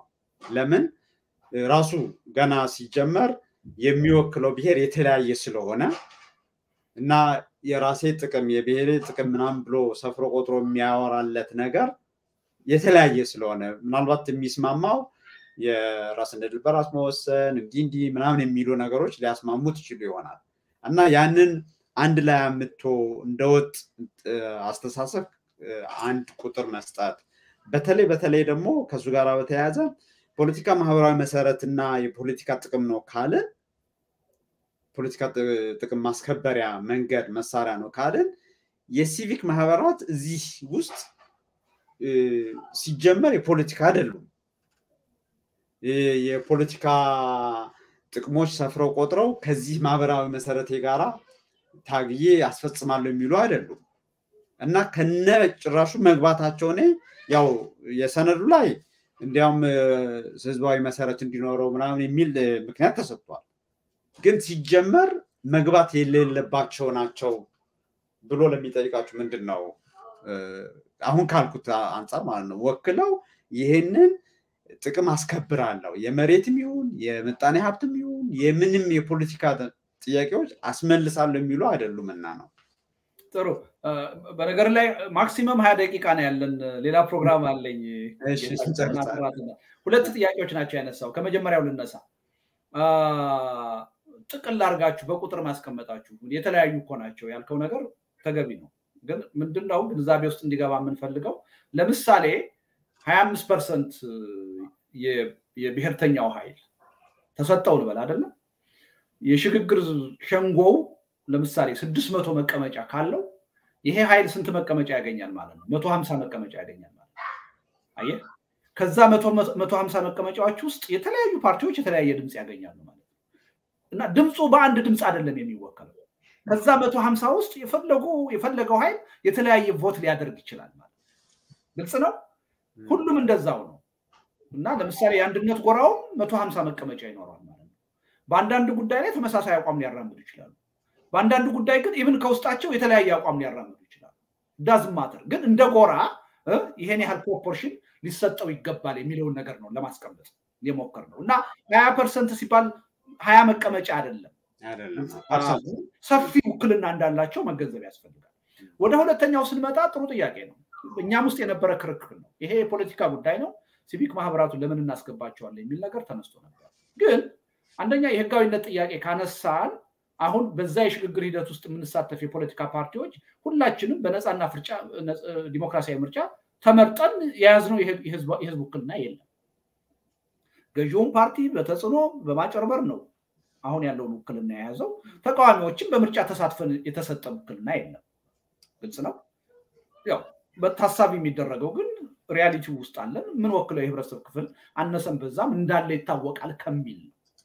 ስለዚህ ይሄን ጉዳይ ይሄን የሽግግር ሂደት purely የፖለቲካ ፓርቲዎች ብቻ ከምናደርገው ሌሎች ኢንተረስቶች አሉ በፖለቲካ ድርጅቶች ላይወከሉ የሚችሉ ስለዚህ እነሱም እንዲሳተፉበት ማድረግ የበለጠ ህዝባዊ ያደርገዋል። ግራስሩት ተሳትፎም እንዲኖር ያደርጋል እና አልተወከልኩም የሚል የህብረተሰብ ክፍል እንዳይኖር እናደርገዋለን እና የሀገሪቱን ዕጣ ፈንታም ደግሞ የፖለቲካ ፓርቲዎች ብቻቸውን እንዲወስኑ ማድረግ በዚህ ረገድ ተገቢ አይደለም ከሚል እሳቤ ነው። ይሄ ማለት ግን ለምሳሌ የሽግግር መንግስቱ ሶስት ዓመት ዕድሜ ካለው ስራው የሚጠናቀቀው ፖለቲካ ፓርቲዎች ምርጫ ውስጥ ገብተው በህዝብ የሚመረጥ መንግስት ሲቋቋም ነው የስልጣን ሂደቱ የሚያልቀው።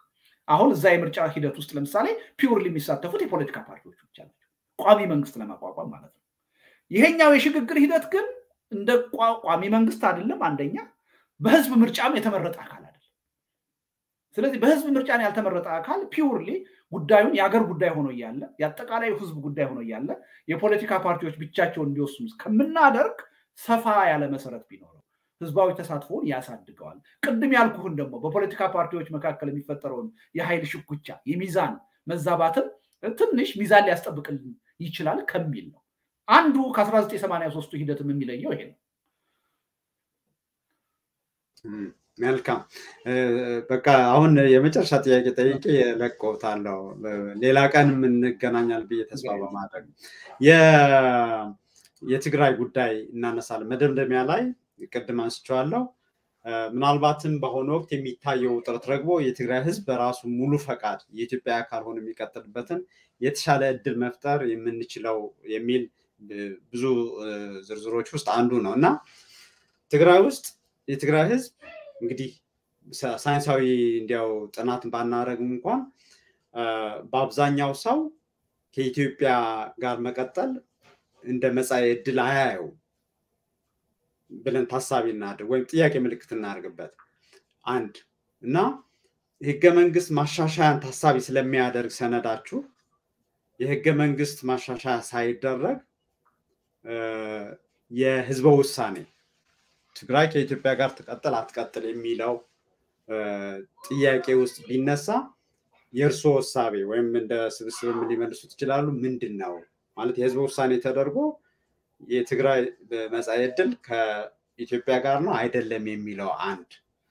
ከእሱ ጋር በተያያዘ ደግሞ ሰነዱ ላይ ለምሳሌ አሁን ሰነዱ በምታዘጋጁበት ወቅት እንደዛ ላይሆን ይችላል። አሁን ግን የትግራይ ኃይሎች ተመልሰው ትግራይ ውስጥ ነው ያሉት። ኤርትራ የያዘው ቦታ እስካሁን አለ። ምዕራብ ትግራይም ያው የሚታወቀው ነው እና ከጥቅምት 24 በፊት ወደ ነበረው ሁኔታ ተመልሶ ማንኛውም ይህ የሚሄደው ሂደት ይሂድ የሚለውን ነገር ሰነዱ ላይ ለምንድን ነው ያልተቀመጠው? ሰነዱ ላይ የመጀመሪያ ጉዳይ አላደረገም። ተኩስ ለማቆም እንደ ቅድመ ሁኔታ አላስቀምጥ ነው እንጂ አሁን የምትለውን ጉዳይ ያስቀምጠናል። ተኩስ ከቆመ በኋላ ለድርድር ከሚቀርቡት ጉዳዮች ውስጥ አንዱ ይሄ አወዛጋቢ የሆኑ አካባቢዎች እንዴትና በማን ተይዘው ይቀጥሉ የሚለውን ጉዳይ መወሰን ድርድሩ የሚካሄደው ማለት ነው። አስቀምጠነዋል። ግን ምንድን ነው እሱ ጉዳይ ከተኩስ ማቆም በፊት ከመጣ መለያየት ሊፈጥር ይችላል። ተኩስ የመቆምን ጉዳይ ወደ ተግባር ለመለወጥ አስቸጋሪ ሁኔታ ሊፈጠር ይችላል። ስለዚህ ተኩስ ከመቆሙ በፊት ያ ቅድም ያለ የእርዳታ ማዳረስ ጉዳይ ያለምንም ቅድመ ሁኔታ ይቀመጥ። ሌሎቹ ጥያቄዎች ከሱ ውጭ ያሉት ጥያቄዎች ግን በድርድር ሂደቱ በቅደም ተከተል የሚፈቱበት ሁኔታ ይቀመጥ የተማመኑ እና አስቀድመን ብናመጣው ካለው አጠቃላይ የፖለቲካ ክረት አንጻር አለመግባባት ተፈጥሮ ወደ ተኩስ ማቆም የሚደረገውንም ጉዞ ሊያሰናክለው ይችላል ከሚል ጀኒውን ፍርሃት የመጣ ነው። ይሄ መደበቅ የሚቻል አይመስለኝም።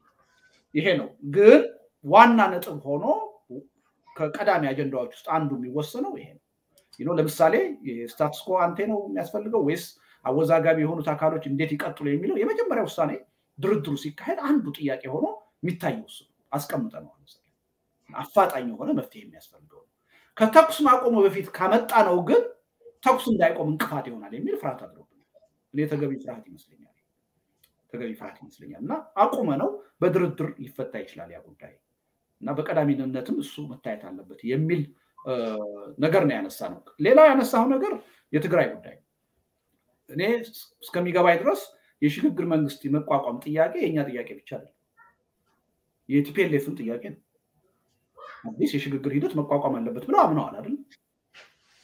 TPLFን አልጠየቁም። ለነገሩ statement በተለያየ ጊዜ ሲሰጡበት አይተናል። የኦሮሞ ኃይሎችም ጥያቄ ነው፣ የእኛ ጥያቄ ብቻ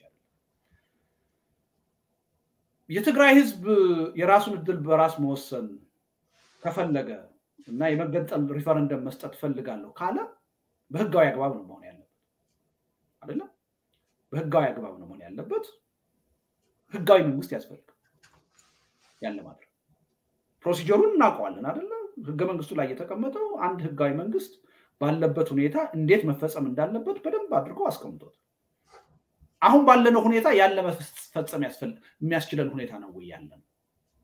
የሽግግር ሂደቱ ባልተቋቋመበት ሁኔታ በፖለቲካ ፓርቲዎች መካከል እንዲህ አይነት ቅራኔ ባለበት ሁኔታ፣ አለመተማመን ባለበት ሁኔታ እንደዚህ አይነት ውሳኔ ለማሰጠት የሚያስችል ሂደት ማድረግ እንችላለን። በእኛ በኩል አይመስልም። እና ህጋዊ ሁኔታ የሚያስፈልገው ለምንድን ነው? አንደኛ በህግ አግባብ procedureሩ እንዲመራ ለማድረግ ህጋዊ መንግስት መኖር አለበት። ሁለተኛ አንድ አካል ከዚች ሀገር እኮ ነገ ቢገነጠል ህጋዊ እውቅና የሚሰጠው ማዕከላዊ መንግስትም ያስፈልጋል አምኖበት ማለት ምክንያቱም ህገ መንግስቱም ይሄ ነው የሚለው ማዕከላዊ መንግስቱ እውቅና ሲሰጥ ነው የሚለው ማዕከላዊ መንግስቱ እውቅና ካልሰጠ ይሄ ነገር ወደ ተግባር ሊለወጥ አይችልም ስለዚህ ይሄን ታሳቢ ማድረግ ለዚህ ነው ያ የሚቋቋም የሽግግር መንግስት የህዝብ ውክልና ያለው አይደለም። ቋሚ መንግስት አይደለም። ስለዚህ ወሳኝ የሚባሉ ነገሮችን እዛ ላይ አንስቶ መወሰን ተገቢ አይደለም። በህዝብ የሚመረጥ መንግስት ሲመጣ ሲቋቋም በህገ መንግስት ውስጥም ደግሞ መሻሻል አለባቸው ተብሎ የተማመንባቸው ነገሮች በህዝበ ውሳኔ ከተወሰኑ በኋላ በሪፈረንደም የሚወሰኑ ጉዳዮች ያኔ እንዲወሰኑ ማድረግ ተገቢ ነው የሚል ነው ያስቀመጠ ግን ጌታቸው እዚህ ላይ መቀመጥ ያለበት ሂደቱን የዚህ አይነት የመገንጠል ጥያቄንና ፍላጎት የማስቀሪያ ስልት አድርጎ አንዳንድ ሰዎች ሊያዩ ይችላሉ። ይሄ ተገቢ አይደለም። የእኛን እምነት ልንገርህ አንድ ህዝብ ኢትዮጵያ ውስጥ በደል ደርሶብኛል ከኢትዮጵያ ጋር መቀጠል አልፈልግም ብሎ ከወሰነ ጉዳዩ ህገ መንግስትም ውስጥ ይቀመጥ ከህገ መንግስትም ውጭ ይሁን ማንም ምድራዊ ኃይል ሊያስቀረው አይችልም ማናችንም ልናስቀረው አንችልም። ስለዚህ ይሄን ሂደት በዚህ መልኩ ለማድረግ እኛ ስናስብ የህዝብን የመወሰን መብት ለመገደብ እንዳልሆነ ግንዛቤ ውስጥ ማስገባት ያስፈልጋል። ግን ያልተመረጠ መንግስት አንድን ክልል ወይም አንድን አካባቢ እንዲገነጠል የሚያስችል process ሊያካሂድ አይችልም። ህገ መንግስቱም አይፈቅድም። ከዚህ አንጻር ነው መታየት ያለበት። ስለዚህ ምንድነው የትግራይን ህዝብ ለምሳሌ በበጎ ፈቃዱ በኢትዮጵያ አንድነት አብሮ የሚቀጥልበት እድል እንዲኖርም የሚል ነገር ጠቅሰናል። የችግሩን ክብደት ለማሳየት ነው ይሄ እኛ አሁን የትግራይ ህዝብ ከደረሰበት ችግር አንጻር እንደዛ አይነት ጥያቄ ማቅረቡ ቅልጦት ነው ወይም የማይገባ ነው ብለን አናምን በአንድ ጥያቄ ብቻ ሊያነሳ ይችላል። የኢትዮጵያ መንግስት ነኝ የሚል ኃይል የውጭ ወራሪ ኃይል ያውም ሻቢያን የመሰለ የበቀል ስሜት ውስጥ የኖረ ኃይል ትግራይ ውስጥ አስገብቶ የትግራይ ህዝብ እንዲጨፈጨፍ በማድረጉ ብቻ የትግራይ ህዝብ የዛ አይነት ስሜትና ፍላጎት ቢያድርበት እኔ ይህን መቃወም የሚቻል አይመስለኝ አይመስለኝም። ግን ምንድን ነው ሂደቱ ሰላማዊ ሆኖ ሁላችንም ተረጋግተን ለጠፋው ጥፋት ይቅርታ ተጠያይቀን አሁን ያለው ስሜታችን በርዶ ችግሩን ከጋራ ፍላጎትና ጥቅም አንጻር የመመርመር እድል አግኝተን ነው መወሰን ያለብን አሁን ስሜት ነው ጥላቻ ነው ያለው በስሜትና በጥላቻ ውስጥ ሆነ የምትወስነው ውሳኔ ለሀገሩም ለአጠቃላይ ላይጠቅም ይችላል ራሱ ለትግራይም ህዝብ ላይጠቅም ይችላል መጀመሪያ ከስሜት ከጦርነት ስሜት ከጥላቻ ስሜት መውጣት መቻል አለብን። እንደዚህ አይነት ሂደት ያስፈልገናል። ከዛ በኋላ የትግራይ ህዝብ አብሮ መቀጠል ከፈለገ እሰየው። የእኔ ፍላጎት ለምሳሌ እሱ ነገሮች ታርመው ይቅርታ ተጠያይቀን ለጠፋው በደል ተጠያቂዎች ተለይተው ተጠያቂነት ኖሮ እንደዛ አይነት ነገሮች ወደፊት እንደማይደገሙ ዋስትና ሊሰጥ የሚችል ሁኔታ ፈጥረን አንድ ላይ መቀጠል አለብን ብዬ ነው ነገር ግን የትግራይ ህዝብ በፍጹም ከዚህ በኋላ አልቀጥልም ካለ ደግሞ ማናችንም ልናስቀራቸው አግባብ ባለው ሂደት በዛ ጉዳይ ላይ ውሳኔ የሚሰጥበት እድል መኖር አለበት ብዬ አምናለሁ። ዝም ብለን በልህና በጥላቻ ስንጨራረስ ልንኖር አንችል ልንኖር አንችል። የኢትዮጵያ አንድነትን በፍላጎት ብቻ አይደለም ልናስቀጥለው የሚችል በመተማመን ነው፣ በመነጋገር ነው፣ በመወያየት ነው። በኃይል የሚሆን ነገር በኃይል እንደማይሆን ከአሁን ቀደምም አይተነዋል። ብዙ ጥፋቶችን አጥፍተናል። ስለዚህ ስለ ፕሮሰሱ ስናወራ በሪፈረንደም የሚወሰኑ ጉዳዮች ቋሚ መንግስት ከሆነ በኋላ እንዲደረግ የማድረጉ ጉዳይ አንደኛ የህገ መንግስቱን መንፈስ እንደሱ ስለሆነ፣ ሁለተኛ ሽግግር መንግስቱ የህዝብ mandate የሌለው ስለሆነ በአስገዳጅ ሁኔታ የተቋቋመ የፖለቲካ ተቋም ስለሆነ፣ ሶስተኛ አሁን ያለን ስሜት ደግሞ መስከንም ስላለበት ነገሮችን በሰከነ ሁኔታ የማየት እድልም ማግኘት ስላለብን ነው እንጂ ምናልባት አንዳንዶቹ conspire ያደረግን የአንድን ህዝብ መብት ነው በጓሮ በር ለመጥለፍ ለማስቀረት ያደረግን አድርገው ማየት የለባቸው። ትክክል አለ እና even ያ ሶስት ዓመት የሽግግር ሂደት እኮ ይሄ አሁን የተፈጠረውን ጥላቻ፣ ቅያሜ ለማለስለስ ወደ ቀልባችን እንድንመለስ ለማድረግ የሚረዳ እኮ ነገር ነው አይደል? ብሔራዊ እርቅ ያልነው እኮ ለዛ እኮ ነው። እዛ የእውነት አፈላላጊ የ transitional ፍትህ ያስፈልጋል እኮ ያልነው እነዚህ ሁሉ ነገሮች እንዲለዘቡ ከለዘበ በኋላ ማንኛውም ህዝብ የሚፈልገውን ነገር የመወሰን እድል ይኖራል። በስሜት ውስጥ ሆነን ግን እንደዛ ማድረግ ለማንም አይጠቅምም ብዬ ነው የማምነው። ለኢትዮጵያም ህዝብ በአጠቃላይ አይጠቅምም። እንደዚ አይነት ፍላጎት ላላቸው አካባቢዎችም አይጠቅምም። ከዛ አንጻር ቢታይ ጥሩ ነው። በጣም ጥሩ። አቶ ልደቱ አያሌው ታዋቂ የፖለቲካ ሰው በድፍረት ሀሳባቸውን ሰው ደገፈውም አልደገፈውም ለህዝብ ይጠቅማል የሚሉትን በማካፈል የሚታወቁ ናቸው። ብዙ ዋጋ ከፍሏል። በዛ ብዙ ሰው የሚያውቀው ይመስለኛል። ሶስት ሰዓት ያክል አውርተናል፣ ግን ብዙ ማውራት እንደምንችል ይታየኛል። ሌላ ጊዜ እንገናኛለን።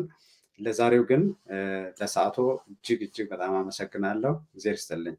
ከልብ ነው የማመሰግነው ጌታቸው። አድማጮቻችንም ሳናሰለች አንቀርም፣ ምክንያቱም ረዥም ነው እና ይቅርታ እንጠይቃለን።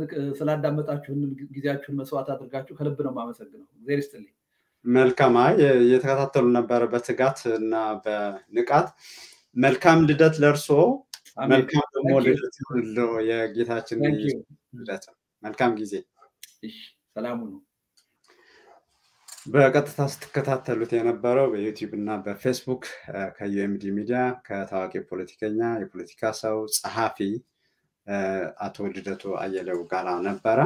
ነገ በ seven PM Eastern Time ከዶክተር ጆን ያንግ ጋራ ጆን ያንግ Peasant Revolution in Ethiopia በሚል የሶስተኛ ዲግሪ ስራቸው ይታወቃሉ። በአሁኑ ወቅቱም በቅርብ ጊዜ Nation State በሚል መጽሐፍ ከሌሎች ጋር የጻፉት አለ። አሁንም አዲስ መጽሐፍ እየጻፉ እንደሆነ አጋርተውኛል። Quo Vadis ትግራይ ትግራይ ወዴት በሚል በእንግሊዝኛ ነገ seven PM Eastern Time እንነጋገራለን። ለዛሬው ይህን ይመስል ነበረ። ስለተከታተላችሁን አመሰግናለሁ። በቀጥታ የተከታተላችሁን ለብዙዎች አጋሩ፣ አዳርሱ፣ ብዙዎች እንዲከታተሉት። ለመረጃ ጠገብ ለማስረጃ መር ተዋስኦ እና ውሳኔ በአፍሪካ ቀንድ የተቻለንን ትንሽ አስተዋጽኦ ለማድረግ እየታተርን እንገኛለን። ደግፉን፣ ተቃወሙን፣ እንደፈለጋችሁ ግን ተከታተሉን። መልካም ጊዜ